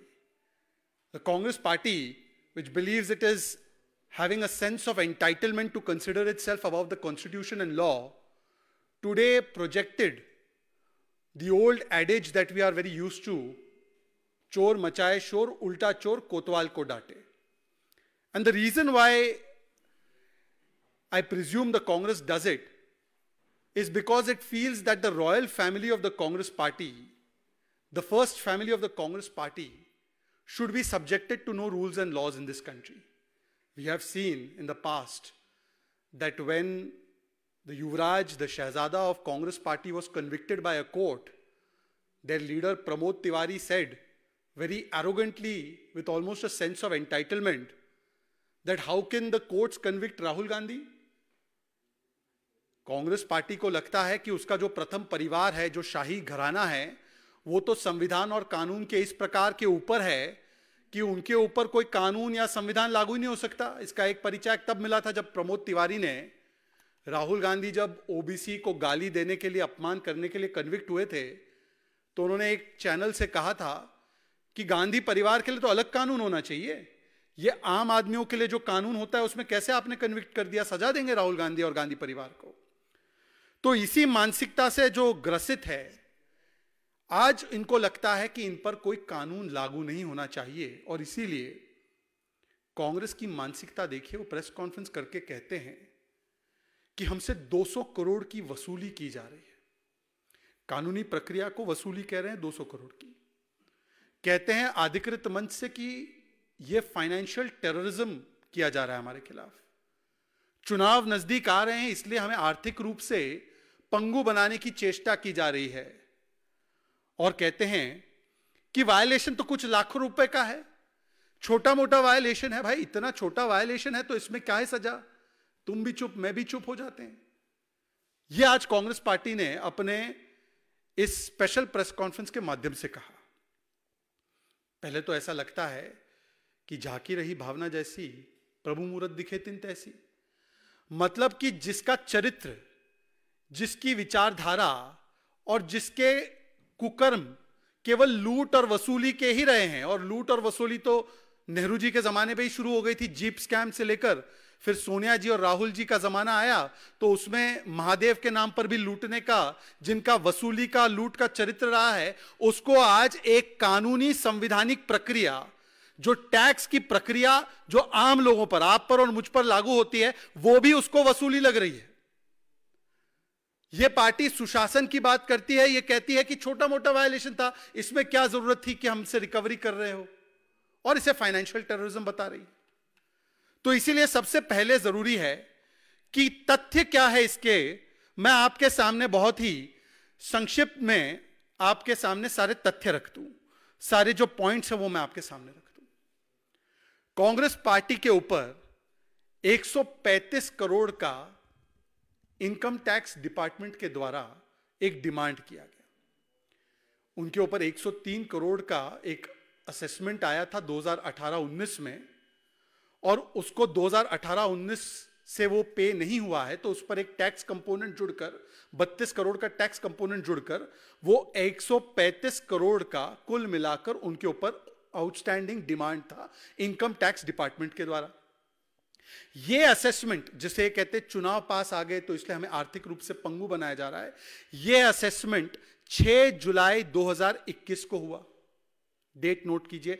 The assessment under which it was said that the Congress has to pay 135 crore rupees. This was done in 2021, 6th of July. आज कांग्रेस पार्टी कहती है कि पॉलिटिकल पार्टीज़ को टैक्स नहीं भरना होता यह बात सही है आमतौर पर सेक्शन 13 ए के तहत इनकम टैक्स एक्ट के पॉलिटिकल पार्टीज़ को वॉलेंट्री कंट्रीब्यूशन पर टैक्स नहीं भरना होता है वो एग्जेम्प्टेड होते हैं ये बात यहाँ तक सच है पर उस तेरह ए के सेक्शन में प्रोवाइजो भी है और इस प्रोवाइजो में अगर आप तेरह डी देख लें या अन्य प्रोवाइजोस देख ले या अन्य प्रोविजंस देख ले if you consider the provisos given to section thirteen A income tax is exempted, liability is exempted for political parties, the conditions have been laid down. इसमें कुछ कंडीशंस है जिसको फॉलो करनी मतलब रिटर्न्स टाइम पे file करना है जो वॉलेंट्री कंट्रीब्यूशन है, वो दो हज़ार रुपए से ऊपर नहीं हो सकते। मतलब सारे कॉन्ट्रीब्यूशन पर या सारी इनकम पर एक ब्लैंकेट कवरेज नहीं है एग्जामेशन का। कमर्शियल आप अगर रेंट कमा रहे हैं कमर्शियल इनकम कमा रहे हैं तो वो एग्जेम्प्टेड नहीं है। वॉलेंट्री कॉन्ट्रीब्यूशन 2000 तक की मात्रा तक एग्जेम्प्टेड है। यह तो कानून का मामला हो गया। तो कांग्रेस पार्टी पहले अगर कानून को कोट करती है तो कानून को ठीक से कोट करे। बहरहाल ये जो असेसमेंट हुआ था, ये 2021 में, जुलाई में असेसमेंट हुआ। इस असेसमेंट को 28 मार्च 2023 चुनाव से कहीं दूर है हम लोग, इसको एक एपलेट कमिश्नर ने कंफर्म भी किया। इस बीच में कांग्रेस पार्टी ने एक अपील फ़ाइल की। आपके पास सुविधा होती है कानून के माध्यम से कि यदि आपको कोई असेसमेंट ठीक ना लगे तो आप एक असेसमेंट को अपील कर सकते हैं। कांग्रेस पार्टी ने उस असेसमेंट को अपील किया और कांग्रेस पार्टी ने जब इस असेसमेंट को अपील किया तो जैसा कानून सबके लिए होता है एओ जो होता है असेसमेंट ऑफिसर जो होता है, उसका कानून जो है, उसका लॉ जो है, बड़ा क्लियर है कि आपको 20 परसेंट डिपॉजिट करना है। और उसके बाद आपको जो भी आगे की कार्रवाई करनी है। इसका मतलब कायदे से कांग्रेस पार्टी को 21 करोड़ रुपए डिपॉजिट करने थे, चाहे उसका आउटकम जो भी आए। वो अपील खारिज हो या अपील अपहेल्ड हो, इसमें कोई लीवे नहीं है किसी के लिए भी। आम नागरिक के लिए, किसी के लिए 20 परसेंट डिपॉजिट करना होता है मतलब 21 करोड़ डिपॉजिट करना है। यह अपील वैसे डिसमिस कर दी जाती है। इसका मतलब कि 21 करोड़ रुपए तो 20 परसेंट जो है वो तो आपको भरना ही था। कांग्रेस पार्टी 21 करोड़ की जो राशि डिपॉजिट करने के बदले वो मात्र 78 लाख 78 लाख रुपीस डिपॉजिट करती है। और जो 28 10 2021 का जो ऑर्डर आता है फिर, उसको कांग्रेस पार्टी चैलेंज नहीं करती। कांग्रेस पार्टी चैलेंज नहीं करती 21 करोड़ की मांग थी ओरिजिनल असेसमेंट तो 135 करोड़ का हो गया था 21 करोड़ डिपॉजिट करना था, उसमें से भी 78 लाख कांग्रेस डिपॉजिट करती है। यह उनके गुड गवर्नेंस का एक परिचायक है कि टैक्स लाइबिलिटी जो इतनी आ रही है, उसको टाइम से भी ना भरना और जब असेसमेंट ऑफिसर और उसके बाद की अपील में कंफर्म हो जाए कमिश्नर भी कंफर्म कर ले, तब उसके बाद भी 21 करोड़ के बदले 78 लाख देना। फिर कांग्रेस पार्टी ने एक सेकंड अपील अपील की। मई 2023 में। घटनाक्रम आपको मैं बता रहा हूँ। उसमें भी कोई स्टे नहीं मांगा।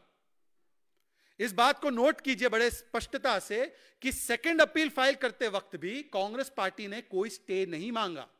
मई 2023 की बात है। और अक्टूबर 2023 में कांग्रेस पार्टी जो 21 करोड़ जमा करना था, उसमें से 1.72 करोड़ रुपीस और जमा करती है। 78 लाख पहले और फिर उसके बाद ये 1.72 करोड़। मतलब कुल मिलाकर 21 करोड़ जो मिनिमम 20 परसेंट आपको डिपॉजिट करना है, उसमें से अभी तक ढाई करोड़ कांग्रेस ने दिए। देना तो वैसे 135 करोड़ रुपए। कोई स्टे एप्लीकेशन कहीं पर भी नहीं जब कोई स्टे एप्लीकेशन नहीं है, जब आपकी अपील जो है वो डिसमिस हो रही है तो इनकम टैक्स ऑफिसर और डिपार्टमेंट के पास, कानून के तहत सेक्शन 226 में यह अधिकार है और मैं आपको पढ़कर भी सुना सकता हूँ। हालाँकि 226 आप लोग भी इनकम टैक्स एक्ट का देख लीजिए 226 थ्री में वो अधिकार है ऑफिसर के पास कि जितना भी पैसा रिकवर करना है, उसके लिए वो पेंडिंग अमाउंट जो है एसएससी से वो उसको रिकवर करे। तो उसके तहत जो कार्रवाई होती है वो कार्रवाई शुरू हुई है। इसमें मैं आपको यह भी बता दूँ कि इनकम टैक्स डिपार्टमेंट का बड़प्पन आप कह सकते हैं कि इस प्रकार का है कि जो पैंसठ करोड़ रुपए जिसकी बात हो रही है, जो लिए गए हैं, वो पैंसठ करोड़ रुपए का भी डीडी जो है, डिमांड ड्राफ्ट जो है, उसको एनकैश नहीं किया गया है। तो इसका मतलब क्या हुआ? इसका मतलब यह हुआ, आपके सामने मैंने सारे फैक्ट्स तथ्यात्मक रूप से रखे हैं कि एक असेसमेंट आता है। वो असेसमेंट इसलिए आता है क्योंकि आपने कानून का उल्लंघन किया तो आप एग्जेम्पन के लिए, आप एग्जेम्पन नहीं ले सकते। उस असेसमेंट पे आप अपील करते हो। अपील में कहा जाता है 20 परसेंट डिपॉजिट करना है। वो असेसमेंट का अपील जो है वो खारिज हो जाता है, उसको रिजेक्ट कर देती है पहली लेवल की अपील्स पे। आप उसमें से कुछ राशि पैसे दे देते हैं। कोई स्टे नहीं मांगते। उसको आप लोग लीगली चैलेंज नहीं करते। जब दूसरी बार अपील में जाते हैं, वहाँ से भी कोई स्टे नहीं है। और जब कानूनी प्रक्रिया अपनाई जाती है तो कांग्रेस पार्टी यह कहेगी कि नहीं नहीं यह फाइनेंशियल टेररिज्म हो रहा है। कांग्रेस पार्टी को पता होना चाहिए कि फाइनेंशियल टेररिज्म क्या था। अगर यह देखना है तो अभी अभी भारत सरकार की ओर से एक व्हाइट पेपर जारी किया गया है। 2004 से लेकर 14 तक जो फाइनेंशियल कुकर्म इस देश में किए गए हैं मनमोहन सिंह जी की सरकार, जिसे संचालन करने का काम सोनिया गांधी जी के दफ्तर से होता था, उसको दरअसल फाइनेंशियल टेररिज्म की कैटेगरी में ज़रूर रखा जा सकता है।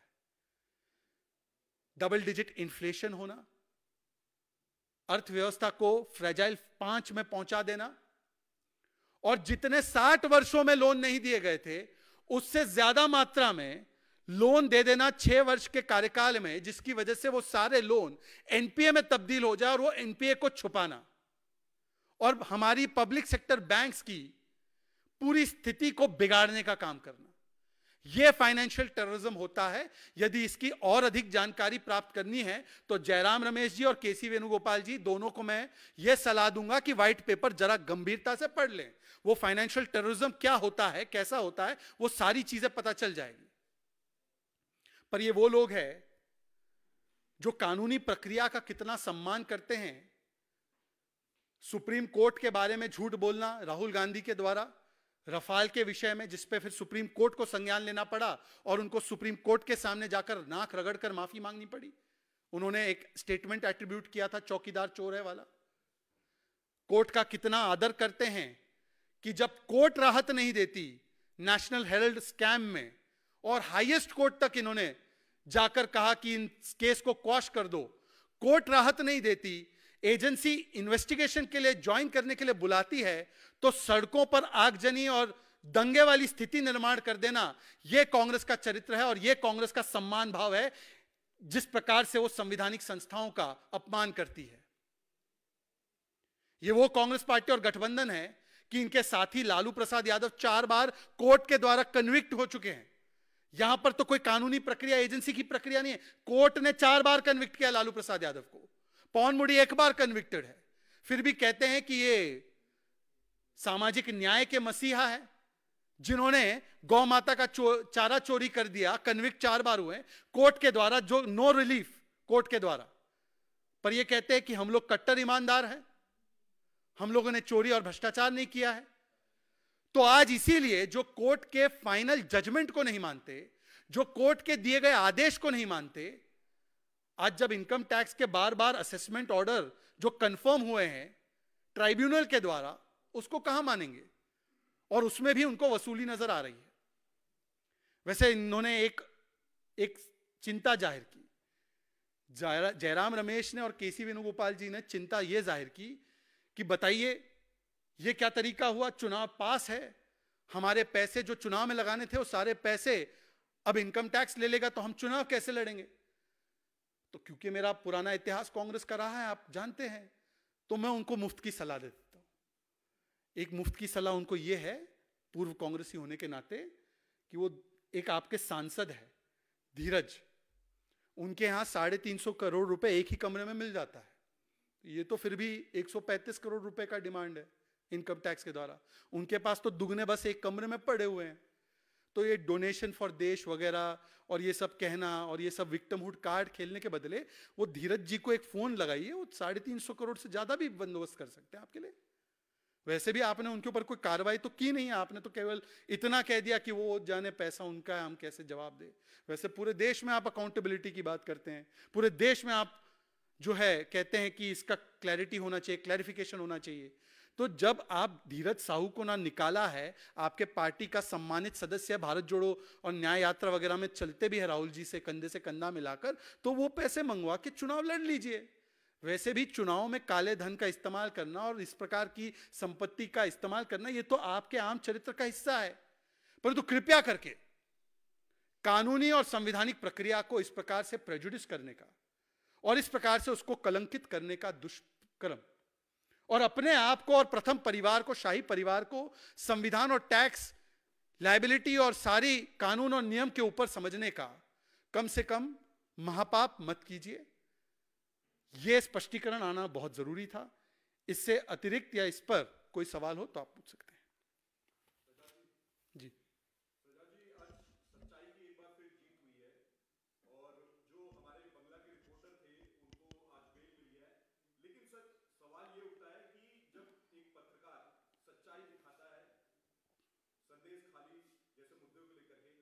उनको वहाँ की सरकार ना तो उस स्टोरी को कवर करने देती है और उनको उठा करके जेल में डालती जज ने भी यही कहा है कि पुलिस को अपराधी पकड़ने चाहिए पत्रकार को देखिए, जो अभी आपने ज़िक्र किया है कोलकाता के हाईकोर्ट की, जो बहुत सख्त टिप्पणियाँ और आदेश आया है, मुझे लगता है कि ये रिपब्लिक ऑफ़ इंडिया की जीत है।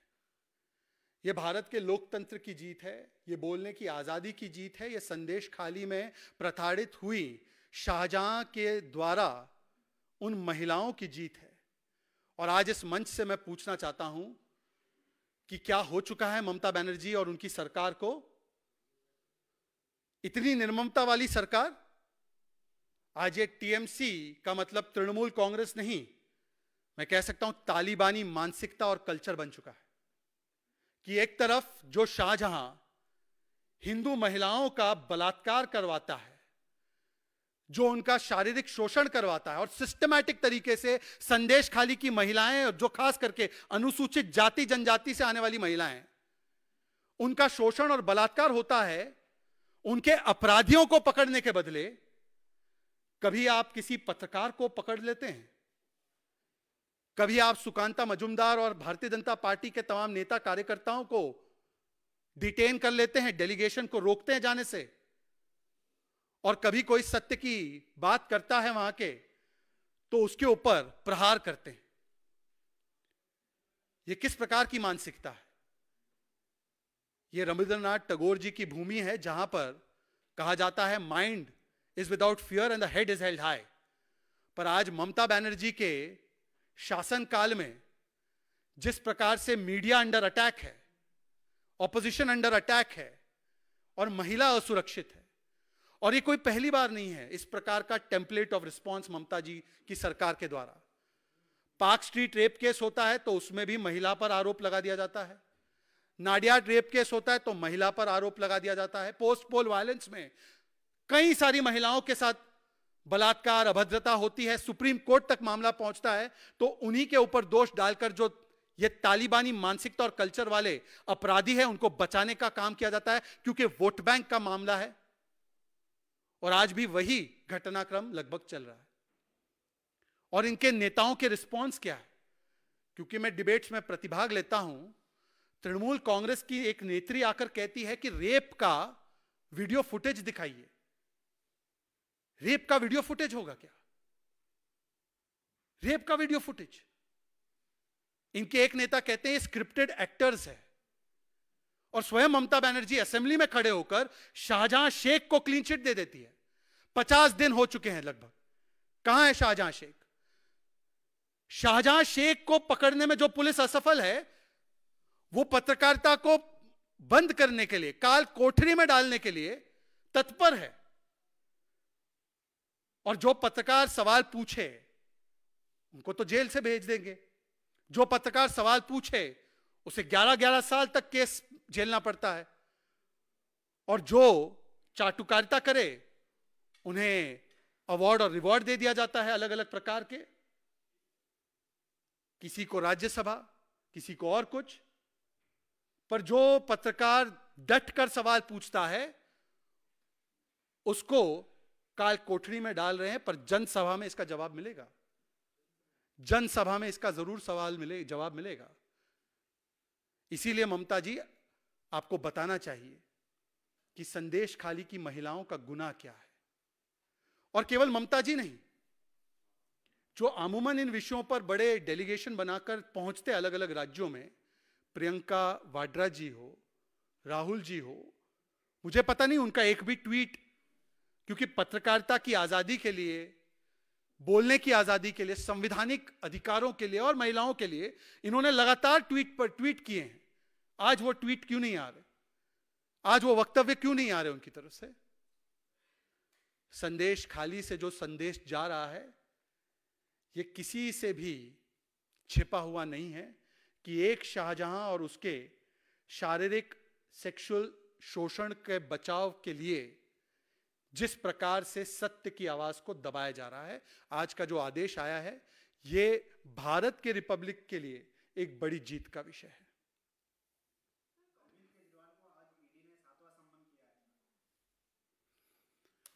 ऐसा है, अरविंद केजरीवाल भ्रष्टाचारी नंबर वन तो पहले से ही थे।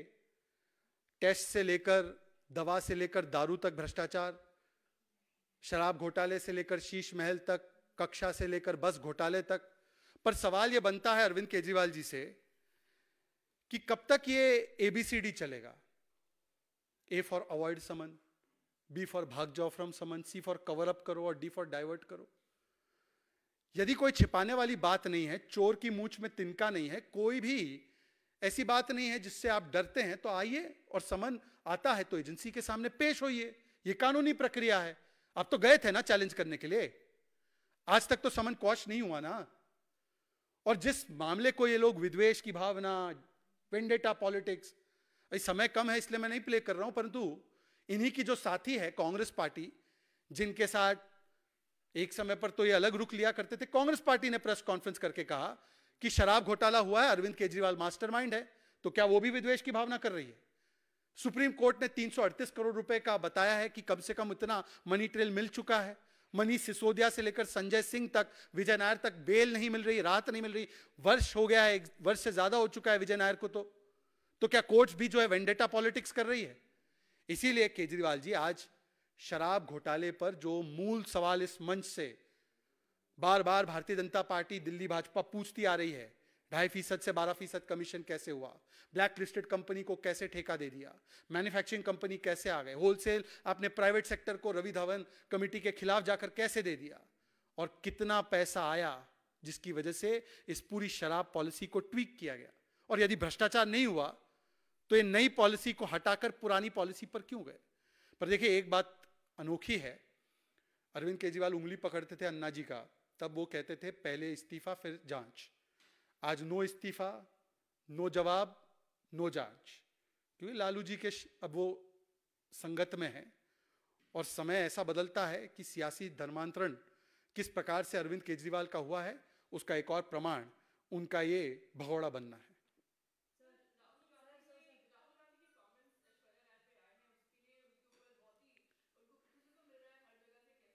देखिए, राहुल गांधी विवशता राजनीतिक रूप से इस प्रकार से महसूस कर रहे हैं और उनके अहंकार की कोई सीमा नहीं है। कभी वो कहते हैं कि उत्तर प्रदेश के युवा शराबी है, नशेड़ी है। उत्तर प्रदेश के विषय में और उत्तर प्रदेश और बिहार के विषय में उनके साथियों ने भी अलग अलग प्रकार के वक्तव्य दिए, वो हमारे सामने हैं। और आज जिस प्रकार की मैं समझता हूँ कि राजनीतिक पटल पर जो नॉन राजनीतिक व्यक्ति होते हैं उनके विषय में ऐसी टिप्पणी करना जिसमें मूल महिला विरोध मिसोजनी और पेट्रियार की या महिला विरोधी जो मानसिकता है वो दर्शाते हैं, ये नाचने वाली कहना किसी को कि वो अपने फादर इन लॉ के साथ नाच रही है। इस प्रकार की टिप्पणियाँ करना मुझे लगता है कि इसके ऊपर तो कांग्रेस की जो महिला नेत्रियाँ हैं, जो अक्सर महिलाओं के विषय पर बोलती हैं, वीडियोस भी वगैरह बनाती हैं, काफ़ी चीख कर बोलती हैं, चिल्ला कर बोलती हैं।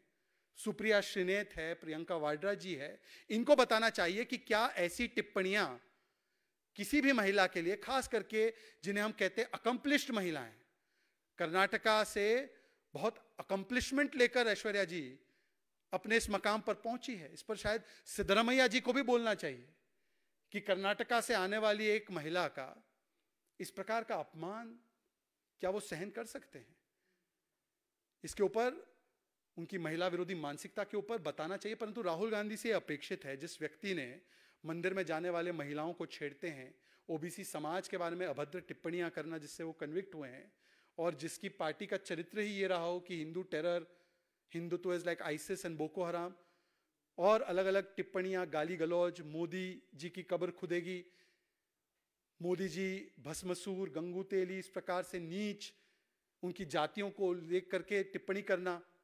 तो जिनका ये चरित्र रहा है, उनके राजनीतिक डीएनए में इसी प्रकार की टिप्पणियाँ करना यह स्वाभाविक सी बात है, परंतु ये उनके राजनीतिक विवशता का और अहंकार भाव का एक और और महिला विरोधी मानसिकता का एक और प्रमाण है।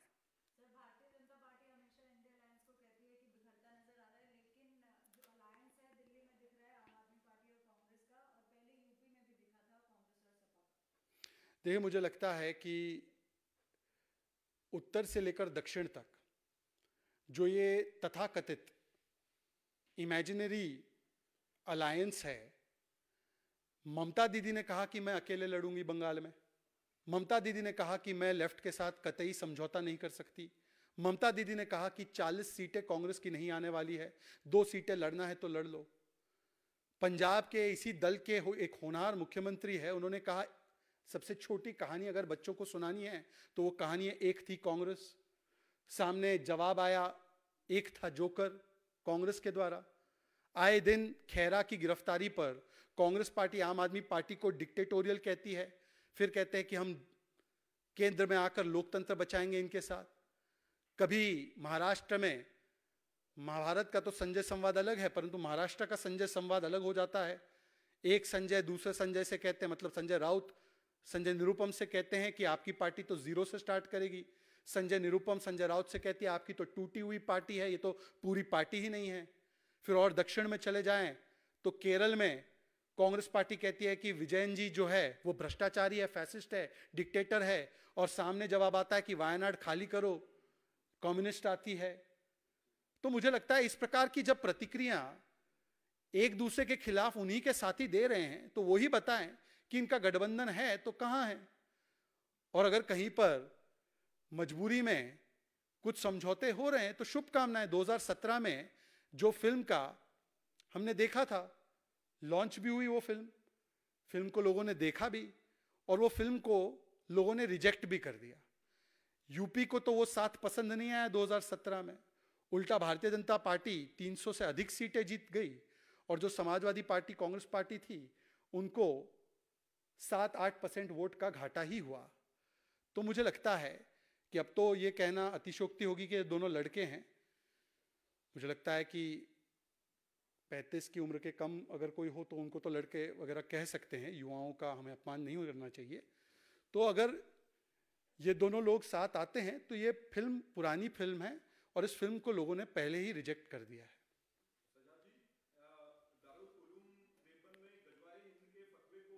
चलिए, मुझे लगता है कि संविधान के तहत जो बाबा साहेब भीमराव अंबेडकर जी का संविधान है, उसके दायरे में रहते हुए बात करनी चाहिए। अन्यथा मुझे लगेगा कि जो लोग खास करके अलग अलग प्रकार के नारे भी गढ़ते हैं, जय भीम और जय मीम के तो कम से कम भीम मतलब भीमराव बाबा साहेब आम्बेडकर जी की जो संविधान है, उसकी अवहेलना करते हुए कोई बात नहीं रखनी चाहिए। चलिए, धन्यवाद।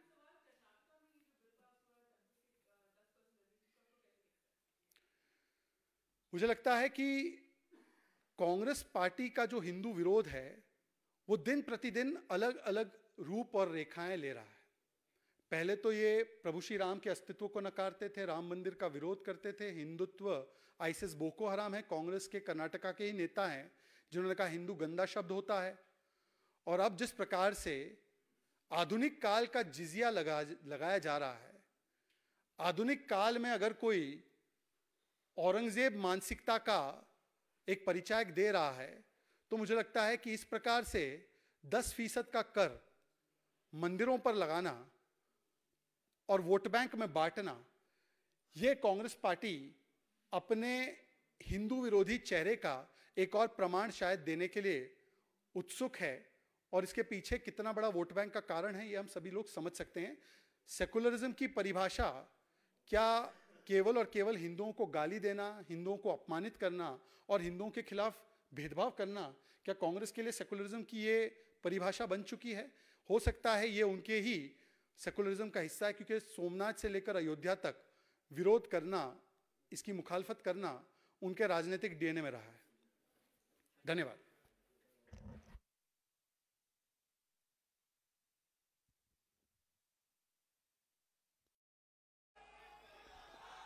मेरे साथ बोलिए, भारत माता की। क्यों भाई, जाजगीर वालों की आवाज़ को क्या हो गया है? इतने सारे युवा है, ऐसी आवाज़ लगेगी क्या? दोनों हाथ उठाइए। ग्यारह की ग्यारह सीट जीतने का संकल्प की मुट्ठी बीजिए और प्रचंड आवाज़ से बोलिए, भारत माता की। भारत माता की। मंच पर उपस्थित हमारे नव निर्वाचित मुख्यमंत्री, कल ही जिनका जन्मदिन गया है ऐसे श्रीमान विष्णुदेव साई जी, हमारे जुझारू प्रदेश अध्यक्ष श्री किरण देव सिंह जी, उप मुख्यमंत्री श्री अरुण साव जी, श्री विजय शर्मा जी, यहाँ पर आए हुए जांजगीर के सांसद महोदय घूराम जी, श्री राजेश मुणत जी, निर्मल सिन्हा जी, और आज इतनी बड़ी सभा में आए हुए प्यारे भाइयों, बहनों, माताओं और मेरे जिगर के टुकड़े जैसे युवा मित्रों, आप सभी को मेरा प्रणाम। मित्रों, आज जब मैं यहाँ आया हूँ, तब सबसे पहले मैं पूज्य बाबा गुरु घासीराम जी की पावन धरती पर उनको प्रणाम कर कर मेरी बात की शुरुआत करना चाहता हूँ। मित्रों, समय नहीं बचा है। थोड़े लेट हो गए हैं, इसके लिए मैं आपसे माफ़ी माँगता हूँ। परंतु मैं आज यहाँ छत्तीसगढ़ में लोकसभा चुनाव के तैयारी के लिए विजय संकल्प सम्मेलन में आया हूँ। मित्रों, आने वाला चुनाव ये देश का भविष्य तय करने वाला चुनाव, आने वाले चुनाव देश को पूर्ण विकसित और भारत माता को विश्व गुरु बनाने के लिए महत्वपूर्ण चुनाव है। भाई और बहनों, मैं छत्तीसगढ़ की जनता का हृदय से धन्यवाद करना चाहता हूँ। हम 2014 में आए 11 में से 10 सीटें आपने भाजपा को दी 19 में आए। 11 में से 9 सीटें भाजपा को दी और अभी अभी विधानसभा चुनाव में आए तो आपने छत्तीसगढ़ में सबसे ज़्यादा बहुमति से भारतीय जनता पार्टी की सरकार बनाई। एक नकारा सरकार, जिन्होंने ना नक्सलवाद पर लगाम कसी न छत्तीसगढ़ के लोगों को न्याय दिया और लाखों करोड़ के घपले घोटाले भ्रष्टाचार कर कर छत्तीसगढ़ की गरीब जनता के साथ अन्याय करने का काम किया। उसको भी आपने हटा दिया। और फिर से एक बार विष्णुदेव जी के नेतृत्व में डबल इंजन की सरकार बनाने का काम छत्तीसगढ़ वालों ने किया है। विशेषकर मेरी माताओं बहनों को मैं विशेष प्रणाम कर कर मेरी आभार कहना चाहता हूँ। भाई और बहनों, नरेंद्र मोदी जी की जो सरकार 10 साल चली, मोदी सरकार ने 10 साल में देश के 60 करोड़ गरीबों का कल्याण करने का काम किया है। इस 10 साल में मोदी जी ने देश के 60 करोड़ गरीबों को घर में नल से जल देने का काम किया। सिर्फ़ छत्तीसगढ़ में 38 लाख से ज़्यादा घरों में पीने का पानी आज़ादी के 75 साल बाद पहली बार पहुँचाया। देश के 60 करोड़ लोगों को पाँच लाख तक का आयुष्य उपचार का पूरा खर्चा नरेंद्र मोदी सरकार उठा रही है। और मेरे छत्तीसगढ़ में दो करोड़ भाइयों बहनों को इसका फ़ायदा मिल रहा है। दस करोड़ से ज़्यादा शौचालय बनाए उसमें से 38 लाख शौचालय मेरे छत्तीसगढ़ में बने। 75 साल के बाद बहनों को शौचालय की सुविधा मिली। छत्तीसगढ़ के दो करोड़ लोगों को पाँच किलो अनाज प्रति व्यक्ति, प्रति माह मुफ़्त में मिलता है। मोदी जी ने गरीब का चूल्हा जलाने का काम नरेंद्र मोदी जी ने किया है। 36 लाख माताओं को गैस का सिलेंडर दिया 10 लाख लोगों को प्रधानमंत्री आवास दिया, और पूरे छत्तीसगढ़ में सभी लोग बताओ भाई, कोरोना के टीके सबके लगे हैं या नहीं लगे हैं? अरे ज़ोर से बोलो, लगे या नहीं लगे हैं? 130 करोड़ लोगों को कोरोना का टीका देकर भारत और छत्तीसगढ़ को कोरोना से मुक्त बनाने का काम देश के प्रधानमंत्री नरेंद्र मोदी जी ने किया। मोदी जी ने देश के अर्थतंत्र को आगे ले जाने का काम किया। हमारा देश दुनिया के अर्थतंत्रों की तालिका में ग्यारहवें नंबर पर था। आज पाँचवें नंबर पर है। भाइयों बहनों, मोदी गारंटी है, एक बार मोदी जी को फिर से ला दो, हम दुनिया के तीसरे नंबर की आर्थिक ताकत बन जाएँगे। मोदी जी ने, चाहे दलित हो, आदिवासी हो, पिछड़ा हो, उसका सम्मान करने का काम किया।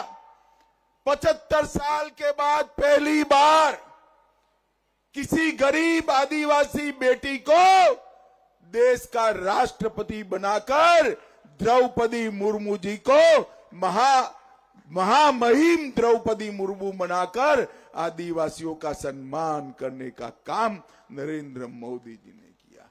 ओबीसी को पहली बार संवैधानिक मान्यता दी 27 प्रतिशत आरक्षण दिया ओबीसी आयोग का गठन किया और ये सारी योजनाएँ जो मैंने बोली है, वो सारी योजनाओं को ओबीसी समाज, आदिवासी समाज और दलित समाज के लिए लागू करने का काम नरेंद्र भाई ने किया।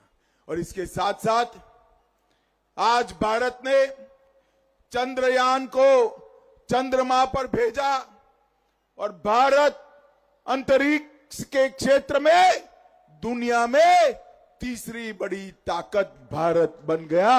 ये भारत को सम्मान हासिल हुआ। जी ट्वेंटी के माध्यम से हमारी छत्तीसगढ़ी संस्कृति को पूरी दुनिया के सामने पहुँचाने का काम मोदी जी ने किया और इसके साथ साथ मोदी जी ने देश को सुरक्षित भी किया। माताओं, भाइयों, बहनों, कश्मीर के अंदर धारा 370 का नासूर सालों से परेशान करता था। 5 अगस्त 2019 को मोदी जी ने धारा 370 को समाप्त कर कर कश्मीर को हमेशा के लिए भारत के साथ जोड़ने का काम किया। इसके साथ साथ सर्जिकल स्ट्राइक और एयर स्ट्राइक कर कर पाकिस्तान के घर में घुसकर आतंकवादियों को दंडित करने का काम नरेंद्र मोदी सरकार ने किया। और मित्रों, मैं तो आज राम के नैनीहाल में आया हूँ। ये नाम का नैनीहाल है। साढ़ा पाँच सौ साल से राम लल्ला अपने घर में नहीं विराजमान हो पाते थे, मंदिर नहीं बनता था। कांग्रेस ने साढ़े पाँच सौ साल से लटके हुए मसले को पचहत्तर साल से समाप्त नहीं हो दिया। मोदी जी ने 22 जनवरी को रामलल्ला के मंदिर में रामलल्ला की प्राण प्रतिष्ठा कर कर ये काम भी पूरा कर दिया। भाई और बहनों, विष्णु देव जी की सरकार अभी अभी बनी है। हमारे गुजरात में कहावत है, पुत के लक्षण पालने से ही मालूम पड़ते हैं। दो महीने में लगभग लगभग त्रीस टका मोदी गारंटी को विष्णु देव जी ने समाप्त कर दिया। चाहे धान का बोनस देना हो, चाहे अगले महीने महतारियों को प्रणाम करने के लिए हर महीना एक हज़ार रुपया भेजना हो हर वादे को विष्णुदेव साई जी की सरकार पूरा करने के लिए वचनबद्ध है। और मैं आज आपको विश्वास दिलाकर जाता हूँ, जो वादा मोदी जी ने किया है, वो पत्थर पर की लकीर है। मोदी गारंटी, हर मोदी गारंटी पूरी होगी। भाई और बहनों, ज़्यादा समय नहीं है, मुझे तुरंत ही निकलना पड़ेगा। परंतु मैं भी पक्का आदमी हूँ, कच्चा आदमी नहीं हूँ। इतने दूर से आया हूँ तो वादा लेकर भी ही जाऊँगा। मुझे बताओ भाई, छत्तीसगढ़ में एक बार एक कम कर दिए, एक बार दो कम कर दिए। इस बार सभी 11 की 11 सीटें भारतीय जनता पार्टी को दोगे क्या? ज़ोर से बोलो, दोगे क्या? सभी सीटों पर कमल खिलाओगे क्या? मोदी जी को तीसरी बार प्रधानमंत्री बनाओगे क्या? मोदी जी के नेतृत्व में आत्मनिर्भर भारत बनाएँगे क्या? मोदी जी के नेतृत्व में विकसित भारत बनाएँगे क्या?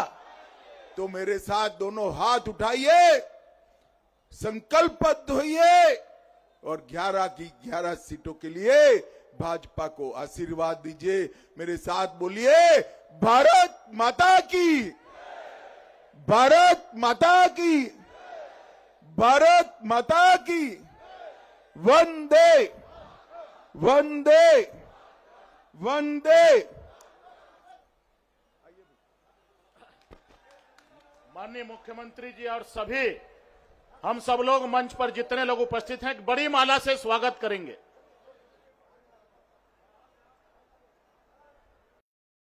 आने वाले वर्षों में किस तरह से यूपी की तकदीर को बदला जाए? उत्तर प्रदेश की जो आर्थिक स्थिति है, उसमें और भी चार चाँद लगाए जाएँ। ये निवेशक वहाँ पे निवेश करने के लिए मौजूद हैं और इस ग्राउंड ब्रेकिंग सेरेमनी के ज़रिए कहा जा रहा है कि दस लाख तेईस हज़ार पाँच सौ सैंतीस करोड़ की चौदह हज़ार छह सौ उन्नीस परियोजनाओं का शुभारंभ होने जा रहा है। और सबसे खास बात, जैसा कि हमारे सहयोगी भी बता रहे थे, कि इन निवेश परियोजनाओं की जो शुरुआत है, वो प्रदेश के पश्चिमांचल हिस्से में होगी और सबसे अधिक बावन फ़ीसद जो निवेश परियोजनाएँ हैं, उसकी शुरुआत प्रदेश के पश्चिमांचल हिस्से में होगी और इन निवेशों का जो सबसे अधिक लाभ है, वो प्रदेश के सभी हिस्सों और सभी जनपदों में निवेश किया जाएगा। तो आप समझ सकते हैं कि न सिर्फ़ पश्चिमांचल, बल्कि उत्तर प्रदेश के तमाम जो जनपद हैं, पचहत्तर के पचहत्तर जनपद, उन सभी में यहाँ की जो निवेश है उनको किया जाएगा। सबसे अधिक जो बावन फ़ीसद निवेश है, वो जो परियोजनाएँ उनकी शुरुआत प्रदेश के पश्चिमांचल में होगी। पूर्वांचल में उनतीस फ़ीसद, मध्यांचल में चौदह फ़ीसद, बुंदेलखंड में पाँच फ़ीसद निवेश परियोजनाओं को धरातल पर उतारा जाएगा। तो इस तरह से आप समझ सकते हैं कि हर क्षेत्र में जो निवेश परियोजनाएँ हैं, उनकी शुरुआत होगी। और प्रदेश के 75 में से 19 ज़िले तो ऐसे हैं जिन्होंने निवेश का जो शत प्रतिशत लक्ष्य है उससे भी ज़्यादा हासिल कर लिया है।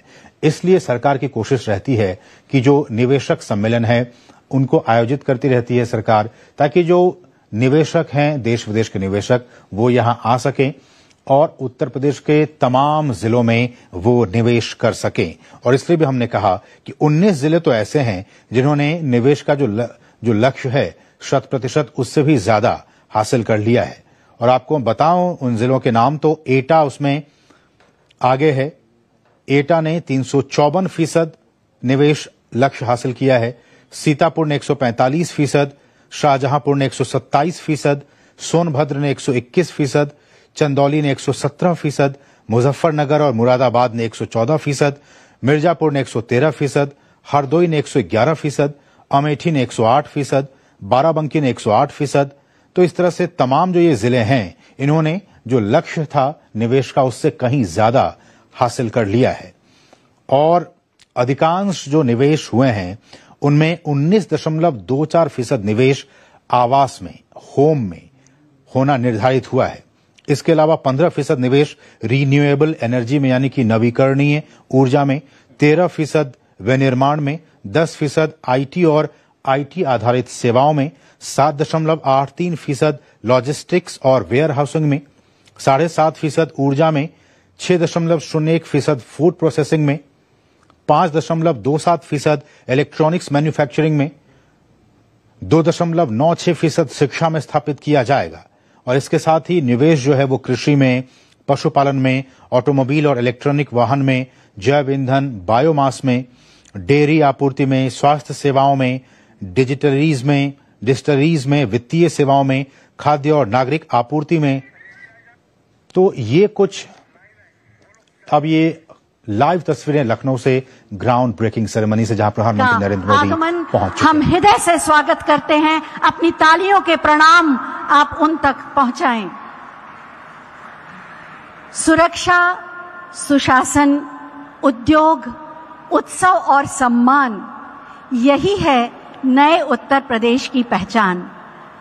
देश की दूसरी सबसे बड़ी अर्थव्यवस्था, उत्तर प्रदेश में कंटेनर से बने इस अद्भुत सभागार में 10 लाख करोड़ से अधिक के निवेश की, चौदह हज़ार से अधिक की विकास परियोजनाओं के शुभारंभ के अवसर पर आयोजित इस निवेश के महाकुंभ में हम हृदय से माननीय प्रधानमंत्री जी का स्वागत करते हैं और उन्हें अपने प्रणाम समर्पित करते हैं। साथ ही हम माननीय राज्यपाल महोदया, माननीय रक्षा मंत्री महोदय, माननीय मुख्यमंत्री महोदय और समस्त गणमान्य अतिथियों का भी हार्दिक स्वागत करते हैं और अभिनंदन करते हैं। एक्सेलरेशन फॉर नेशन इस सूत्र वाक्य के साथ जैसा कि हम सब जानते हैं, उत्तर प्रदेश नए भारत का ग्रोथ इंजन है। आज का ये आयोजन उस इंजन की रफ्तार को एक्सेलरेट करेगा और उत्तर प्रदेश के विकास के साथ साथ विकसित भारत के निर्माण के मार्ग को भी प्रशस्त करेगा। मैं माननीय मुख्यमंत्री महोदय से अनुरोध करूँगी कि हम सब की ओर से भगवान श्री गणेश जी की प्रतिमा को माननीय प्रधानमंत्री जी को भेंट करके हम सब की ओर से उनका स्वागत करें, अभिनंदन करें। मंगल मूर्ति, विघ्न विनाशक, भगवान श्री गणेश, हर शुभ कार्य में सबसे पहले हम जिनकी स्तुति करते हैं, माननीय मुख्यमंत्री महोदय, इस प्रतिमा से माननीय प्रधानमंत्री जी का अभिनंदन कर रहे हैं, स्वागत कर रहे हैं। बहुत बहुत धन्यवाद माननीय। और अब हम माननीय औद्योगिक विकास मंत्री श्री नंद गोपाल गुप्ता नंदी जी से अनुरोध करेंगे कि वो मंच पर आएँ और अपने उद्बोधन से अतिथियों का स्वागत करने की कृपा करें। माननीय औद्योगिक विकास मंत्री उत्तर प्रदेश श्री नंद गोपाल गुप्ता नंदी।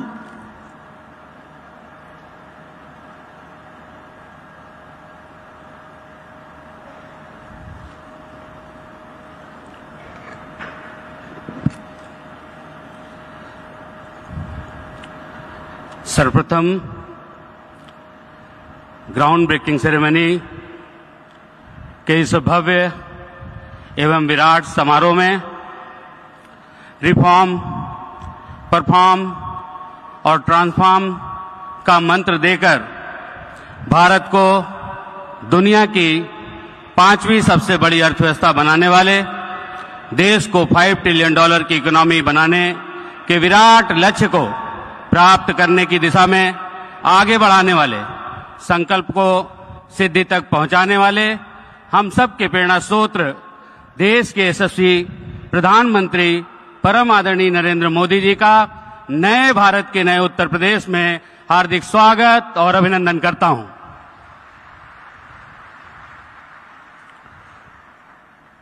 उत्तर प्रदेश के संवैधानिक प्रमुख, हम सब के अभिभावक माननीय राज्यपाल श्रीमती आनंदीबेन पटेल जी, कार्यक्रम में उपस्थित देश के यशस्वी रक्षा मंत्री, लखनऊ के लोकप्रिय सांसद, परम आदरणीय श्री राजनाथ सिंह जी, उत्तर प्रदेश को एक उन्नत, खुशहाल राज्य बनाने के लिए निरंतर परिश्रम करने वाले प्रदेश के कर्मठ एवं कर्मयोगी मुख्यमंत्री आदरणीय योगी आदित्यनाथ जी उप मुख्यमंत्री द्वय माननीय श्री केशव प्रसाद मौर्य जी, माननीय श्री ब्रजेश पाठक जी, विधानसभा अध्यक्ष माननीय श्री सतीश महाना जी, विधान परिषद के सभापति माननीय श्री मानवेंद्र सिंह जी, भारतीय जनता पार्टी के लोकप्रिय प्रदेश अध्यक्ष माननीय श्री भूपेन्द्र चौधरी जी, संगठन महामंत्री माननीय श्री धर्मपाल सिंह जी मेरे सहयोगी राज्य मंत्री माननीय श्री जसवंत सैनी जी, यहाँ पर उपस्थित माननीय मंत्रीगण, उद्योग जगत की जानी मानी हस्तियों, सम्मानित डेलीगेट वरिष्ठ अधिकारीगण, मीडिया के साथियों, आप सभी का हार्दिक स्वागत और अभिनंदन करता हूँ। आज का दिन उत्तर प्रदेश के लिए विशेष है। आज की सुबह एक नया सवेरा लेकर आई है। आज हम सब, हम सभी उत्तर प्रदेश की औद्योगिक विकास यात्रा के ऐतिहासिक अवसर के साक्षी बन रहे हैं। उत्तर प्रदेश की यह चौथी ग्राउंड ब्रेकिंग सेरेमनी एक स्वर्णिम आयोजन है, जो आने वाली पीढ़ियों का भविष्य, सुनहरा और उज्जवल बनाएगी। माननीय प्रधानमंत्री जी, आपके प्रेरक, मार्गदर्शन एवं माननीय मुख्यमंत्री जी के यशस्वी नेतृत्व में उत्तर प्रदेश में डबल इंजन की सरकार चल रही है। इस डबल इंजन की सरकार में सरकार के दो मज़बूत पहिए हैं, जो उत्तर प्रदेश की विकास की यात्रा की गाड़ी को दुगनी रफ्तार प्रदान कर रहे हैं। एक विकास का पहिया है और एक पहिया है विरासत का। अभी 22 जनवरी को पूरी दुनिया ने भारतीय संस्कृति के उत्थान का महापर्व देखा है और आज 19 फरवरी को औद्योगिक प्रगति के महाकुंभ के आयोजन संपन्न हो रहा है। फरवरी 2023 में आयोजित हुए ग्लोबल इन्वेस्टर समिट में 33 लाख पचास हज़ार करोड़ रुपए के निवेश के प्रस्ताव प्राप्त हुए थे। इस एक साल के दौरान यह निवेश बढ़कर 40 करोड़ 40 लाख करोड़ पार कर गया है। इस, ये, इस बात का प्रमाण है कि हमने इन्वेस्टर का भरोसा और विश्वास जीता है। माननीय प्रधानमंत्री जी, आज उत्तर प्रदेश की इस चौथी ग्राउंड ब्रेकिंग सेरेमनी में अनेक महत्वपूर्ण परियोजनाओं का शिलान्यास आपके कर्मकमलों से होने जा रहा है। यह अब तक की सबसे बड़ी ग्राउंड ब्रेकिंग सेरेमनी है। उद्योग की स्थापना और निवेश को आकर्षित करने के लिए सबसे सबसे बुनियादी आवश्यकता होती है विश्वसनीयता। जब कथनी और करनी एक हो, तभी निवेशकों का भरोसा और विश्वास अर्जित किया जा सकता है।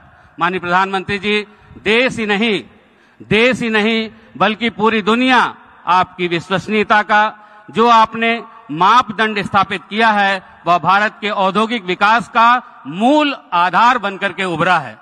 आपने वादों और दावों से आगे बढ़कर, दावों से आगे बढ़कर संकल्पों को आत्मसात किया है।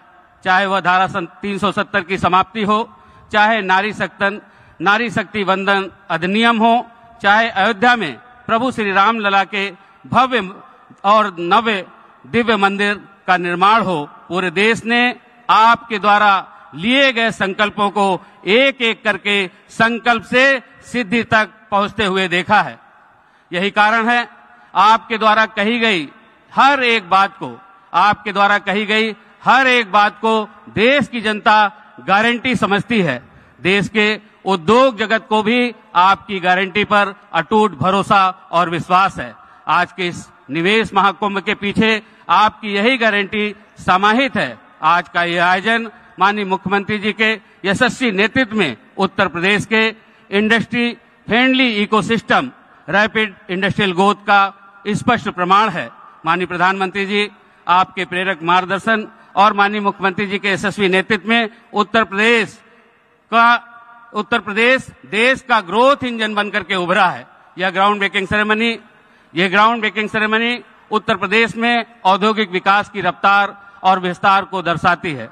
आज के इस समारोह की बुनियाद पर भविष्य में वन ट्रिलियन डॉलर की इकोनॉमी की भव्य इमारत खड़ी होगी।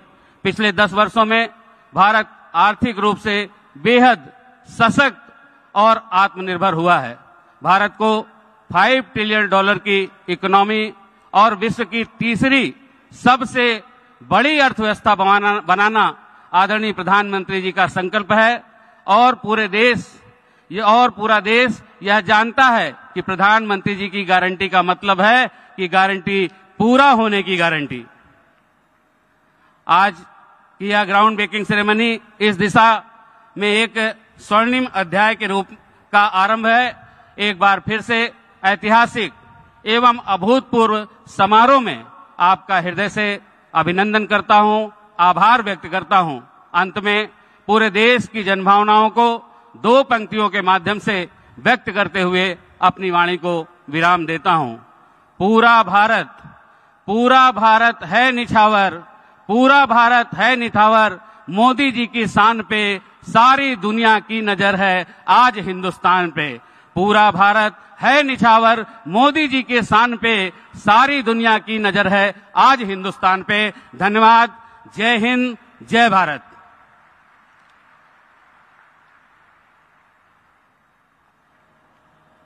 धन्यवाद महोदय। निवेश से बदल रहा है परिवेश। विकास की तेज रफ्तार, यही तो है उत्तर प्रदेश। अब मैं बहुत ही आदर के साथ माननीय सांसद लखनऊ एवं माननीय रक्षा मंत्री श्री राजनाथ सिंह जी से अनुरोध करूँगी कि वो अपने उद्बोधन के लिए मंच पर पधारने की कृपा करें। माननीय रक्षा मंत्री श्री राजनाथ सिंह जी।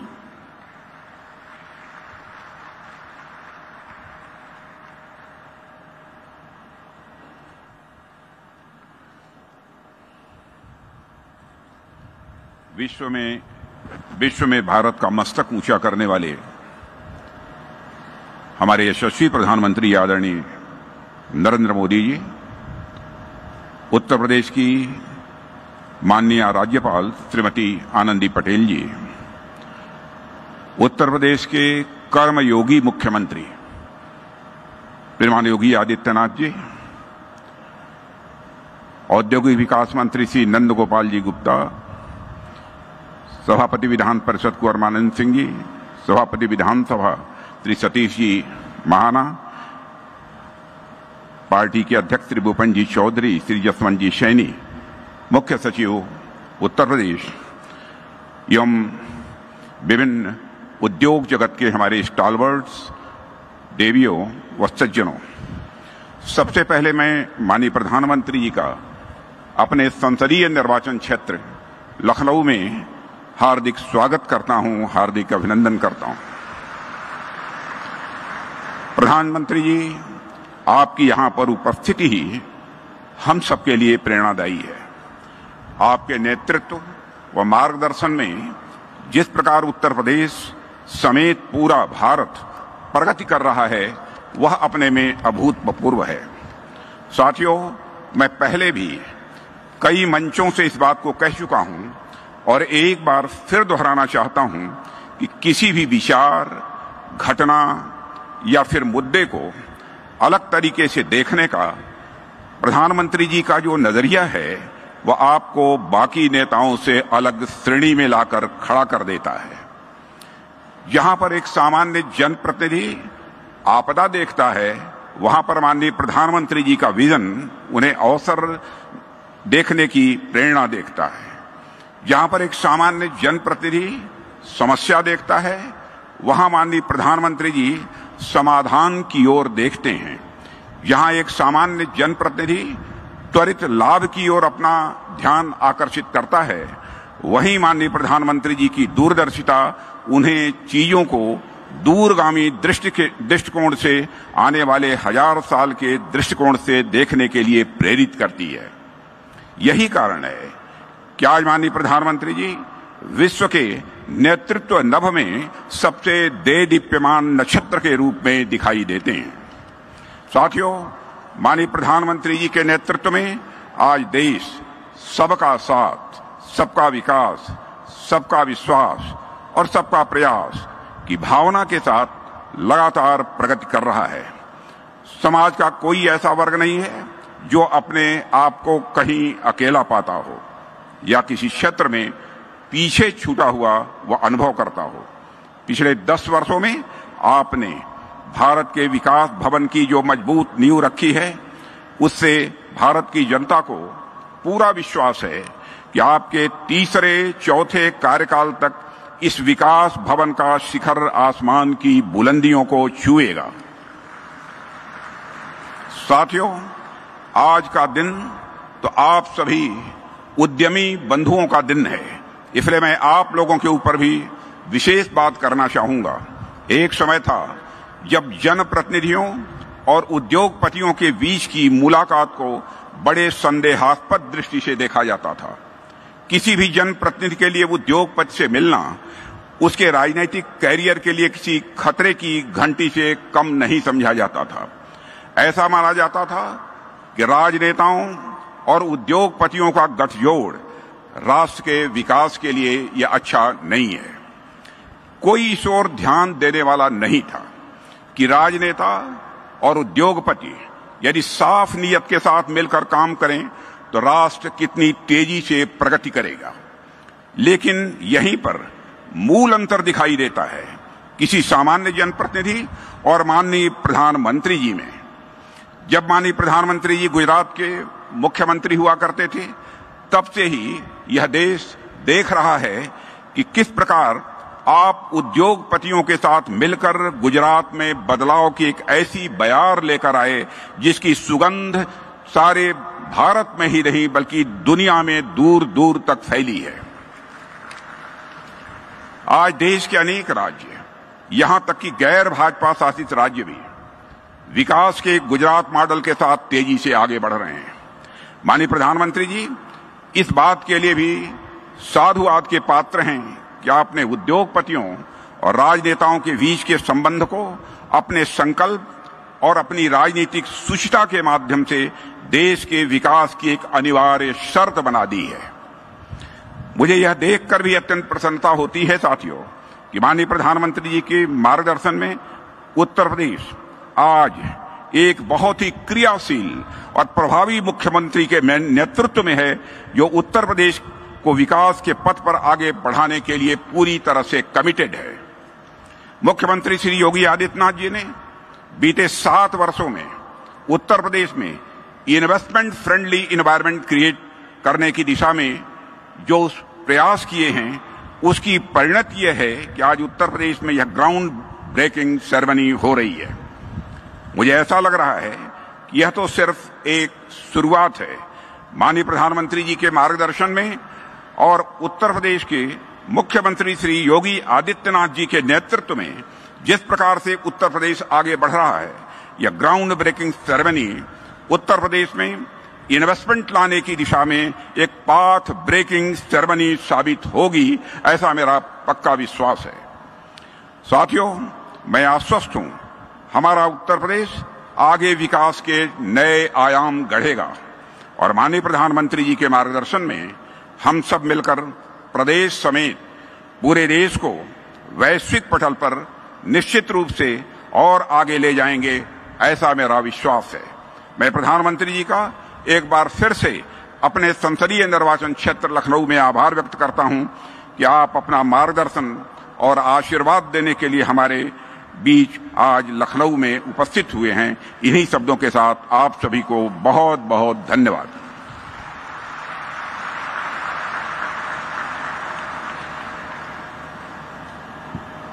धन्यवाद माननीय। रिफॉर्म परफॉर्म एंड ट्रांसफॉर्म माननीय प्रधानमंत्री जी के इस मंत्र को लेकर विकास के नए कीर्तिमानों को स्थापित कर रहे हैं। उत्तर प्रदेश के माननीय मुख्यमंत्री श्री योगी आदित्यनाथ जी। मैं बहुत ही आदर के साथ माननीय मुख्यमंत्री महोदय से अनुरोध करूँगी कि अपने उद्बोधन के लिए मंच पर पधारने की कृपा करें। माननीय मुख्यमंत्री उत्तर प्रदेश श्री योगी आदित्यनाथ जी।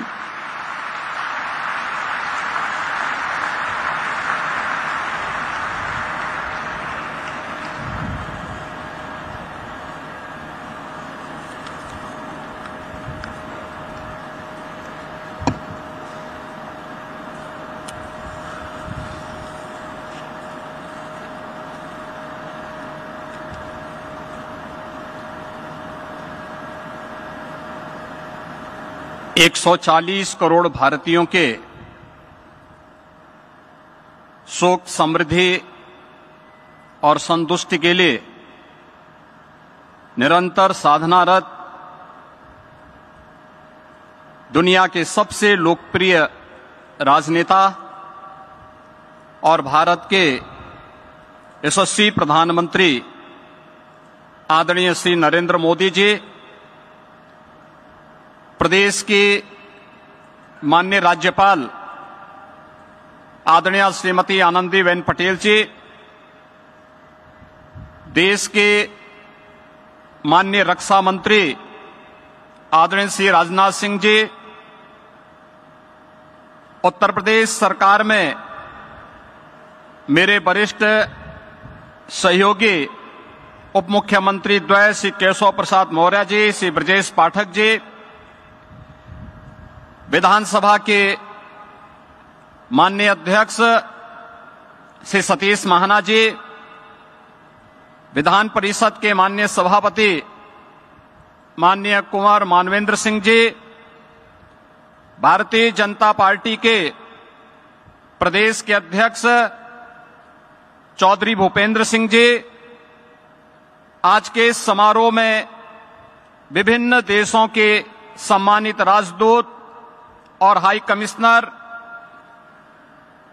केंद्रीय मंत्रिमंडल के सभी माननीय मंत्रीगण, शासन, प्रशासन से जुड़े हुए सभी अधिकारीगण, मीडिया के बंधुगण और उत्तर प्रदेश पर विश्वास जताने वाले देश और दुनिया से आए हुए उद्योग जगत के सभी प्रतिष्ठित निवेशक और उद्यमी, बंधुओं, मैं सबसे पहले देश के आदरणीय प्रधानमंत्री जी का पाँच सदी के इंतज़ार को समाप्त करने और अभी हाल ही में, यूएई में, आबू धाबी में दुनिया का पहला भारत का मंदिर स्थापित करने के लिए आज के इस ग्राउंड ब्रेकिंग सेरेमनी आयोजन के अवसर पर उत्तर प्रदेश आगमन पर हृदय से स्वागत करता हूँ, अभिनंदन करता हूँ।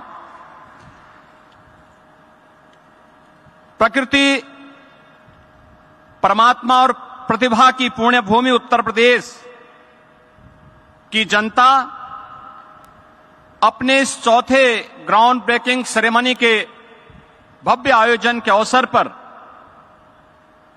आप सभी का हृदय से स्वागत और अभिनंदन करती है। हम सभी का सौभाग्य है। आज जब भारत अमृत काल में प्रवेश कर चुका है, तब इस ऐतिहासिक कालखंड में हम सभी साक्षी और सहभागी बन पा रहे हैं।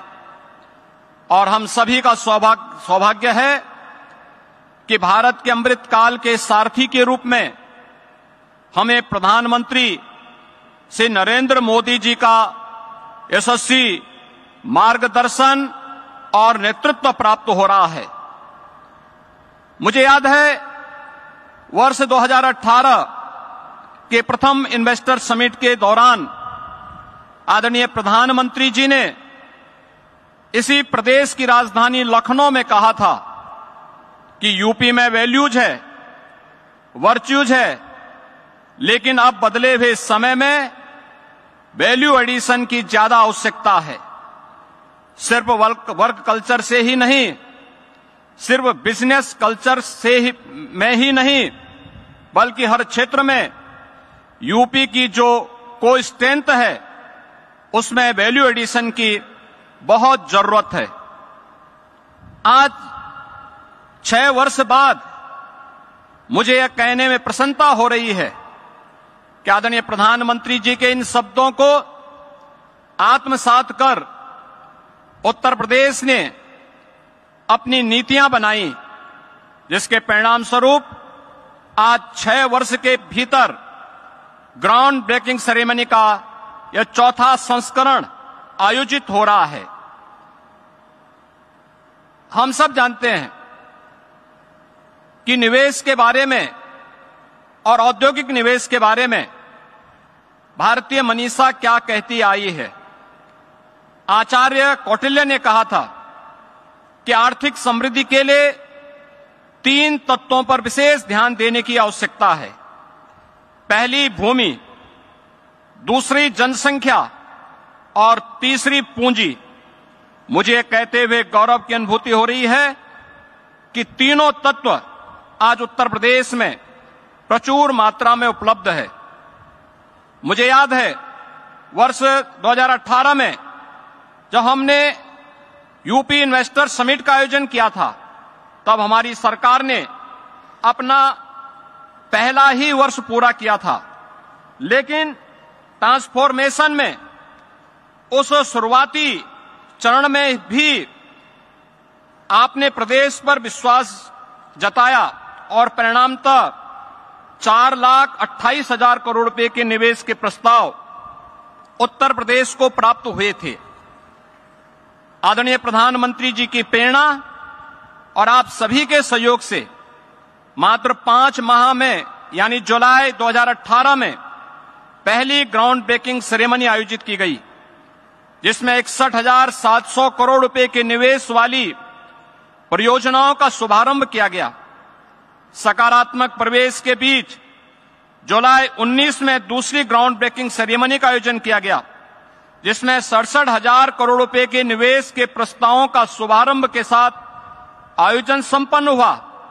इन निवेश परियोजनाओं में लाखों नौजवानों को नौकरी और रोज़गार का सृजन हुआ। कोविड कालखंड के बावजूद तीसरा ग्राउंड ब्रेकिंग समारोह अन्य दो संस्करणों की तुलना में और भी भव्य था, जिसमें अस्सी हज़ार करोड़ रुपए की परियोजनाओं का शुभारंभ किया गया। इन सभी परियोजनाओं के माध्यम से प्रदेश के लाखों नौजवानों के लिए नौकरी और रोज़गार की संभावनाएँ आगे बढ़ी।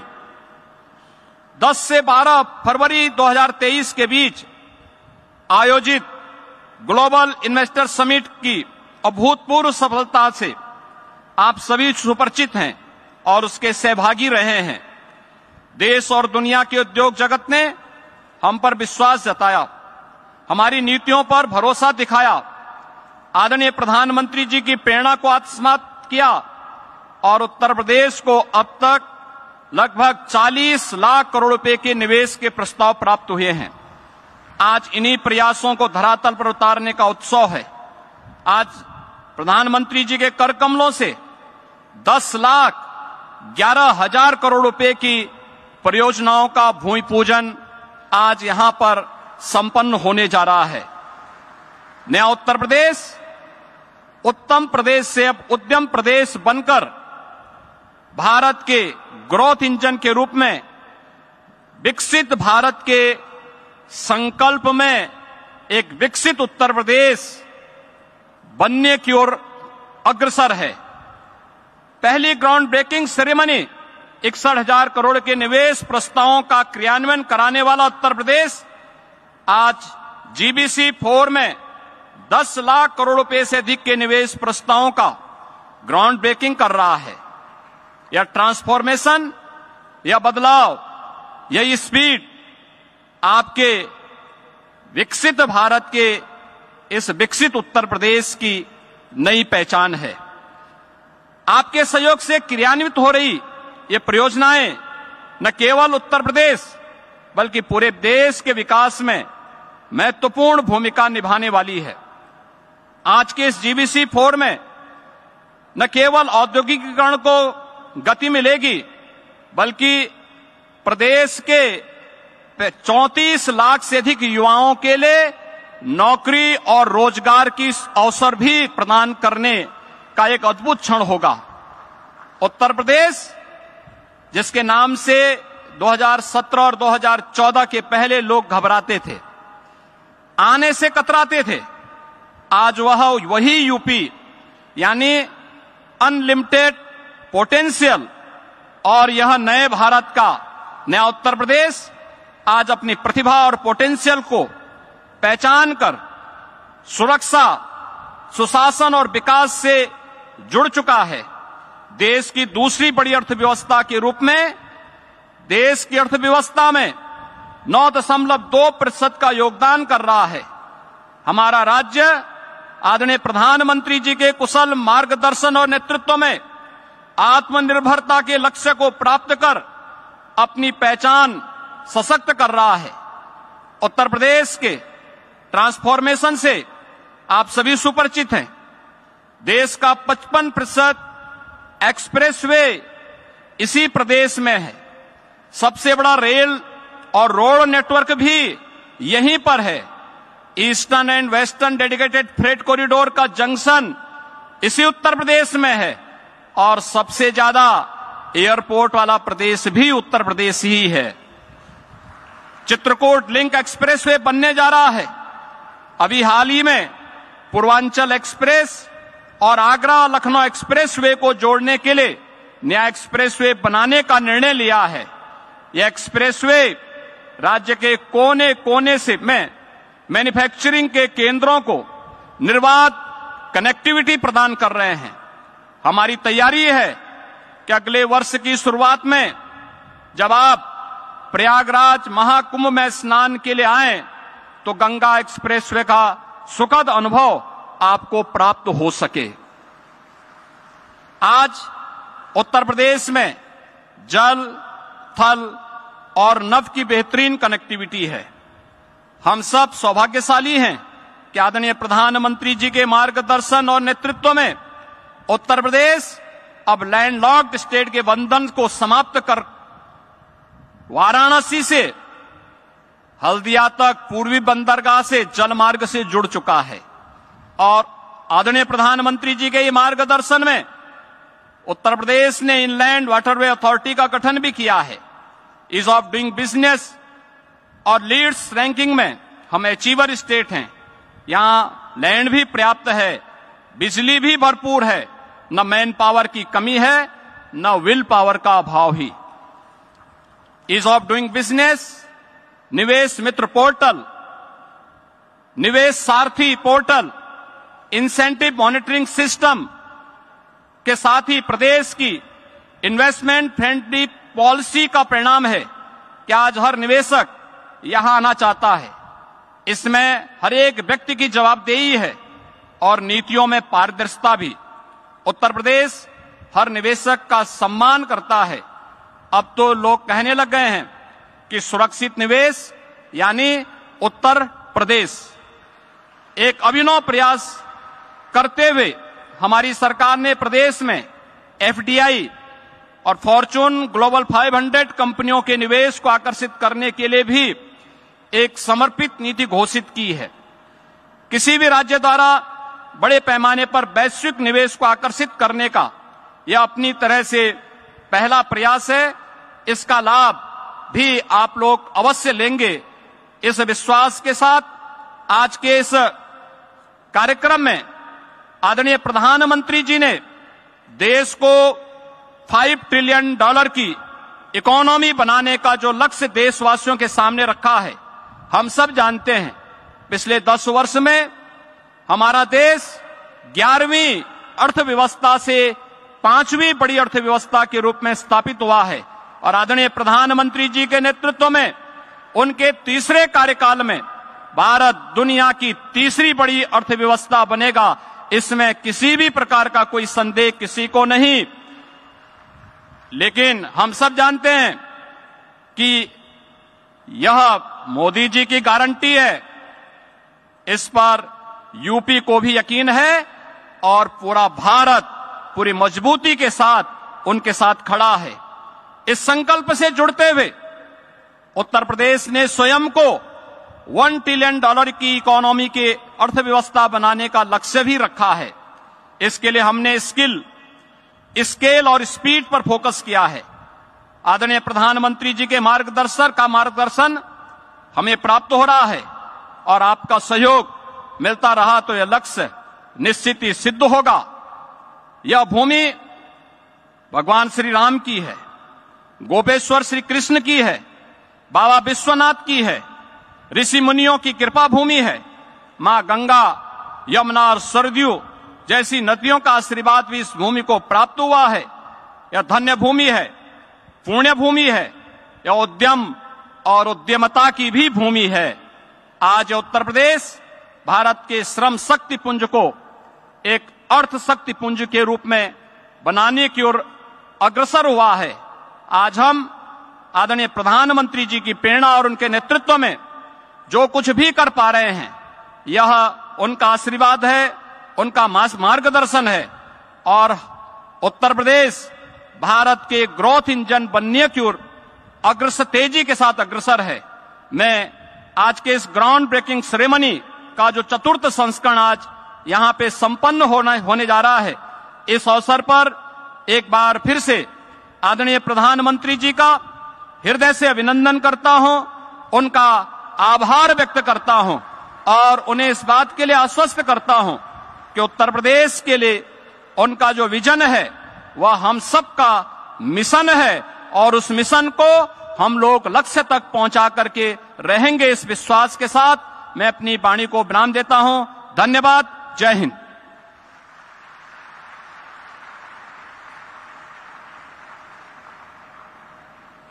धन्यवाद माननीय। उत्तर प्रदेश की प्रगति में उभरेगी विकसित भारत की तस्वीर। हम आपको बताना चाहेंगे कि मेरे पीछे आप जो स्क्रीन देख रहे हैं, ये एलईडी स्क्रीन नहीं है, बल्कि कंटेनर्स पर प्रोजेक्शन के माध्यम से आपको ये दिखाया जा रहा है। ये अपने आप में एक अभिनव प्रयोग है, जो उत्तर प्रदेश के विकास के एक नए आयाम को इंगित करता है।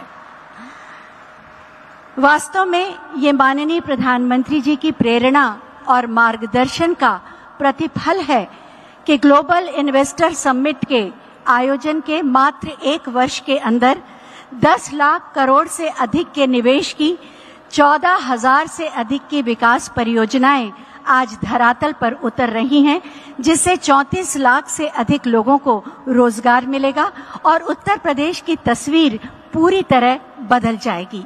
मैं बहुत ही आदर के साथ माननीय प्रधानमंत्री महोदय से अनुरोध करूँगी कि वो रिमोट का बटन दबाकर इन परियोजनाओं का शुभारंभ करने की कृपा करें और इसके साथ ही आप देखेंगे उत्तर प्रदेश की विकास यात्रा पर एक फ़िल्म।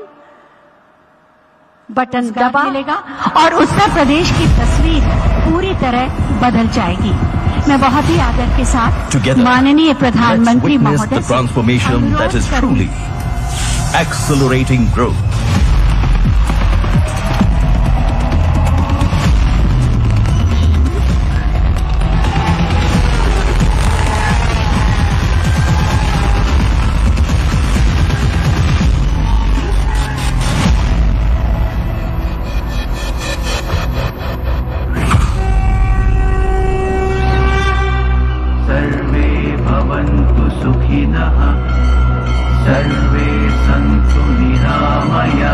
जब की भूमि तप की भूमि। वृंदावन के श्री कृष्ण से लेकर अयोध्या के राम लला की जन्मभूमि।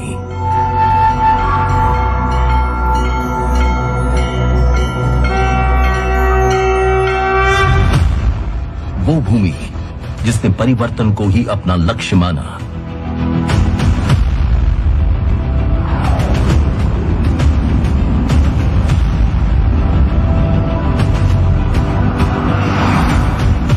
आज हमारे आदरणीय प्रधानमंत्री नरेंद्र मोदी जी के प्रभावशाली नेतृत्व और मुख्यमंत्री योगी आदित्यनाथ जी के द्वारा स्थापित सुदृढ़ कानून व्यवस्था का ही ये परिणाम है, जिसने डबल इंजन सरकार वाले उत्तर प्रदेश को व्यवसाय और निवेश दोनों के दृष्टिकोण से उत्तम के साथ साथ उद्यमशील प्रदेश भी बना दिया है।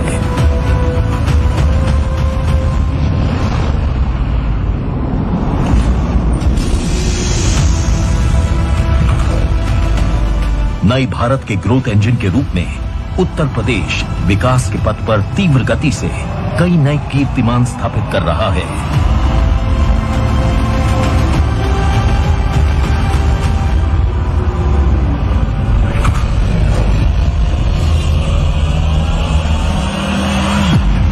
आज का उत्तर प्रदेश सक्षम, शिक्षित और कुशल युवा शक्ति का एक समृद्ध स्रोत है। यहाँ नारी शक्ति। और उसका विकास प्रदेश का मान भी है और सम्मान भी। देश और दुनिया के पर्यटकों का पसंदीदा डेस्टिनेशन होने के साथ विभिन्न व्यापार कार्यक्षेत्रों का केंद्र भी है।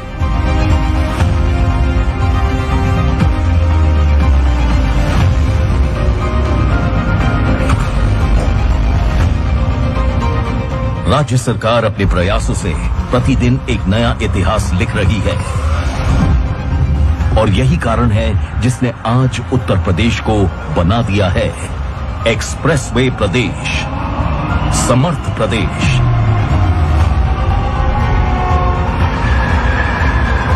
कौशल प्रदेश, एयरपोर्ट प्रदेश, अवसर प्रदेश और सुगम प्रदेश भी।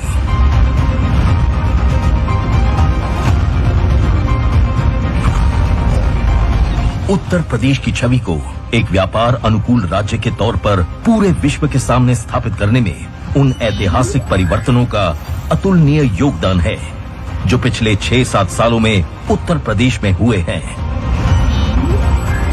फिर चाहे वो निवेश को बढ़ावा देने के लिए लॉन्च की गई नई एफडीआई नीति हो या इन्वेस्टर फ्रेंडली पॉलिसीज़ सस्टेनेबिलिटी और हरित ऊर्जा को प्रोत्साहन देने के लिए चलाए गए अभियान हो, या देश में ईवी की हिस्सेदारी में अपना वर्चस्व कायम रखने की बात हो।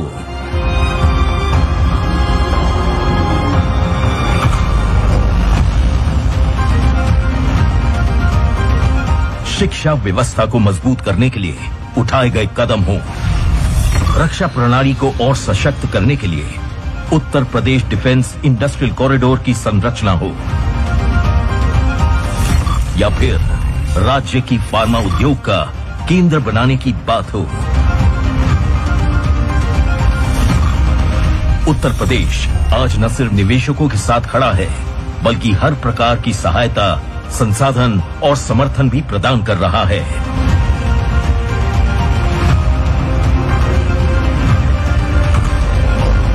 और इन अविश्वसनीय उपलब्धियों का श्रेय जाता है। गत वर्षों में सफलतापूर्वक संपन्न हुई कई ग्राउंड ब्रेकिंग सेरेमनी और इन्वेस्टर समिट को, जिसने राज्य को संभावनाओं का प्रदेश बना दिया और इस श्रृंखला में ग्लोबल इन्वेस्टर समिट 2023 मील का पत्थर साबित हुआ। भारत अगर आज दुनिया के लिए ब्राइट स्पॉट है तो यूपी भारत के ग्रोथ को ड्राइव करने वाला एक अहम नेतृत्व दे रहा है। उत्तर प्रदेश सरकार द्वारा तय की गई नीतियों का ही ये परिणाम है, जो इतने कम समय में राज्य के विभिन्न क्षेत्रों में फोकस सेक्टर्स के साथ विकास हेतु अभूतपूर्व निवेश प्राप्त हुए, जिसने प्रगति के नए द्वार खोल दिए हैं।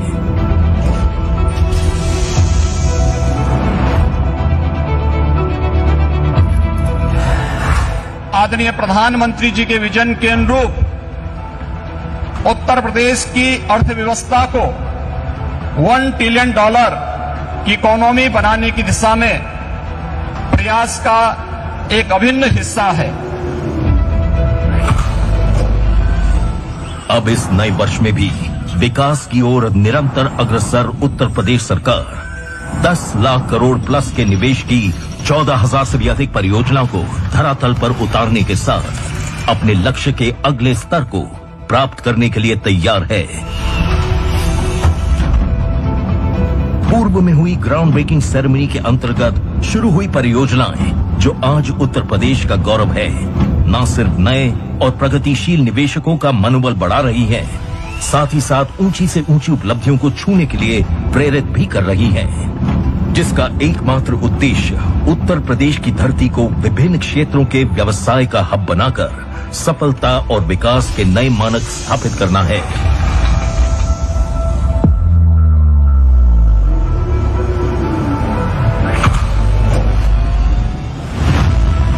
आज उत्तर प्रदेश विकसित भारत के सपने को साकार करने में एक महत्वपूर्ण भूमिका निभा रहा है।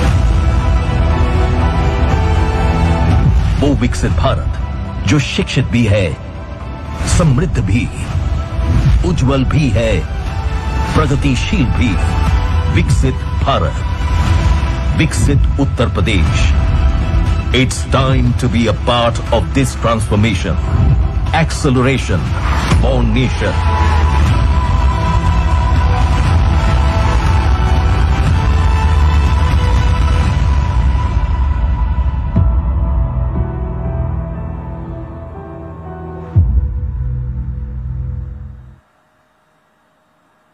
Uttar Pradesh की विकास यात्रा की ये अनूठी फ़िल्म आपने देखी।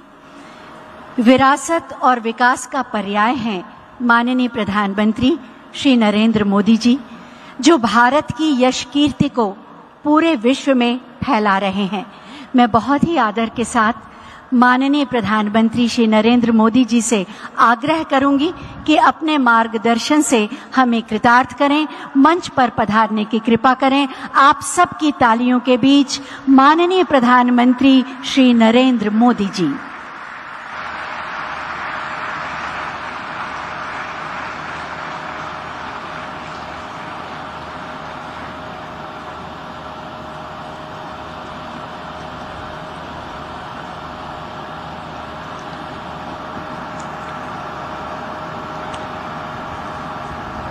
उत्तर प्रदेश के राज्यपाल आनंदीबेन पटेल ऊर्जावान मुख्यमंत्री योगी आदित्यनाथ जी मंत्रिमंडल ने मेरे सहयोगी देश के रक्षा मंत्री, श्रीमान राजनाथ सिंह जी यूपी के उप मुख्यमंत्री विधानसभा के अध्यक्ष श्री, अन्य महानुभाव, देश विदेश से यहाँ आए औद्योगिक क्षेत्र के सभी प्रतिनिधिगण और मेरे परिवारजनों, आज हम यहाँ विकसित भारत के लिए, विकसित उत्तर प्रदेश के निर्माण के संकल्प के साथ एकजुट हुए हैं।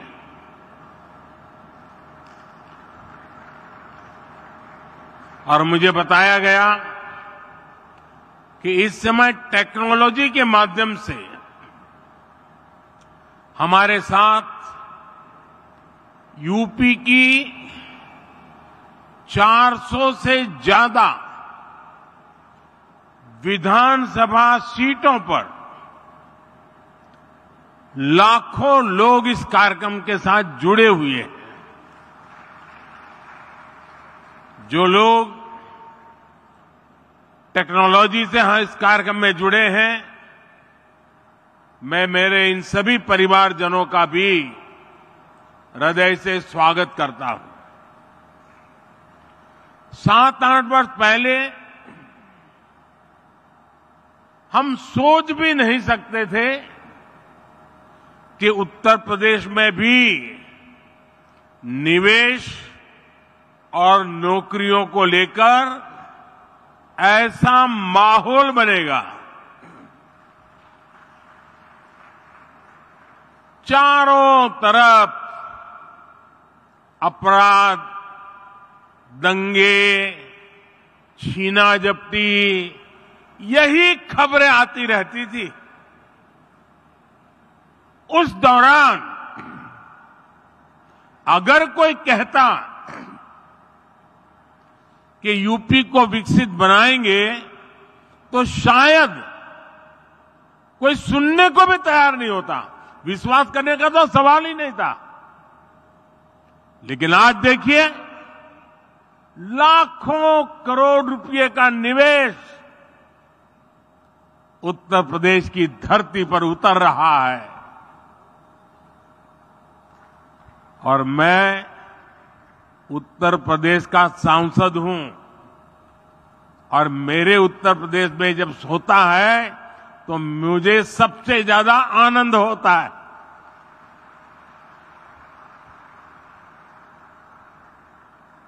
आज हज़ारों प्रोजेक्ट पर काम शुरू हो रहा है। ये जो फैक्ट्रियाँ लग रही हैं, ये जो उद्योग लग रहे हैं, ये यूपी की तस्वीर बदलने वाले हैं।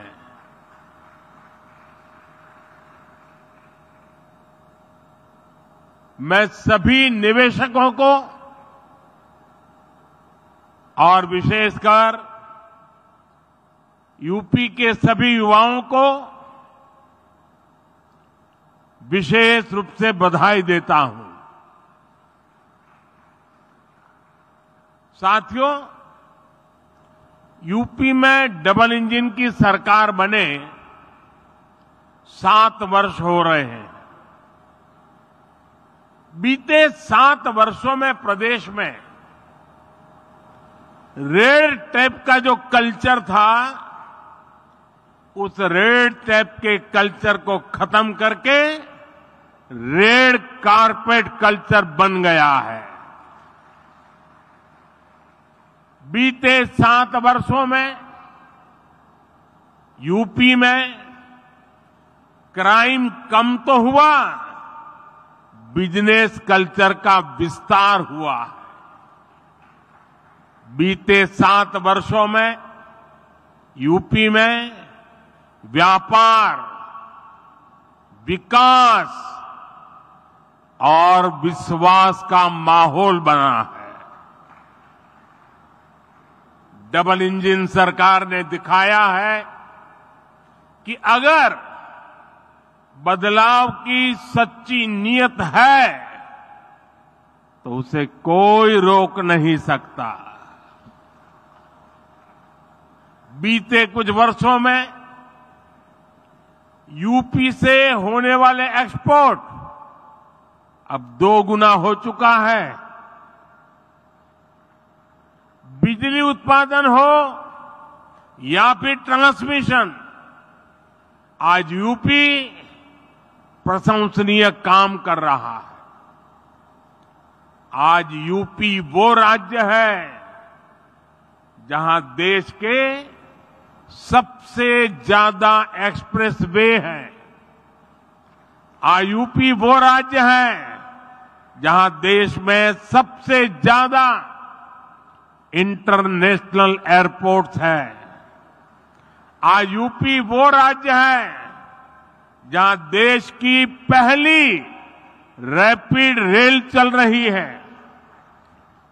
वेस्टर्न डेडिकेटेड फ्रेट कॉरिडोर और ईस्टर्न डेडिकेटेड फ्रेट कॉरिडोर का एक बड़ा नेटवर्क भी उत्तर प्रदेश से होकर गुजरता है। यूपी में नदियों के विशाल नेटवर्क का इस्तेमाल भी मालवाहक जहाजों के लिए किया जा रहा है। इससे यूपी में आवाजाही आसान हो रही है। ट्रांसपोर्टेशन तेज और सस्ता हुआ है। साथियों, आज के इस कार्यक्रम का आकलन मैं सिर्फ़ निवेश के लिहाज से नहीं कर रहा हूँ। यहाँ आप सभी निवेशकों के बीच जो आशावाद दिख रहा है, बेहतर रिटर्न की जो उम्मीद दिख रही है उसका संदर्भ बहुत व्यापक है। आज आप दुनिया में कहीं भी जाएँ, भारत को लेकर अभूतपूर्व पॉजिटिविटी दिख रही है। चार पाँच दिन पहले मैं यूएई और कतर की विदेश यात्रा से लौटा हूँ। हर देश भारत की ग्रोथ स्टोरी को लेकर आश्वस्त है। भरोसे से भरा हुआ। आज देश में मोदी की गारंटी की बहुत चर्चा है। लेकिन आज पूरी दुनिया भारत को बेहतर रिटर्न्स की गारंटी मान रही है। अक्सर हमने देखा है कि चुनाव के नज़दीक लोग नए निवेश से बचते हैं, लेकिन आज भारत ने ये धारणा भी तोड़ दी है। आज दुनिया भर के इन्वेस्टर्स को भारत में सरकार की पॉलिसी की स्टेबिलिटी पर पूरा भरोसा है। यही विश्वास यहाँ यूपी में, लखनऊ में भी झलक रहा है। भाइयों और बहनों, मैं जब विकसित भारत की बात करता हूँ तो इसके लिए नई सोच भी चाहिए, नई दिशा भी चाहिए। देश में जिस प्रकार की सोच आज़ादी के अनेक दशकों तक रही, उस पर चलते ये संभव ही नहीं था। वो सोच क्या थी? सोच थी कि देश के नागरिकों का जैसे तैसे गुजारा कराओ, उन्हें हर मूलभूत सुविधा के लिए तरसा कर रखो। पहले की सरकारें सोचती थी कि सुविधाएँ बनाओ तो दो चार बड़े शहरों में नौकरियों के अवसर बनाओ तो कुछ चुनिंदा शहरों में ऐसा करना आसान था, क्योंकि इसमें मेहनत कम लगती थी। लेकिन इसके कारण देश का एक बहुत बड़ा हिस्सा विकास से वंचित रह गया। यूपी के साथ भी अतीत में ऐसा ही हुआ है। लेकिन डबल इंजन सरकार ने उस पुरानी राजनीतिक सोच को बदल दिया है। हम उत्तर प्रदेश के हर परिवार के जीवन को आसान बनाने में जुटे हैं। जब जीवन आसान होगा तो बिज़नेस करना, और कारोबार करना अपने आप में आसान होगा। आप देखिए, हमने गरीबों के लिए चार लाख करोड़, चार करोड़ पक्के घर बनाए हैं। लेकिन साथ ही शहरों में रहने वाले मध्यम वर्गीय परिवारों को अपना घर का सपना पूरा करने के लिए हमने लगभग साठ हज़ार करोड़ रुपए की मदद भी की है। इस पैसे से शहरों में रहने वाले 25 लाख मध्यम वर्गीय परिवारों को ब्याज में छूट मिली है। इसमें डेढ़ लाख लाभार्थी परिवार मेरे यूपी के हैं।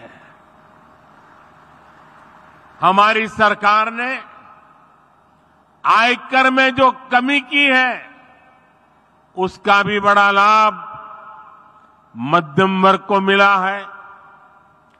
2014 से पहले सिर्फ़ दो लाख रुपए की आय पर ही इनकम टैक्स लग जाता था, जबकि बीजेपी सरकार में अब सात लाख रुपए तक की आय पर कोई इनकम टैक्स नहीं देना होता। इस वजह से मध्यम वर्ग के हज़ारों करोड़ रुपए बचे हैं। साथियों, हमने यूपी में ईज ऑफ़ लिविंग और ईज ऑफ़ डूइंग बिज़नेस पर समान बल दिया है। डबल इंजन सरकार का मकसद है कि कोई भी लाभार्थी किसी भी सरकारी योजना से वंचित न रहे।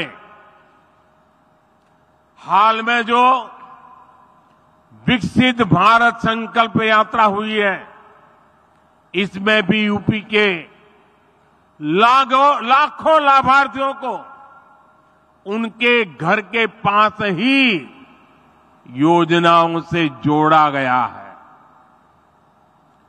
मोदी की गारंटी वाली गाड़ी गाँव गाँव शहर शहर पहुँची है। सेचुरेशन यानी शत प्रतिशत लाभ जब सरकार अपनी तरफ़ से लाभार्थियों तक पहुंचाती है। तो वही सच्चा सामाजिक न्याय है। यही सच्चा सेक्युलरिज्म है। आप याद करिए, भ्रष्टाचार और भेदभाव का एक बहुत बड़ा कारण क्या होता है? पहले की सरकारों में लोगों को अपने ही लाभ पाने के लिए लंबी लंबी लाइनें लगानी पड़ती थी। एक खिड़की से दूसरी खिड़की तक कागज़ लेके भागदौड़ करनी पड़ती थी। अब हमारी सरकार खुद गरीब के दरवाजे पर आ रही है। और ये मोदी की गारंटी है कि जब तक हर लाभार्थी को उसका हक नहीं मिल जाता। हमारी सरकार शांत नहीं बैठेगी। चाहे राशन हो, मुफ़्त इलाज हो, पक्का घर हो, बिजली, पानी, गैस कनेक्शन हो, ये हर लाभार्थी को मिलता रहे। साथियों मोदी आज उनको भी पूछ रहा है, जिनको पहले किसी ने नहीं पूछा। शहरों में हमारे जो रेहड़ी पटरी ठेले वाले भाई बहन होते हैं, पहले इनकी मदद करने के बारे में किसी सरकार ने नहीं सोचा। इन लोगों के लिए हमारी सरकार पीएम स्वनिधि योजना लेकर आई। अभी तक इससे देश भर में रेडी पटरी ठेले वालों को लगभग दस हज़ार करोड़ रुपए की मदद दी जा चुकी है।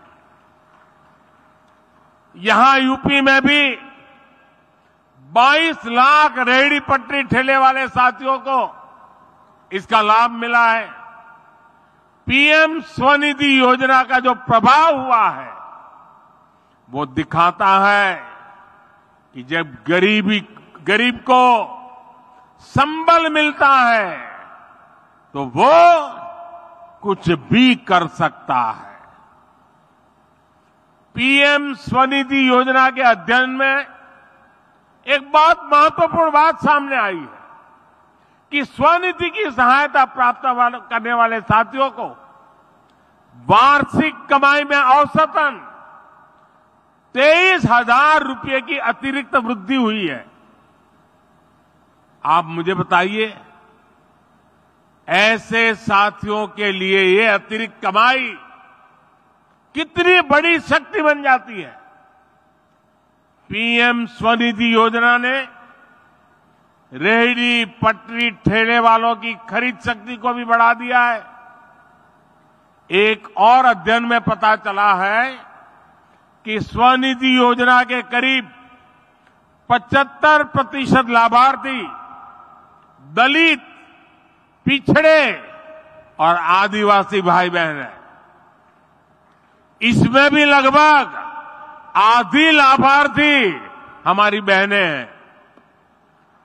पहले इन्हें बैंकों से कोई मदद नहीं मिलती थी, क्योंकि इनके पास बैंकों को देने के लिए कोई गारंटी नहीं थी। आज इनके पास मोदी की गारंटी है। और इसलिए उन्हें बैंकों से भी मदद मिल रही है। यही तो सामाजिक न्याय है। जिसका सपना कभी जेपी ने देखा था, कभी लोहिया जी ने देखा था। साथियों, हमारी डबल इंजन सरकार के निर्णय और उसकी योजनाओं से सामाजिक न्याय और अर्थव्यवस्था दोनों को फ़ायदा होता है। आपने लखपति दीदी के संकल्प के बारे में ज़रूर सुना होगा। बीते दस वर्षों के दौरान हमने देश भर में दस करोड़ बहनों को सेल्फ हेल्प ग्रुप से जोड़ा है। इनमें से अभी तक आप उद्योग जगत के लोग हैं, जरा यहाँ आंकड़ा सुनिए। अभी तक एक करोड़ बहनों को लखपति दीदी बनाया जा चुका है। और अब सरकार ने तय किया है कि कुल तीन करोड़ बहनों को लखपति दीदी बना करके रहेंगे। हमारे देश में करीब ढाई लाख ग्राम पंचायतें आप कल्पना कीजिए कि तीन करोड़ लखपति दीदी बनने से हर ग्राम पंचायत में खरीद शक्ति कितनी बढ़ेगी? इसका बहनों के जीवन के साथ साथ ग्रामीण अर्थव्यवस्था पर बहुत सकारात्मक असर पड़ रहा है। भाइयों और बहनों जब हम विकसित यूपी की बात करते हैं तो इसके पीछे एक और ताकत है। ये ताकत है यहाँ के एमएसएमई यानी छोटे, लघु और कुटीर उद्योगों की ताकत। डबल इंजन सरकार बनने के बाद यूपी में एमएसएमई का अभूतपूर्व विस्तार हुआ। यहाँ एमएसएमई को हज़ारों करोड़ रुपए की मदद दी गई है। ये जो डिफेंस कॉरिडोर बन रहा है, जो नए इकोनॉमिक कॉरिडोर बन रहे हैं, इनसे भी एमएसएमई को बहुत लाभ होगा। साथियों यूपी के करीब करीब हर ज़िले में कुटीर उद्योगों की एक पुरानी परंपरा है। कहीं ताले बनते हैं, कहीं पीतल की कारीगरी है, कहीं कालीन बनते हैं, कहीं चूड़िया बनती है, कहीं मिट्टी की कलाकारी होती है, कहीं चिकनकारी का काम होता है। इस परंपरा को हम वन डिस्ट्रिक्ट, वन प्रोडक्ट, एक जिला, एक उत्पाद योजना से सशक्त कर रहे हैं। आज रेलवे स्टेशनों पर भी देखेंगे कि एक जिला, एक उत्पाद योजना को कैसे प्रोत्साहित किया जा रहा है, प्रचारित किया जा रहा है। अब तो हम तेरह हज़ार करोड़ रुपए की पीएम विश्वकर्मा योजना लेकर भी आए हैं। ये योजना यूपी में परंपरागत रूप से हस्तशिल्प से जुड़े लाखों विश्वकर्मा परिवारों को आधुनिकता से जोड़ेगा। उन्हें अपना कारोबार बढ़ाने के लिए बैंकों से सस्ता और बिना गारंटी का ऋण दिलाने में मदद करेगी। भाइयों और बहनों, हमारी सरकार कैसे काम करती है, इसकी झलक आपको खिलौने बनाने वाले सेक्टर में भी मिलेगी। और मैं तो कांची का सांसद होने के नाते भी वहाँ बनने वाले लकड़ी के खिलौनों को प्रमोट करता ही रहता हूँ। साथियों, कुछ साल पहले भारत अपने बच्चों के लिए अधिकतर खिलौने विदेशों से आयात करते थे। ये स्थिति तब थी जब भारत में खिलौनों की एक समृद्ध परंपरा रही है, पीढ़ियों से लोग खिलौने बनाने में कुशल रहे हैं, लेकिन भारतीय खिलौनों को प्रमोट नहीं किया गया। कारीगरों को आधुनिक दुनिया के अनुसार बदलने के लिए मदद नहीं दी गई, जिसके कारण भारत के बाजारों और घरों पर विदेशी खिलौनों का कब्जा हो गया। मैंने इसे बदलने की ठानी और देश भर में खिलौना बनाने वालों के साथ खड़े रहना, उनकी मदद करना और मैंने उनको आगे बढ़ने की अपील की। आज स्थिति ये है कि हमारा इंपोर्ट हमारा आयात बहुत कम हो गया है और खिलौना का निर्यात कई गुना बढ़ गया है।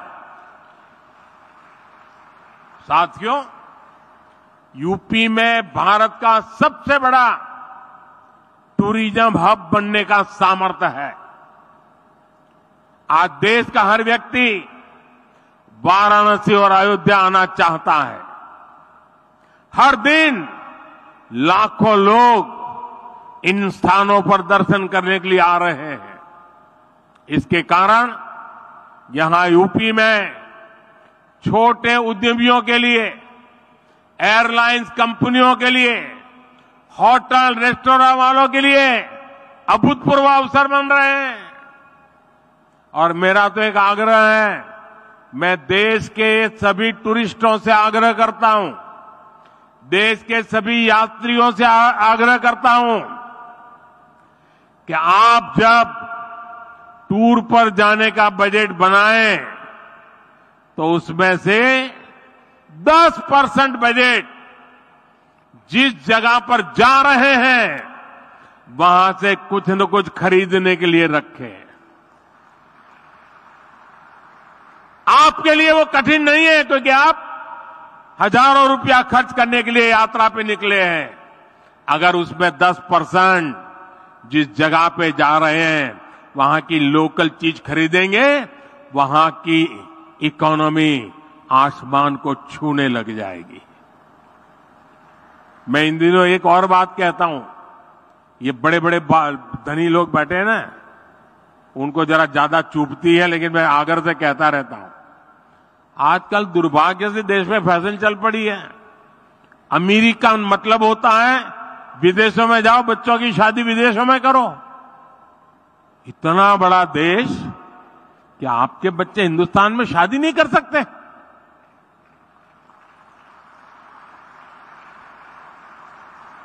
कितने लोगों को रोज़गार मिलेगा? और जब से मैंने शुरू किया है वेड इन इंडिया मुझे चिट्ठियाँ आ रही है। साहब, हमने पैसा जमा कराया था, विदेश शादी करने वाले थे, लेकिन आपने कहा कैंसर कर दिया है अब हिंदुस्तान में शादी करेंगे।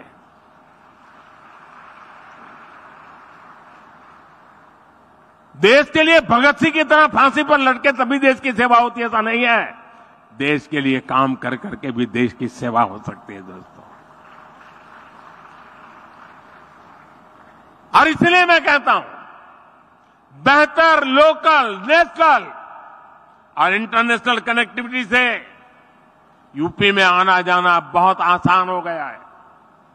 वाराणसी के रास्ते बीते दिनों हमने दुनिया की सबसे लंबी क्रूज सर्विस को भी शुरू किया है। 2025 में कुंभ मेले का आयोजन भी होने वाला है। ये भी यूपी की अर्थव्यवस्था के लिए बहुत महत्वपूर्ण होने वाला है। आने वाले समय में टूरिज़्म और हॉस्पिटैलिटी सेक्टर में यहाँ बहुत बड़ी संख्या में रोज़गार बनने वाले हैं। साथियों, हमारा प्रयास है कि हमारी जो ताकत है, उसे भी आधुनिकता के साथ जोड़े, सशक्त करें और नए सेक्टर्स में भी कमाल करें। आज भारत इलेक्ट्रिक मोबिलिटी और ग्रीन एनर्जी पर बहुत अधिक फोकस कर रहा है। हम भारत को ऐसी टेक्नोलॉजी में ऐसी मैन्युफैक्चरिंग में ग्लोबल हब बनाना चाहते हैं। हमारा प्रयास है कि देश का हर घर, हर परिवार सोलर पावर जनरेटर बन जाए।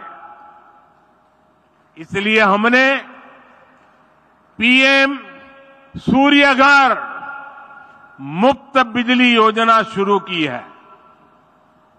इस योजना के तहत 300 यूनिट बिजली मुफ़्त मिलेगी और अतिरिक्त बिजली लोग सरकार को बेच भी पाएँगे। अभी ये योजना एक करोड़ परिवारों के लिए है। इसमें हर परिवार के बैंक खाते में सीधे तीस हज़ार रुपये से लेकर करीब करीब अस्सी हज़ार रुपये तक जमा कराए जाएँगे। यानी जो 100 यूनिट बिजली हर महीने जनरेट करना चाहता है, उन्हें तीस हज़ार रुपये की मदद मिलेगी। जो 300 यूनिट या उससे अधिक बिजली बनाना चाहेंगे, उन्हें करीब अस्सी हज़ार रूपया मिलेंगे। इसके अलावा बैंकों से बहुत सस्ता और आसान ऋण भी उपलब्ध कराया जाएगा। एक आकलन है कि इससे इन परिवारों को मुफ़्त बिजली तो मिलेगी ही। साल में अठारह हज़ार रुपये तक की बिजली बेचकर अतिरिक्त कमाई भी कर सकते हैं। इतना ही नहीं, इससे इंस्टॉलेशन सप्लाई चेन और मेंटेनेंस से जुड़े सेक्टर में ही लाखों रोज़गार बनेंगे।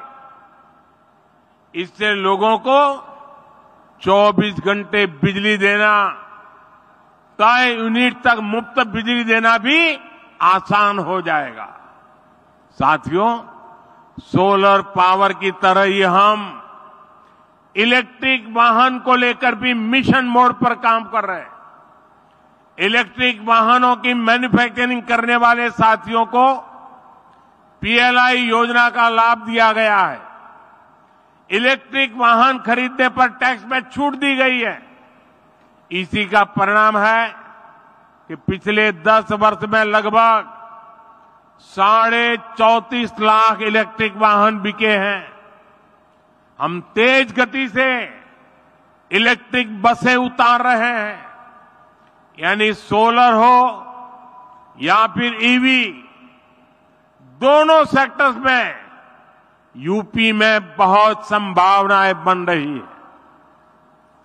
साथियों, अभी कुछ दिन पहले हमारी सरकार को किसानों के मसीहा चौधरी चरण सिंह जी को भारत रत्न देने का सौभाग्य मिला। उत्तर प्रदेश की धरती के बेटे चौधरी साहब का सम्मान करना देश के करोड़ों मजदूर, देश के करोड़ों किसानों का सम्मान है। लेकिन दुर्भाग्य से ये बात कांग्रेस और उसके सहयोगियों को समझ में नहीं आती।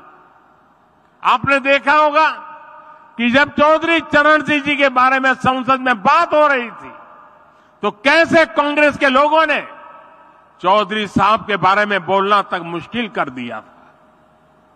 कांग्रेस के लोग भारत रत्न पर एक ही परिवार का हक समझते थे। इसलिए कांग्रेस ने दशकों तक बाबा साहब आम्बेडकर को भी भारत रत्न नहीं दिया। ये लोग अपने ही परिवार के लोगों को भारत रत्न देते रहे। दरअसल कांग्रेस, गरीब, दलित, पिछड़े किसान मजदूर का सम्मान करना ही नहीं चाहती। ये उनकी सोच में नहीं है।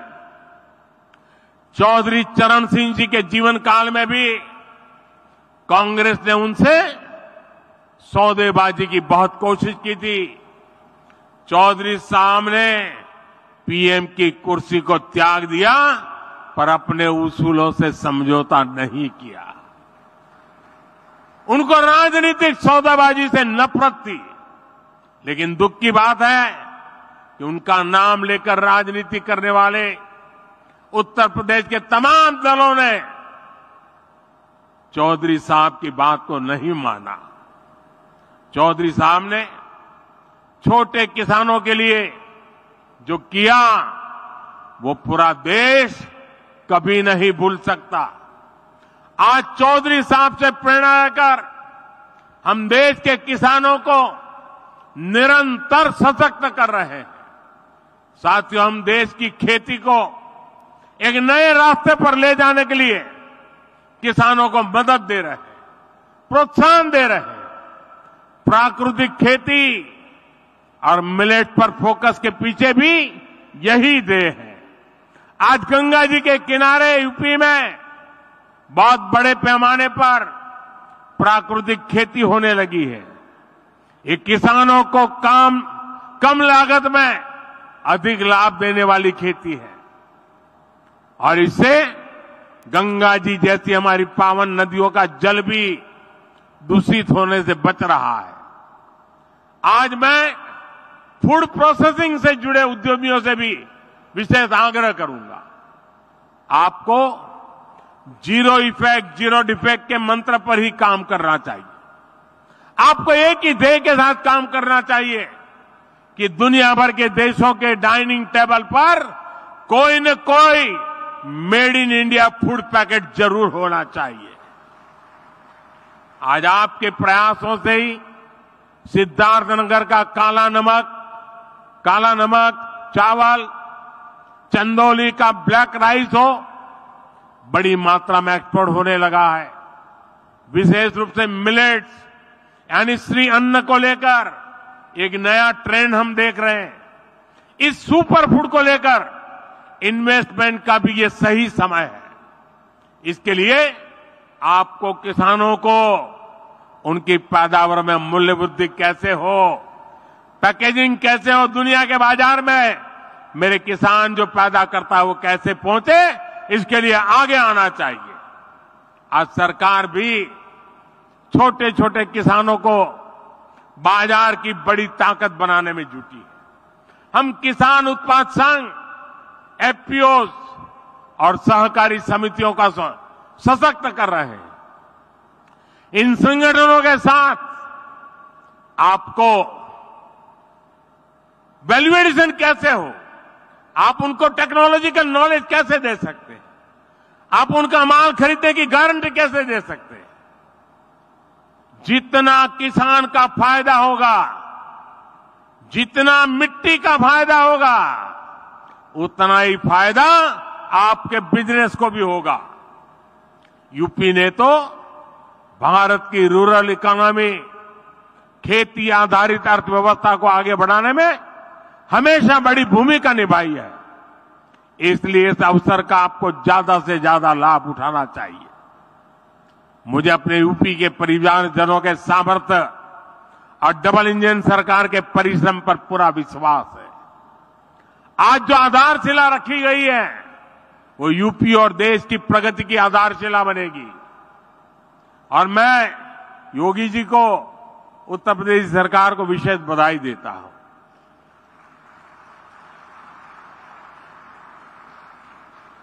हर हिंदुस्तानी को गर्व होता है जब हम सुनते हैं कि उत्तर प्रदेश ने ठान लिया है कि एक ट्रिलियन डॉलर की इकोनॉमी बनाएँगे।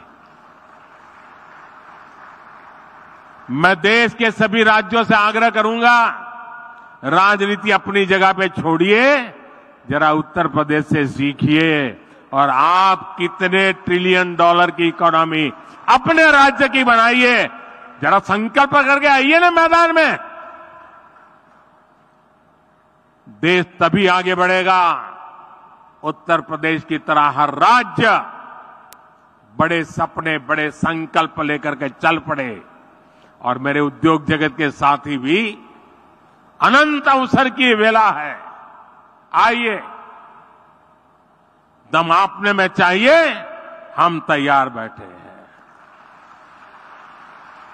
साथियों, जब लाखों लोग उत्तर प्रदेश के आज इस बात को सुन रहे हैं 400 स्थान पर हज़ारों की तादाद में लोग बैठे हैं तो मैं उनको भी विश्वास दिलाता हूँ, आपने कभी सोचा नहीं होगा, उतनी तेज़ी से उत्तर प्रदेश अपनी सारी संकल्पों को पूरा कर देगा। आइए, हम सब मिलकर के आगे बढ़े। इसी कामना के साथ आप सबको बहुत बहुत अभिनंदन, बहुत बहुत धन्यवाद।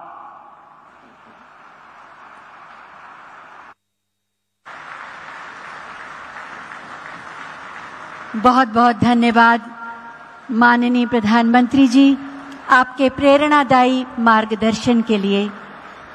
आप विराट स्वप्न और विराट संकल्प का साहस और बल हमें देते हैं। आपका सानिध्य और सामिप्य सदैव ऊर्जा भरता है।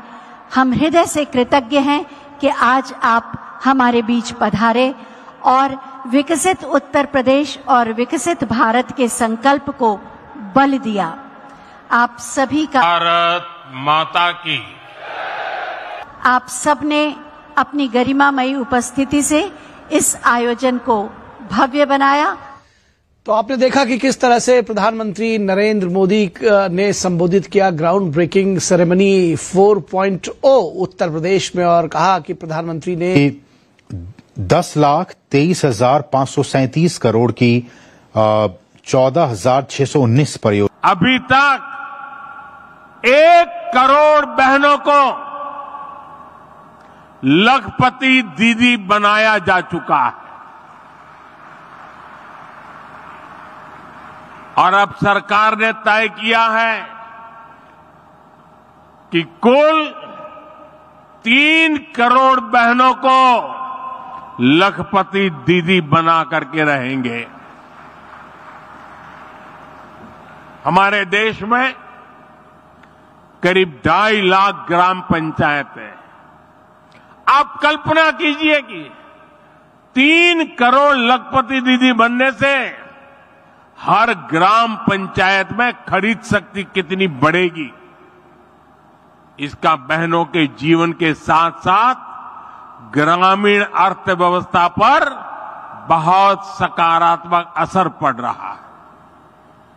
भाई और बहनों, जब हम विकसित यूपी की बात करते हैं तो इसके पीछे एक और ताकत है।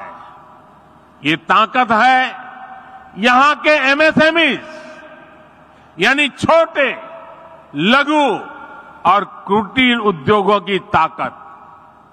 डबल इंजन सरकार बनने के बाद यूपी में एमएसएमईज का अभूतपूर्व विस्तार हुआ। यहाँ एमएसएमईज को हज़ारों करोड़ रुपए की मदद दी गई है। ये जो डिफेंस कॉरिडोर बन रहा है जो नए इकोनॉमिक कॉरिडोर बन रहे हैं, इनसे भी एमएसएमईज को बहुत लाभ होगा। साथियों यूपी के करीब करीब हर ज़िले में कुटीर उद्योगों की एक पुरानी परंपरा है। कहीं ताले बनते हैं, कहीं पीतल की कारीगरी है, कहीं कालीन बनते हैं, कहीं चूड़िया बनती है कहीं मिट्टी की कलाकारी होती है, कहीं चिकनकारी का काम होता है, इस परंपरा को हम वन डिस्ट्रिक्ट, वन प्रोडक्ट, एक जिला, एक उत्पाद योजना से सशक्त कर रहे हैं। आज रेलवे स्टेशनों पर भी देखेंगे कि एक जिला, एक उत्पाद योजना को कैसे प्रोत्साहित किया जा रहा है, प्रचारित किया जा रहा है। अब तो हम तेरह हज़ार करोड़ रुपए की पीएम विश्वकर्मा योजना लेकर भी आए हैं। ये योजना यूपी में परंपरागत रूप से हस्तशिल्प से जुड़े लाखों विश्वकर्मा परिवारों को आधुनिकता से जोड़ेगा। उन्हें अपना कारोबार बढ़ाने के लिए बैंकों से सस्ता और बिना गारंटी का ऋण दिलाने में मदद करेगी। भाइयों और बहनों, हमारी सरकार कैसे काम करती है, इसकी झलक आपको खिलौने बनाने वाले सेक्टर में भी मिलेगी। और मैं तो कांची का सांसद होने के नाते भी वहाँ बनने वाले लकड़ी के खिलौनों को प्रमोट करता ही रहता हूँ। साथियों, कुछ साल पहले भारत अपने बच्चों के लिए अधिकतर खिलौने विदेशों से आयात करते थे। ये स्थिति तब थी जब भारत में खिलौनों की एक समृद्ध परंपरा रही है। पीढ़ियों से लोग खिलौने बनाने में कुशल रहे हैं। लेकिन भारतीय खिलौनों को प्रमोट नहीं किया गया। कारीगरों को आधुनिक दुनिया के अनुसार बदलने के लिए मदद नहीं दी गई, जिसके कारण भारत के बाजारों और घरों पर विदेशी खिलौनों का कब्जा हो गया। मैंने इसे बदलने की ठानी। और देश भर में खिलौना बनाने वालों के साथ खड़े रहना, उनकी मदद करना, और मैंने उनको आगे बढ़ने की अपील की। आज स्थिति ये है कि हमारा इंपोर्ट हमारा आयात बहुत कम हो गया है, और खिलौना का निर्यात कई गुना बढ़ गया है। साथियों यूपी में भारत का सबसे बड़ा टूरिज़्म हब बनने का सामर्थ्य है। आज देश का हर व्यक्ति वाराणसी और अयोध्या आना चाहता है। हर दिन लाखों लोग इन स्थानों पर दर्शन करने के लिए आ रहे हैं। इसके कारण यहाँ यूपी में छोटे उद्यमियों के लिए एयरलाइंस कंपनियों के लिए, होटल रेस्टोरेंट वालों के लिए अभूतपूर्व अवसर बन रहे हैं। और मेरा तो एक आग्रह है, मैं देश के सभी टूरिस्टों से आग्रह करता हूँ, देश के सभी यात्रियों से आग्रह करता हूँ कि आप जब टूर पर जाने का बजट बनाएँ तो उसमें से 10 परसेंट बजट जिस जगह पर जा रहे हैं, वहाँ से कुछ न कुछ खरीदने के लिए रखें। आपके लिए वो कठिन नहीं है, क्योंकि आप हज़ारों रुपया खर्च करने के लिए यात्रा पे निकले हैं। अगर उसमें 10 परसेंट जिस जगह पे जा रहे हैं, वहाँ की लोकल चीज़ खरीदेंगे, वहाँ की इकोनॉमी आसमान को छूने लग जाएगी। मैं इन दिनों एक और बात कहता हूँ। ये बड़े बड़े धनी लोग बैठे हैं ना, उनको जरा ज़्यादा चुभती है, लेकिन मैं आगर से कहता रहता हूँ। आजकल दुर्भाग्य से देश में फ़ैशन चल पड़ी है। अमीरी का मतलब होता है, विदेशों में जाओ, बच्चों की शादी विदेशों में करो। इतना बड़ा देश कि आपके बच्चे हिंदुस्तान में शादी नहीं कर सकते।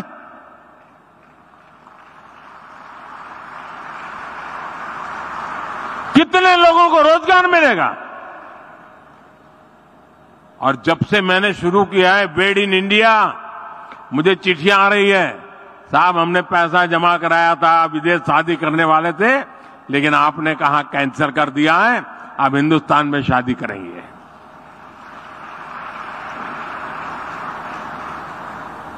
देश के लिए भगत सिंह की तरह फांसी पर लटके तभी देश की सेवा होती है, ऐसा नहीं है। देश के लिए काम कर करके भी देश की सेवा हो सकती है, दोस्तों। और इसलिए मैं कहता हूँ, बेहतर लोकल, नेशनल और इंटरनेशनल कनेक्टिविटी से यूपी में आना जाना बहुत आसान हो गया है।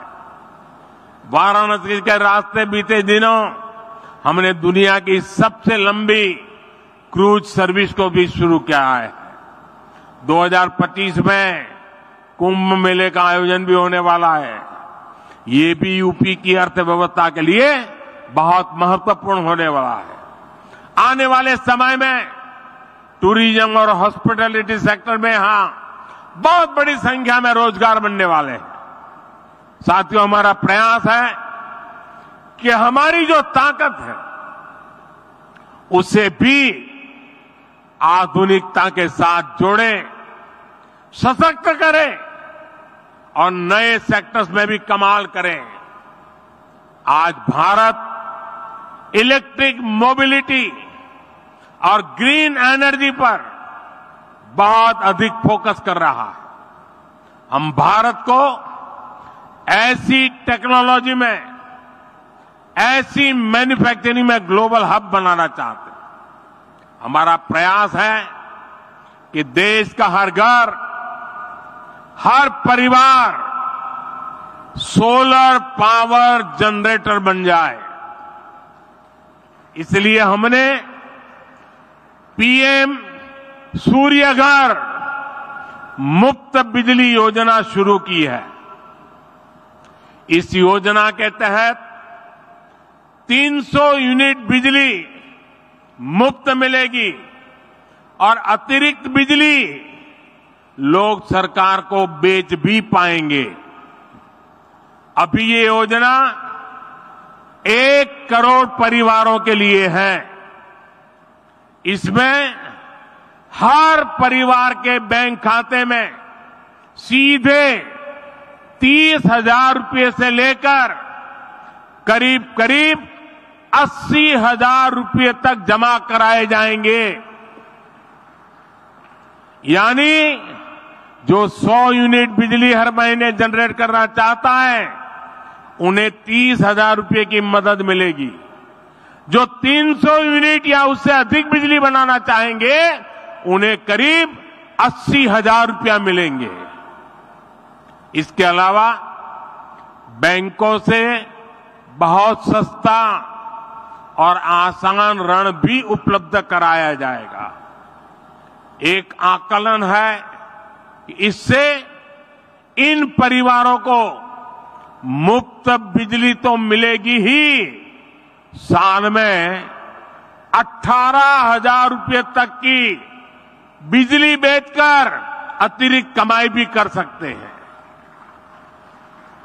इतना ही नहीं, इससे इंस्टॉलेशन, सप्लाई चेन और मेंटेनेंस से जुड़े सेक्टर में ही लाखों रोज़गार बनेंगे।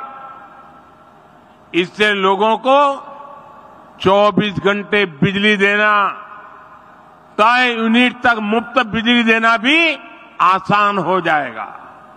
साथियों, सोलर पावर की तरह ही हम इलेक्ट्रिक वाहन को लेकर भी मिशन मोड पर काम कर रहे हैं। इलेक्ट्रिक वाहनों की मैन्युफैक्चरिंग करने वाले साथियों को पीएलआई योजना का लाभ दिया गया है। इलेक्ट्रिक वाहन खरीदने पर टैक्स में छूट दी गई है। इसी का परिणाम है कि पिछले 10 वर्ष में लगभग साढ़े चौतीस लाख इलेक्ट्रिक वाहन बिके हैं। हम तेज गति से इलेक्ट्रिक बसें उतार रहे हैं, यानी सोलर हो या फिर ईवी दोनों सेक्टर्स में यूपी में बहुत संभावनाएँ बन रही है। साथियों, अभी कुछ दिन पहले हमारी सरकार को किसानों के मसीहा चौधरी चरण सिंह जी को भारत रत्न देने का सौभाग्य मिला। उत्तर प्रदेश की धरती के बेटे चौधरी साहब का सम्मान करना देश के करोड़ों मजदूर, देश के करोड़ों किसानों का सम्मान है। लेकिन दुर्भाग्य से ये बात कांग्रेस और उसके सहयोगियों को समझ में नहीं आती। आपने देखा होगा कि जब चौधरी चरण सिंह जी के बारे में संसद में बात हो रही थी तो कैसे कांग्रेस के लोगों ने चौधरी साहब के बारे में बोलना तक मुश्किल कर दिया था? कांग्रेस के लोग भारत रत्न पर एक ही परिवार का हक समझते थे। इसलिए कांग्रेस ने दशकों तक बाबा साहब आम्बेडकर को भी भारत रत्न नहीं दिया। ये लोग अपने ही परिवार के लोगों को भारत रत्न देते रहे। दरअसल कांग्रेस, गरीब, दलित, पिछड़े किसान मजदूर का सम्मान करना ही नहीं चाहती। ये उनकी सोच में नहीं है।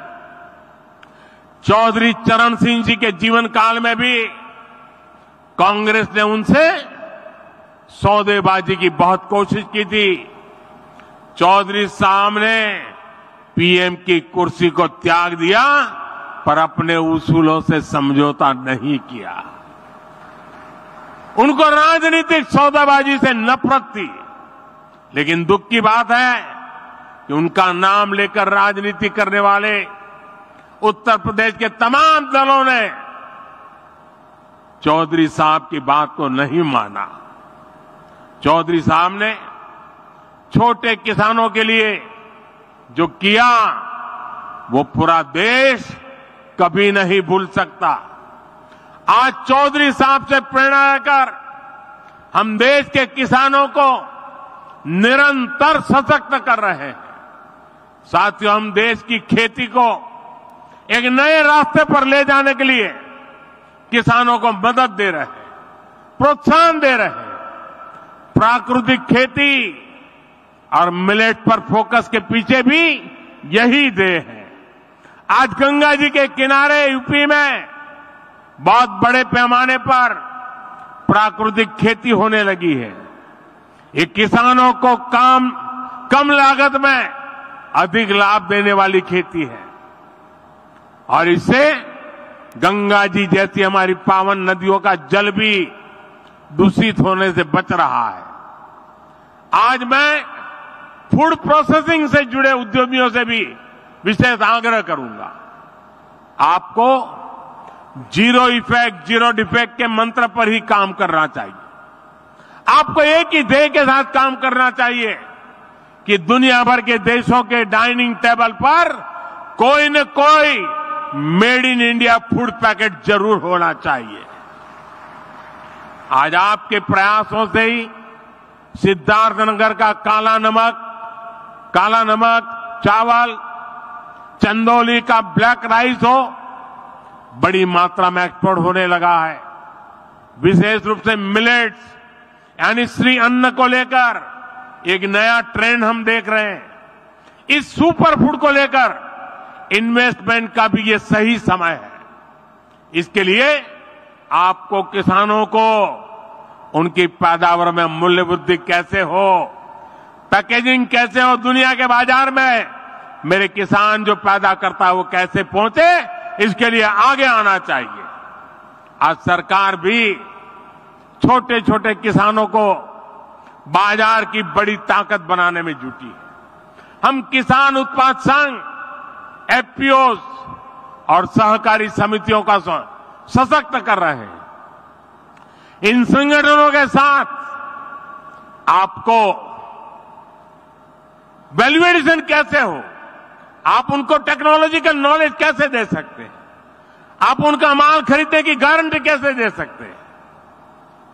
जितना किसान का फ़ायदा होगा, जितना मिट्टी का फ़ायदा होगा, उतना ही फ़ायदा आपके बिज़नेस को भी होगा।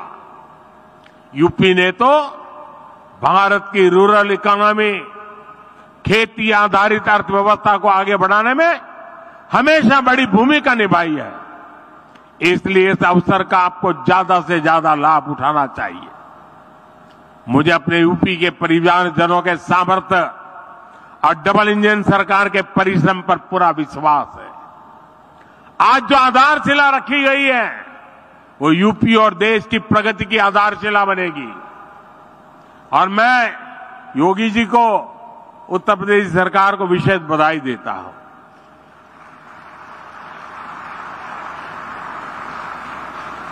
हर हिंदुस्तानी को गर्व होता है जब हम सुनते हैं कि उत्तर प्रदेश ने ठान लिया है कि एक ट्रिलियन डॉलर की इकोनॉमी बनाएँगे।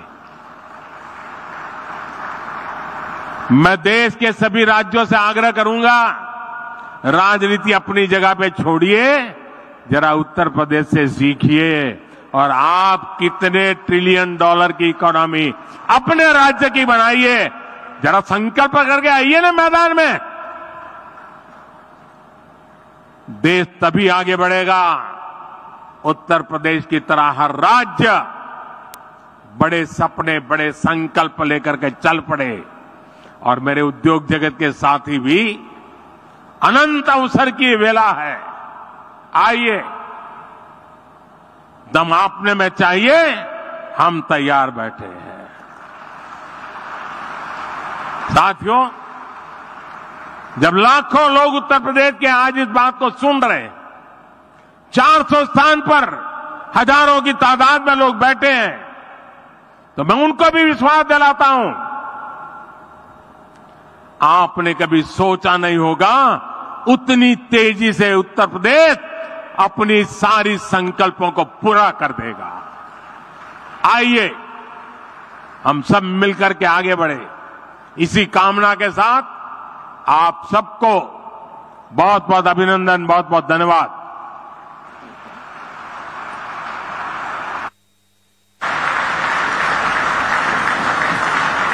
बहुत आनंदीबेन पटेल ऊर्जावान मुख्यमंत्री योगी आदित्यनाथ जी दोस्तों, जो गलत पानी के बिल जिसकी आज शुरुआत, आज इस धन्यवाद सभा धन्यवाद सभा के साथ साथ जो गैस लाइन डलवाने का, जो चाणक मार्ग के जो पंद्रह गलियाँ बनाने का जो हम काम करने जा रहे हैं, उसका विवरण आज भाई पंकज प्रधान जी से मैं निवेदन करूँगा कि वो जो गलियाँ हम बनाने जा रहे हैं, वो जरा इनके बीच में रखें, उसके बाद आगे की कार्रवाई करें। जय हिंद सभी को। आज यहाँ पर पंद्रह गलियों में जिस रोड पर हम बैठे हैं, चाणक्य मार्ग, इसका गली और नाली बनाने का काम किया जाएगा। गली नंबर दो, बाबरपुर बनाने का काम किया जाएगा। बाबरपुर रोड से छज्जू गेट होते हुए सौ फुटा तक ये डेंस की रोड बनाई जाएगी। बलबीर नगर साठ फुटा रोड ये डेंस का बनाया जाएगा। ऋषिराज चौक व उसके साथ उसकी लिंक पाँच गलियाँ ये बनाई जाएँगी। गली नंबर चौदह ए, बलबीर नगर विस्तार, ये गली बनाई जाएगी। गली नंबर पंद्रह बलबीर नगर विस्तार, ये गली बनाई जाएगी। गली नंबर पंद्रह की लिंक गली बलबीर नगर विस्तार की, ये गली बनाई जाएगी। गली नंबर सोलह बलबीर नगर विस्तार, ये बनाई जाएगी। गली नंबर सोलह की लिंक गली बलबीर नगर विस्तार, ये बनाई जाएगी। ऋषि करदम मार्ग, लोनी रोड से करदम मार्ग तक वेस्ट ज्योति नगर में ये रोड डेंस की बनाई जाएगी। विश्वामित्र मार्ग, वेस्ट ज्योति नगर ये डेंस बनाई जाएगी। महाराजा अग्रसेन मार्ग, वेस्ट ज्योति नगर ये गली डेंस की बनाई जाएगी। आज इस मंच के माध्यम से इन सभी गलियों का, यहाँ से शुभारंभ मान्य मंत्री जी कर रहे हैं। जय हिंद। बहुत बहुत धन्यवाद पंकज जी आपका। एक बार मैं मंच, मंत्री जी को देने से पहले एक बार जोरदार नारा लगाएँगे सभी जोरदार। भारत माता की, भारत माता की इंकलाब इंकलाब धन्यवाद, आदरणीय।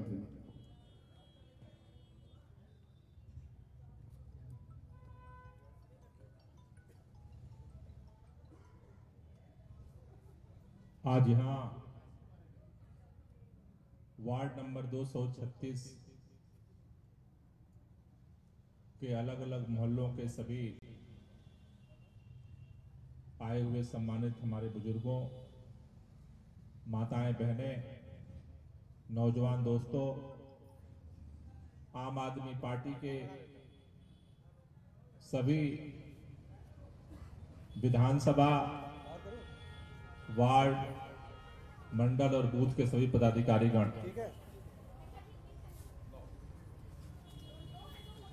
जैसा कि आप सब लोग जानते हैं कि आज हम सब लोग यहाँ जो इकट्ठा हुए हैं।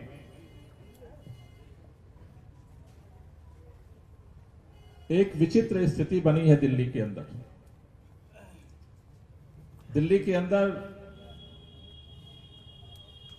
आप सभी जानते हैं कि दिल्ली में जब से आम आदमी पार्टी की अरविंद केजरीवाल जी के नेतृत्व में सरकार बनी, देश की पहली सरकार है जिसने लोगों के लिए काम करना शुरू किया। ऐसा नहीं है कि दिल्ली वाले पहले वोट नहीं करते थे। दिल्ली वालों ने यहाँ पर अलग अलग पार्टियों के विधायक बनाए अलग अलग पार्टियों के सांसद बनाए अलग अलग पार्टियों के मुख्यमंत्री बनाए अलग अलग पार्टियों के प्रधानमंत्री बनाए। लेकिन हर बार दिल्ली वाले वोट तो देते थे। लेकिन जब दिल्ली वालों की ज़रूरत पड़ती थी तो वो दर दर भटकते थे।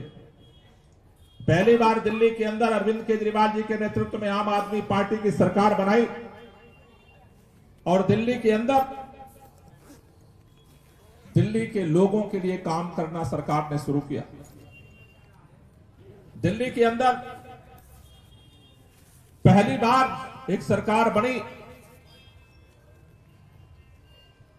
जिसने वादा किया था कि आम आदमी पार्टी की सरकार बनेगी तो बिजली का बिल हाफ़ होगा और पानी का बिल। दिल्ली के अंदर सरकार बनने के बाद दो बीस हज़ार लीटर तक जो लोग पानी खर्च करते थे, उनका पानी का बिल आना बंद हो गया। पहले बिल आता था बिजली का वो भी दो सौ यूनिट तक माफ़ हो गया। स्कूलों में काम शुरू हुआ, अस्पतालों में काम शुरू हुआ, महिलाओं के लिए काम शुरू हुआ, बुज़ुर्गों के लिए काम शुरू हुआ, गलियों का काम शुरू हुआ, सड़कों का काम शुरू हुआ। क्षेत्र की गली से लेकर के और रामेश्वरम तक तीर्थ यात्रा करने तक की कार्य योजना बनाई तो उसका नाम अरविंद केजरीवाल है। दिल्ली के हर बुज़ुर्ग के लिए, बच्चे के लिए, महिला के लिए, परिवार में रहने वाले हर व्यक्ति के लिए। लेकिन पिछले दिनों जब कोरोना काल आया, कोरोना काल के दौरान जब लॉकडाउन लागू हुआ तो कर्मचारी घर जाना बंद कर दिए। पानी के मीटर की रीडिंग लेना बंद कर दिए। और ऑफ़िस में बैठ करके गलत बिल, अंदाज़ा से बिल बना बना करके, बना बना करके लोगों के घरों में भेज दिए। लोग उन बढ़े हुए बिलों से जहाँ ज़ीरो बिल आता था, अचानक किसी के यहाँ दस हज़ार का, किसी के यहाँ बीस हज़ार का, किसी के यहाँ पच्चीस हज़ार का कहीं पचास हज़ार का। दिल्ली के अंदर लगभग सत्ताईस लाख घरों में कनेक्शन है, उसमें से 10 लाख लोगों के पास गलत बिल पहुँचे। जब चारों तरफ़ से लोगों ने विधायक कार्यालयों में इस बात की जब कंप्लेंट की तो सभी विधायकों ने दिल्ली के माननीय मुख्यमंत्री जी के सामने ये रखी कि जिन लोगों के बार बार बिजली के बिल, पानी के बिल ज़ीरो आते थे, उनके घर में दस दस हज़ार पंद्रह पंद्रह हज़ार बीस बीस हज़ार का बिल आ रहा है। सरकार ने तय किया कि जो गलत बिल हैं, उन्हें ठीक किया जाएगा। सरकार ने एक फार्मूला बनाया, जिसको वन टाइम सेटलमेंट फार्मूला कहते हैं। सरकार ने फार्मूला बनाया कि जो किसी का, मान लो कि अगर किसी का पचास हज़ार का बिल आ गया, और उसके पहले उस किसी का, उसका बिल अगर मान लो पाँच हज़ार आता था, सात हज़ार आता था, दस हज़ार आता था तो जो पहले बिल आता था, उनमें से दो या तीन बिलों का जो एवरेज बिल होगा, उस बिल को जो है, उसे जमा करना पड़ेगा, जिससे कि उसके ऊपर जो अचानक बोझ आया है, उससे उसको मुक्ति मिल सके। सरकार ने जल बोर्ड के अंदर प्रस्ताव रखा, जल बोर्ड में प्रस्ताव पारित हो गया। लेकिन जब पता चला, भारतीय जनता पार्टी के नेताओं को कि अरविंद केजरीवाल तो दिल्ली के 10 लाख जो परिवार परेशान घूम रहे हैं, उनके लिए राहत की सांस लेकर के, बिल माफ़ी योजना लेकर के आ रहा है। तो आप सब जानते हो कि सुप्रीम कोर्ट के पाँच सदस्यीय संविधान पीठ ने यह फैसला दिया कि जैसे देश भर में देश के लोगों को अपने वोट से सरकार बनाने का और सरकार चलाने का अधिकार है, जिस तरह से देश भर में चुनी हुई सरकार के पास देश भर में चुने हुए मुख्यमंत्री के पास निर्णय लेने का अधिकार है।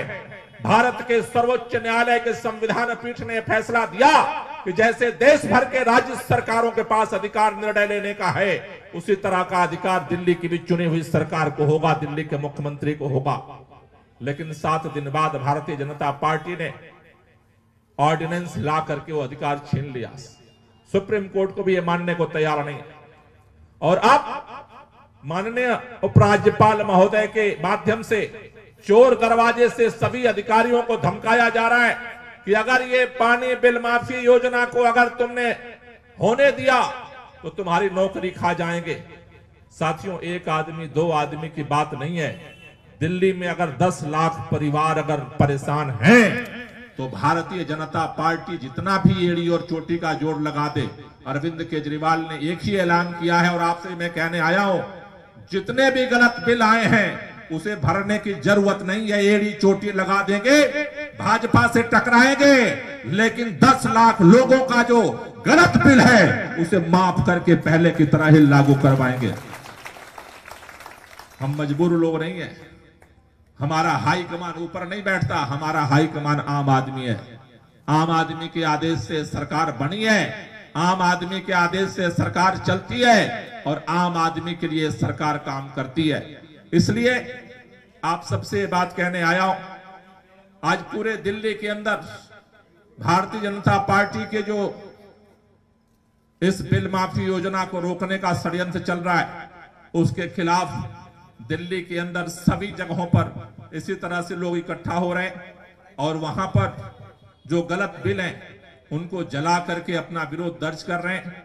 और ये लड़ाई जो आज से शुरू हो रही है 25 तारीख को जंतर मंतर पर भी, इस लड़ाई को वहाँ पर भी जाकर के इस बिल को जलाया जाएगा और इस लड़ाई को लड़ेंगे। आप सबको याद होगा, जब हमारी पार्टी नहीं बनी थी, हम लोग आंदोलन करते थे, दिल्ली के अंदर ऐसे ही बिजली के बिल बड़े बड़े आते थे जब हमारी सरकार नहीं थी, तब हमने लड़ करके और बिजली के बिलों के लिए लड़ाई लड़ी। और लड़ाई लड़ करके सरकार बनाई और सरकार बना के लागू कराया। इसलिए आप में से किसी को परेशान होने की ज़रूरत नहीं है। इस लड़ाई को लड़ेंगे और इस लड़ाई को जीतेंगे। इसलिए आप सबसे निवेदन करने आया हूँ, आपके गली में, मोहल्ले में, जिसका भी इस तरह का गलत बिल आया है, उन सब लोगों से मिल करके उनसे बात करके आप सबको ये बात संदेश पहुँचा दीजिए। और 25 तारीख को इसके खिलाफ पूरी दिल्ली इकट्ठा हो रही है। उसमें सब लोगों को हम सब बढ़ चढ़ करके हिस्सा लेंगे और ये भाजपा को ये संदेश देंगे कि अगर तुम 10 लाख लोगों को परेशान करोगे तो फिर ये दिल्ली के लोग हैं। बर्दाश्त हम बहुत करते हैं, लेकिन अगर पानी सर के ऊपर से गुजर जाएगा तो ये दस लोग तुम्हें भी परेशान कर देंगे, क्योंकि तुम्हारे भी सांसदों को आना है वोट मांगने के लिए इन गलियों के अंदर। लोगों के मोहल्ले के पास आना है। अगर आज दस लाख लोगों को परेशान करने की तुमने अगर ठान ली तो अगर ये दस लाख लोग अगर दिल्ली के ठान लेंगे, दस लाख नहीं है। हर परिवार में पाँच मेंबर रहता है, पचास लाख लोगों को तुम परेशान करने की कोशिश कर रहे हो। और तुम्हारा एक पैसा नहीं लग रहा है। पब्लिक को तो केवल हम गलत बिलों को ठीक करने की बात है। भाई, एक आदमी को अगर उसका ज़ीरो बिल आता था, दो हज़ार का, पाँच हज़ार का बिल, अचानक पचास हज़ार का बिल आ गया और बिना मीटर चेक किया गया तो उसको लेकर के हम सबको खड़ा होना है। इस लड़ाई को लड़ना है और इस लड़ाई को जीतना है। इसलिए एक बार दोनों हाथ की मुठ्ठियाँ बांधेंगे, सभी जितने माँ भारती के बेटे बेटियाँ हैं, एक बार नारा लगा करके और भाजपा के नेताओं के जो गलत मंसूबे, षड्यंत्र चल रहे हैं, उन तक आवाज़ पहुंचानी है कि ये जो आम आदमी को परेशान करना बंद करो तो दोनों हाथ की मुट्ठी बाँध करके आवाज़ लगाएँगे। भारत माता की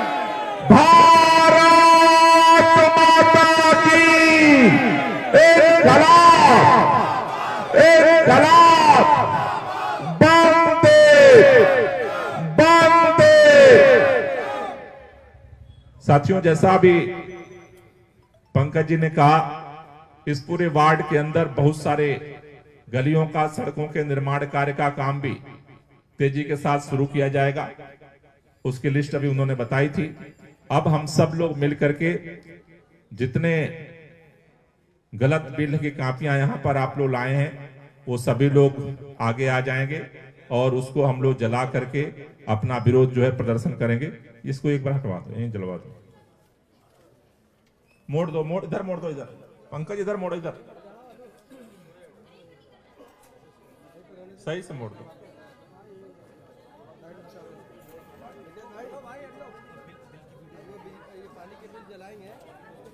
भैया, सामने से हट जाएगा कैमरे के। तो भैया बैठो भैया साइड हो जाना भैया कैमरे के सामने कोई बंदा हो।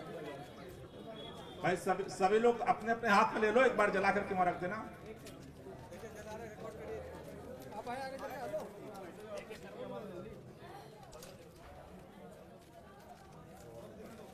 थोड़ा थोड़ा थोड़ा थोड़ा साइड अरे अरूप पीछे हो अमित भाई रिकॉर्ड कर रहे हो ना अरे भाजपा वालों होश में आओ। अरे भाजपा वालों होश में आओ। पानी के बिल माफ़ी योजना को लागू करने दो। पानी बिल माफ़ी योजना लागू करने दो। करने दो करने दो। पानी बिल माफ़ी योजना लागू करने दो। करने दो करने दो। जनता के साथ धोखा करना बंद करो। बंद करो। बंद करो। जनता के साथ धोखा करना बंद करो। बंद करो बंद करो। दस लाख दिल्ली वालों को परेशान करना बंद करो। बंद करो बंद करो। परेशान करना बंद करो। बंद करो बंद करो। तो आज हम लोगों ने यहाँ से शुरुआत की है। अभी इसके बाद 235 नंबर वार्ड गोरख पार्क में ये बिलों की होली जलाई जाएगी। कल उसी तरह से नॉर्थ गोंडा में इसकी होली जलाई जाएगी। उसके बाद कबीर नगर में इसकी होली जलाई जाएगी और इस आंदोलन को पूरे प्रदेश में करते हुए फिर 25 तारीख को पूरे दिल्ली के लोग इकट्ठा होकर के जंतर मंतर पर इसकी होली जलाएँगे और फिर भी अगर भाजपा वालों को शर्म नहीं आती है तो फिर अगला आंदोलन की रूपरेखा तय करेंगे। बहुत बहुत धन्यवाद। इनकलाब जिंदाबाद।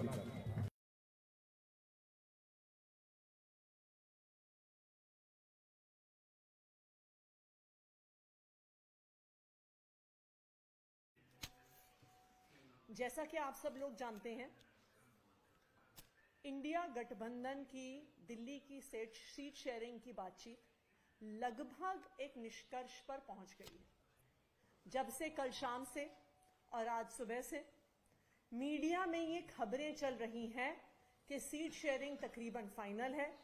सीट शेयरिंग किसी भी समय अनाउंस हो सकती है।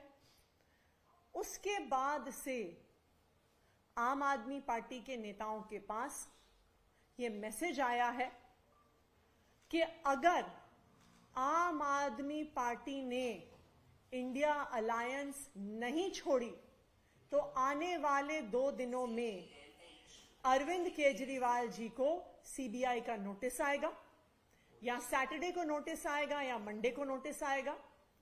सीआरपीसी के सेक्शन 41 ए में नोटिस आएगा। और उनको दोनों सीबीआई और ईडी द्वारा गिरफ़्तार कर लिया जाएगा। आम आदमी पार्टी को यह धमकी मिल रही है कि अगर इंडिया अलायंस मिलकर दिल्ली में चुनाव लड़ेगा, अगर आम आदमी पार्टी और कांग्रेस पार्टी सीट शेयरिंग करेंगे तो आने वाले तीन से चार दिन में अरविंद केजरीवाल को गिरफ़्तार किया जाएगा। मैं आज सभी मीडिया के साथियों के माध्यम से भारतीय जनता पार्टी को यह बताना चाहती हूँ कि यह लोकतंत्र है। लोकतंत्र जनता का शासन होता है। जनता को वोट देके किसी भी पार्टी को चुनने का अधिकार होता है। किन्हीं भी पार्टियों को एक साथ अलायंस करने का अधिकार होता है। अगर आपको लगता है कि आप इस प्रकार की धमकियाँ देकर अरेस्ट करने की धमकियाँ देकर आम आदमी पार्टी को और अरविंद केजरीवाल को डरा सकते हो तो आप बहुत बड़ी गलती कर रहे हैं। आम आदमी पार्टी और अरविंद केजरीवाल जी, आपकी जेल की धमकियों से डरने वाले नहीं हैं। आप आम आदमी पार्टी के एक एक नेता को जेल में डाल दो एक एक विधायक को जेल में डाल दो तो आम आदमी पार्टी के कार्यकर्ता नए नेताओं के तौर पे खड़े हो जाएँगे और इस देश के लोकतंत्र की और इस देश की संविधान की रक्षा करेंगे। तो आप चाहे जितनी धमकियाँ दे लीजिए, चाहे आप जेल में डाल दीजिए, चाहे आप फांसी पे टांग दीजिए, आम आदमी पार्टी और अरविंद केजरीवाल आपकी धमकियों से डरने वाले नहीं है। थैंक यू अच्छी इसमें ये किसने क्या किसने फ़ोन किया है कोई चिट्ठी आई है थोड़ा सा स्पष्ट कर दे कि ये जानकारी आप तक कैसे पहुँची किसने कहा ये देखिए, जैसा आपको पता है, भारतीय जनता पार्टी और उनके जो अलग अलग लोग हैं, ये कभी किसी को भेजते हैं, कभी किसी को भेजते हैं। कभी आपके रिश्तेदारों के माध्यम से मैसेज भिजवाते हैं, कभी आपके कार्यकर्ताओं के माध्यम से मैसेज भिजवाते हैं, कभी पार्क चलते मैसेज भिजवाते हैं। तो कल शाम से, आज दोपहर तक, कई अलग अलग लोगों के माध्यम से हमें ये मैसेज मिला है। कि अगर आम आदमी पार्टी ने कांग्रेस के साथ गठबंधन कर लिया तो सैटरडे या मंडे को अरविंद केजरीवाल जी को सीबीआई का नोटिस आएगा और उसके एक या दो दिन में दोनों सीबीआई और ईडी अरविंद केजरीवाल जी को गिरफ़्तार कर ले। और हमें यह कहा गया कि अरविंद केजरीवाल जी को जेल से बाहर रखने का एक ही तरीका है और वो है इस गठबंधन को तोड़ देना और इंडिया अलायंस को छोड़ देना। इंडिया गठबंधन के तहत आज चर्चा भी चल रही है। कांग्रेस और आम आदमी पार्टी के बीच गठबंधन की चार तीन के फॉर्मूले का ज़िक्र हो रहा है। क्या अभी स्थिति है गठबंधन को लेकर? गठबंधन जो दिल्ली में है वो लगभग फाइनल होने की कगार पे है। हमें उम्मीद है कि आने वाले एक दो दिन में एक आधिकारिक घोषणा दोनों पार्टियों की तरफ़ से मिलकर हो जाएगी। लेकिन अभी गठबंधन का फाइनल हुआ नहीं है। उससे पहले इस तरीके की धमकी की बात आप कह रहे हैं इसके पीछे किस तरीके का, का, का आपके पास साक्ष्य रहेगा? क्या क्योंकि बार बार यही सवाल उठता है कि साक्ष्य क्या है इस तरीके के देखिए सबसे पहली बात तो ये है कि अब सबको पता है कि गठबंधन फाइनल होने की कगार पे है। काफ़ी दिन से बातचीत चल रही है लेकिन जैसे सारे मीडिया के साथियों को भी पता है कि अब जो अलायंस है जो दिल्ली की सीट शेयरिंग है वो ऑलमोस्ट फाइनल स्टेजेस पर पहुँच गई है। अब अनाउंस होने की स्टेज तक बात पहुँच गई है नंबर वन तो ये स्वाभाविक है कि बाकी पार्टियों को भी पता है कि अब गठबंधन की घोषणा होने वाली है। तो इसीलिए इस प्रकार की धमकियाँ दी जा रही हैं। जहाँ तक साक्ष्य की बात है देखिए, कोई भी इंसान जब सुबह मॉर्निंग वॉक पे जाता है या उसके घर पर या उससे ऑफ़िस में कोई मिलने आता है, वो अपने टेबल पर रिकॉर्डर नहीं लगा के रखता। कि जैसे ही कोई चाय के ऊपर मुझसे कोई बात करेगा, मैं रिकॉर्डिंग ऑन कर लूँगी, क्योंकि ये कोई भारतीय जनता पार्टी की तरफ़ से मैसेज लेके आया होगा। हम जनप्रतिनिधि हैं। हम सुबह से लेके शाम तक अपने विधायक कार्यालय में, अपने कैंप ऑफ़िस में, सचिवालय में, दिल्ली विधानसभा में सैकड़ों लोगों से मिलते हैं। तो हम बैठ के दिन भर रिकॉर्डर ऑन करके हर व्यक्ति की बातचीत को टेप नहीं करते हैं। तो इसलिए अगर ये बार बार ये सवाल उठेगा कि जी आप इस बात का साक्ष्य दिखाइए तो ये मैं आपको बता दूँ कि ये संभव नहीं है कि अगर आपके नोन लोगों के माध्यम से आपको संदेश आएँगे कि आप तैयारी से उनकी रिकॉर्डिंग करके रखें थैंक यू आएगा जल्द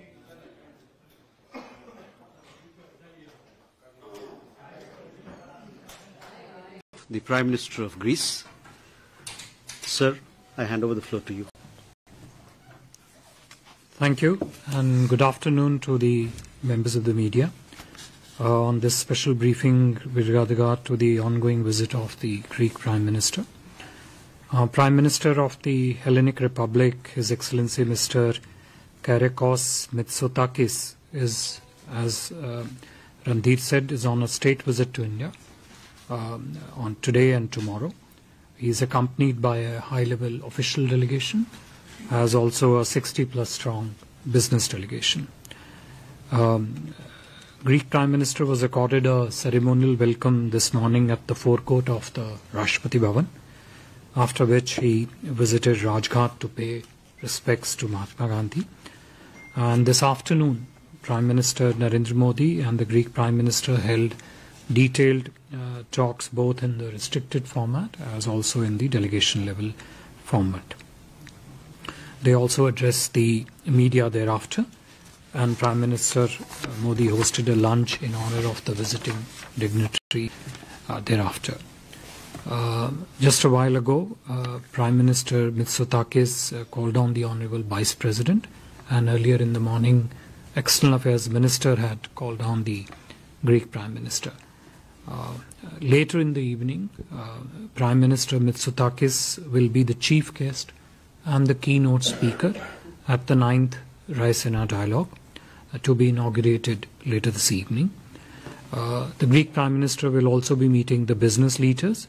In the second leg of his visit, uh, he would also be visiting Mumbai before returning uh, to his country. Uh, you would all recall that uh, Prime Minister Modi had visited Greece in August last year. This visit of the Greek Prime Minister is taking place within the six months time frame of Prime Minister Modi's visit. You would also recall that uh, during Prime Minister's visit to Greece, both countries had decided to elevate their relationship to a strategic partnership. Uh, this visit of the Greek Prime Minister and the discussions, uh, comprehensive discussion during uh, uh, the ongoing visit, have focused on enhancing and enriching all elements of uh, strategic partnership, whether it's in the political domain, security aspects, economic relationship, as also the cultural ties. Uh, both leaders also discussed the regional and the global issues of common concern, as also the ongoing developments in Europe. Uh, when Prime Minister had last visited Greece, uh, both leaders had expressed commitment to double bilateral trade by 2030. Uh, during the discussions today, they identified several areas of cooperation in which our partnership would help us achieve uh, that target uh, of doubling our trade volume. Uh, in this includes the space of pharmaceuticals, one, uh, infrastructure development, uh, particularly relating to ports, uh, cooperation in the shipping space, chemical industry, the digital uh, uh, segment of uh, cooperation, um, food and communication sectors, as also defense cooperation. Um, agriculture and tourism also came in for particular mention during the bilateral discussions uh, today.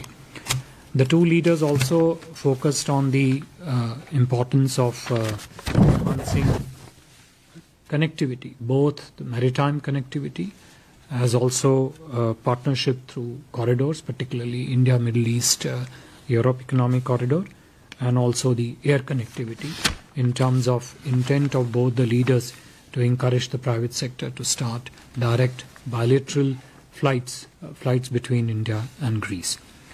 In terms of areas of cooperation, uh, besides uh, the uh, segments that I mentioned, areas of space, nanotechnology, biotechnology, quantum computing, clean energy, renewable energy, startup and innovation sectors uh, also were discussed in detail. An important element of people to people ties that was emphasized by both the leaders uh, in terms of our efforts to uh, to structure that cooperation is uh, migration and mobility partnership agreement, uh, an area where there is complementarity of interest. Uh, it's in advanced stages of consideration, and we expect that this agreement could be finalized in months ahead. Um, there was also uh, a focus on uh, uh, cultural cooperation between the two sides, uh, both in terms of enhancing the cross cultural collaboration, uh, protection and preservation of the cultural heritage, uh, and also enhancing cooperation in terms of the academic institutions between the two countries. During the August meeting, uh, when Prime Minister had visited Greece, both leaders had agreed on regular contacts uh, and exchange of views with regard to uh, developments um, across the world, as also on the regional security threats, uh, particularly in the Eastern Mediterranean and also in the Indo-Pacific regions. As a follow-up to those decisions during the August visit, the two national security advisors have subsequently met and are progressing their conversation on uh, matters of uh, uh, security interest uh, between the two countries, as also how they uh, impact both countries um, based on the developments uh, elsewhere in the region. Both leaders reinforced their commitment to build, in this regard, the partnership in the Mediterranean Sea as also in the Indo-Pacific. Uh, as I mentioned, they also exchanged views on how to uh, build our cooperation in the context of India, Middle East, Europe economic corridor. Uh, Prime Minister Mitsotakis also conveyed the decision by Greece to join the Indo-Pacific Ocean initiatives led by India. Uh, the two leaders uh, also exchange uh, their common uh, concern with regard to uh, challenge of terrorism and uh, condemned terrorism in all its forms and manifestations. Uh, on the climate change uh, action, the Greek Prime Minister underlined the importance of India's leadership in the International Solar Alliance. Prime Minister Modi also highlighted the work that India is doing and scope of building partnership with Greece insofar as the uh, alliance of the CDRI is concerned. This is the coalition of disaster on disaster resilience. Uh, besides the discussions between the two leaders, uh, several uh, MOUs and understandings have also been arrived separately between the private sectors as also between the think tanks uh, of the two countries. Uh, as I mentioned in my opening remarks, the return visit of Prime Minister of Greece within six months of uh, Indian Prime Minister's visit to Greece brings to fore the shared commitment of the two sides to deepen their strategic partnership and very comprehensive and rich discussions today focused on, uh, I would say, all aspects of building that strategic partnership economic, political, as also security. I'll stop here and take questions if there are any. Start here. Shruti. Sir, uh, Shudhiranjan from Bloomberg. So you mentioned about IMEC uh, port infrastructure figuring in the Prime Minister's, the leaders' discussion. If you could give us any details about whether any particular ports have been identified, well, and if it will be a government-to-government contract or if there is a private sector, if so, who, and the, the format of it, sir, and the contours. Thank you, sir.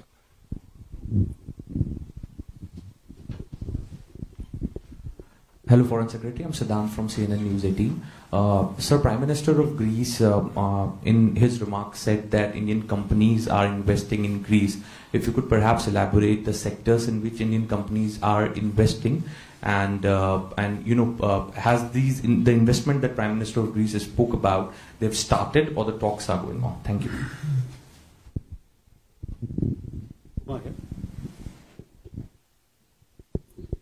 Sir, I'm Huma Siddiqui from the Financial Express. You mentioned uh, that the talks also featured on uh, defense and space. So, in the defense sector, was the uh, buying of uh, Mirage 2000s uh, on the agenda, and also in space sector, what what exactly was the discussion about?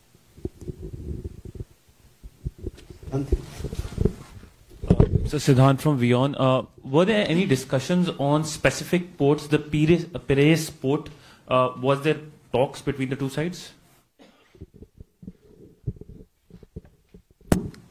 Secretary Rishabh from Times Now. So, as you mentioned, mobility has been discussed as well as academic institutions have been discussed. Uh, if we can have a clear picture whether the academic institutions they are uh, public, for example, we have opened some IITs in uh, overseas uh, uh, campuses. Uh, are there any discussions about that? And when it comes to mobility, anything that uh, students can expect between India and Greece?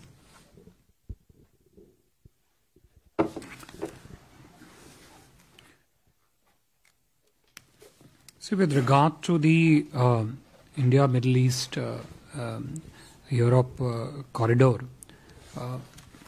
the discussions were not limited to uh, identifying the segments in which the partnership would take place. Uh, the discussions took place in the larger context of uh, stronger connectivity between India and Greece and to look at all possible options that would strengthen this connectivity.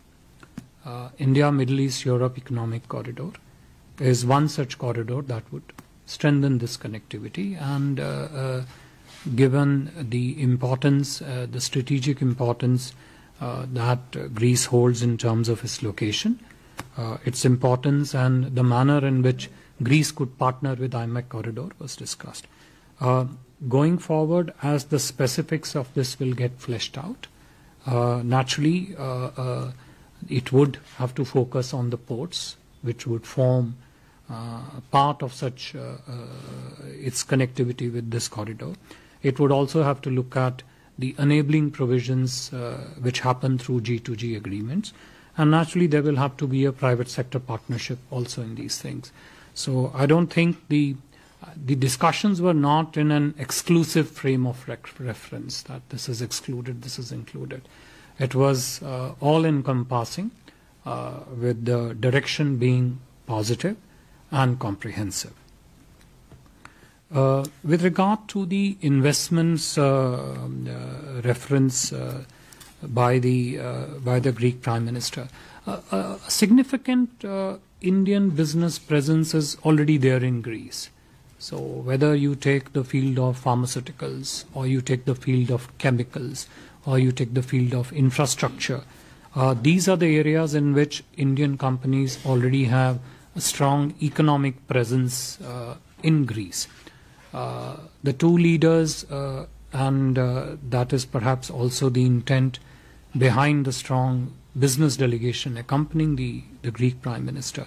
The two leaders identified new areas in which this economic presence could be built. Uh, I mentioned to you the startup and the innovation sector. Uh, I mentioned to you the quantum part. I mentioned to you the nanotechnology uh, and the microelectronics.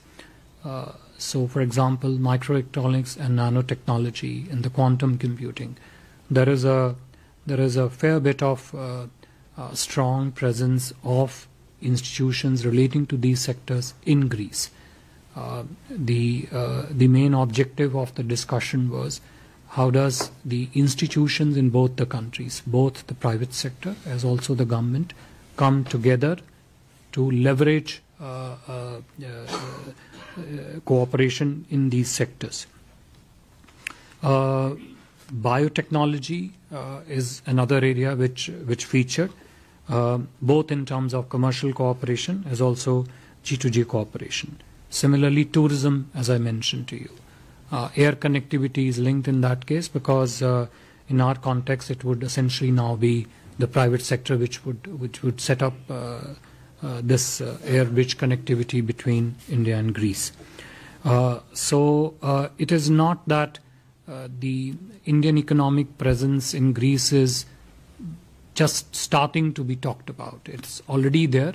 The discussions were focused more on how to broad base this uh, across different domains and within the existing domains where there is economic and commercial presence, how do we deepen it in that sense? Uh, defense sector and the space sector, which you mentioned.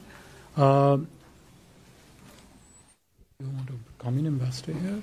Okay, we'll just take it. Uh, see, the uh, in the defense sector, both uh, uh, India and Greece are looking at partnership which is not just limited to defense trade. And even when I talk about defense trade, I'm not referring to particular platforms. Uh, defense trade extends to many areas of defense technologies, which is not limited to defense platforms. So, for example, there are many parts of defense industrial supply chains where there could be trade relationship between the uh, defense industries of the two countries. Uh, you heard uh, Prime Minister say in his press remarks uh, that co-production and co-designing uh, in many areas of defense industrial technology um, could be an important element of partnership. Uh, you would also be aware that Greece uses same aviation platforms that are employed by the Indian Defense Forces also. Clearly, the interoperability and those commonality of the platforms enables uh, uh, uh, defense force to defense force collaboration. Uh, both uh, defense forces of both the countries have also been doing very extensive uh, exercises between the two countries. So it's not def- defense was talked about in a, I should say, in a very comprehensive form, and not limiting itself to a purely defense trade segment. With regard to the space sector, uh, Prime Minister Modi highlighted to the Greek Prime Minister India's core competencies and capabilities and strengths in this area. Uh, and the Greek Prime Minister acknowledged it and did say that uh, insofar as uh, running a strong uh, space sector on budget is concerned, Greece would definitely be uh, it would definitely be of interest to Greece. So we are looking at collaborations in those areas. Again, uh, uh, a space is a sector uh, within which you have several sub-segments uh, which are heavily technology dependent, industry industry reliant, and I think the private sectors on both sides could partner in those areas. Uh, specific ports were discussed or not. And, uh, uh, I think uh, you see when they when they discussed cooperation in the context of connectivity, when they uh, when they when they spoke of the need uh, for that connectivity, the discussions were not, as I said, limited in one particular context. So while no specific ports came up for conversation, uh, came up in the conversation, the idea was that how exactly uh, do you enhance uh, strategic connect between the two economies through the uh, India Middle East Europe economic corridor? And in that context if you have to use particular ports what would be the framework of such cooperation in the port sector in the logistics sector in the shipping uh, aspect of it so no specific ports as such uh, came up for discussion. Mobility partnership uh, the discussions uh, clearly brought out uh, discussions between the two leaders clearly brought out the areas in which uh, there is complementarity between the two economies where uh, the two economies could harvest the benefits through the mobility partnership agreement uh, skilled manpower across various domains uh, is one element of it the sectors of construction agriculture, mm, the reference to what you mentioned about students. Uh, the students per se didn't come up, but uh, as and when the uh, the university linkages between the two countries get strengthened, uh, and as more and more Indian students, uh, for example, were to travel to Greece to study, then the post-study uh, uh, uh, placement of the students and how they connect with the uh, with the domestic economy and their presence in the country. Those would hopefully all get covered in the mobility partnership agreement.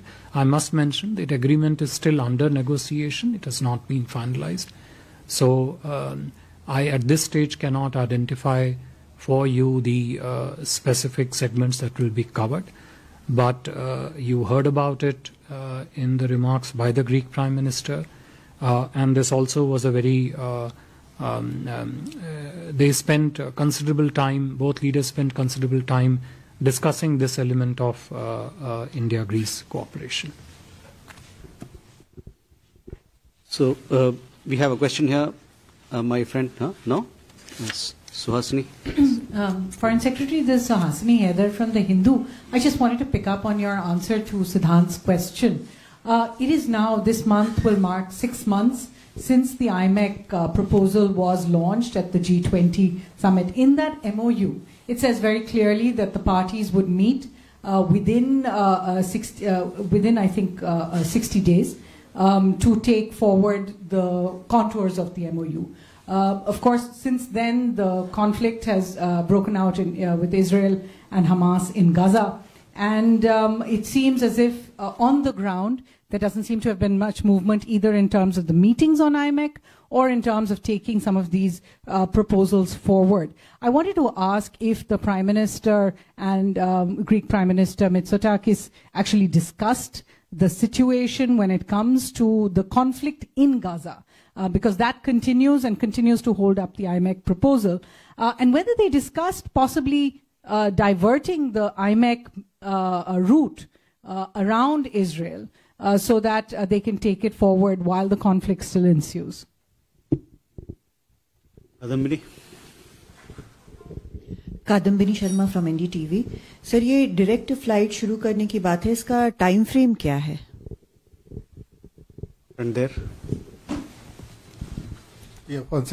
Raghavendra Verma from H F German television sir you mentioned pharmaceuticals been discussed this is also a subject, if you can elaborate on that, because then there will be India-EU uh, free trade agreement, which is under discussion. Then before that is India uh, with the other four countries, including Switzerland, and there uh, the data exclusivity is being uh, discussed.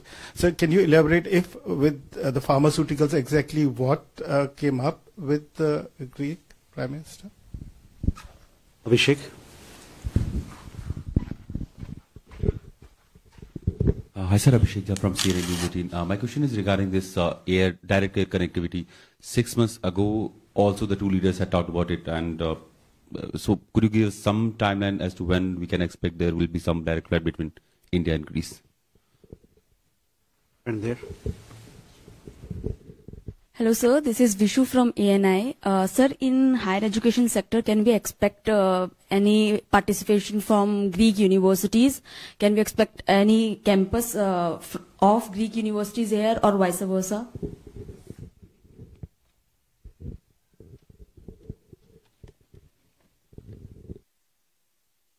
The um, with regard to the um, discussions around IBAC, uh, and we had uh, we had in some ways um, uh, had an exchange on, on on this element, even one of the previous uh, pressers. First, yes, to I mean, there seems to be an implicit linkage uh, in the question with regard to what is happening uh, in the Gaza uh, and whether in any way that is related um, uh, to IMAC insofar as the discussions between the two leaders are concerned. Uh, the situation in Gaza, uh, the the conflict there, as also the challenges we are experiencing in the Red Sea, uh, the commercial shipping being diverted uh, uh, through Cape of Good Hope, economic cost being incurred by the shipping and by the economy as a result of that. All that was definitely uh, uh, an important segment of uh, discussion between the two leaders. They they shared their perspectives on on what the nature of of this challenge is and going forward how exactly India's Greece could cooperate uh, to see that uh, the result of these challenges is mitigated and also uh, uh, the possible direction of, of, of this conflict uh, and the need, uh, and you, you heard this probably, I think it was there in Prime Minister's remark, the need uh, for these conflicts to be, uh, to be addressed through dialogue and diplomacy. Uh, when it came to uh, India-Middle East Economic Corridor, the there are two parts to your question. One, in terms of the work that has happened on this particular corridor since its launch in September, and two, whether uh, there was a discussion to uh, bypass the uh, corridor uh, through a particular geography. Uh, as I have uh, mentioned in, in one of my previous responses also, not today, but in the earlier presser, the discussions with regard to the specifics of the individual sub-segments of the IMEC corridor, whether these are uh, segments relating to the railways, segments relating to the shipping, segments relating to putting the logistic standards that will operate in the corridor. Uh, they have been progressing very strongly and very robustly in the months since the launch. Uh, I'm sure you would have closely followed a couple of MOUs which were signed uh, during uh, uh, Prime Minister's recent visit to the UAE between the rights and the Abu Dhabi ports companies. Some of them do have a linkage to how they would network with the IMEC corridor. Insofar as the alignment of the IMEC corridor is concerned, that remains unchanged as of now. Thank you. Uh, direct flight uh, uh, ki samay sarani. देखिए, ये direct flights दोनों देशों के बीच में अब तो भारत में जो इस समय परिपेक्ष है, वो प्राइवेट सेक्टर द्वारा चलेगी। दोनों सरकारों का ये प्रयास है कि निजी क्षेत्र की जितनी एयरलाइंस हैं, उनको दोनों देशों के बीच में जो टूरिज़्म रिलेटेड पोटेंशियल है, जो बिज़नेस रिलेटेड संभावनाएँ हैं, उसको लेते हुए दोनों देशों के निजी क्षेत्र को इंकरेज किया जाए। प्रोत्साहित किया जाए कि फ़्लाइट जितनी जल्दी से जल्दी शुरू हो सके। आ, ये अब कितने समय में शुरू होगी ये तो कहना थोड़ा कठिन होगा क्योंकि ये जो निर्णय है ये प्राइवेट सेक्टर द्वारा जो कि ऑपरेटर्स हैं उनसे लिए जाएँगे। I didn't quite understand the question that you asked with regard to I mean I got the pharmaceutical part but I didn't get the pharmaceutical part as connected to data connectivity that you mentioned about India and Europe but restricting myself to the pharmaceutical sector, this is uh, an area which is already of substantial cooperation between India and Greece. Uh, and uh, the idea is to broad base uh, this cooperation further within the field of pharmaceutical, extend it uh, uh, to to different segments of generics within this, perhaps extend it to the APIs if required. Trade is already a strong component of it, but also bring in the manufacturing-based linkages in the field of pharmaceuticals. Uh, I don't think uh, the cooperation that uh, you know we are doing with Greece in the pharmaceutical space uh, has anything directly to do with uh, uh, the current ongoing discussions with the European Union on FTA or other elements. When those advance, when those negotiations advance, when those discussions advance, then the questions of pharmaceutical will will will see how we will see how they come up there. But uh, during this visit and also during Prime Minister's visit in August, the focus was on strengthening and broad basing a cooperation in the in the field of uh, pharmaceuticals. Uh, universities, Vishu, your question. Uh, look, it is our, our expectation that the uh, university linkages between the two countries will enhance. Uh, we are uh, in the process of expanding and encouraging universities of other countries to come up and uh, set up their uh, educational linkages in India with different universities. Uh, at this stage, I really do not have the names of specific universities um, uh, that you know would form part of this linkage insofar as Greece is concerned. But as and when uh, the discussions in this field expand uh, and build up, as and when the university's name come up, we will definitely share them with you. Thank you. With that, we come to the close of this special press briefing by Foreign Secretary. Thank you very much for your presence.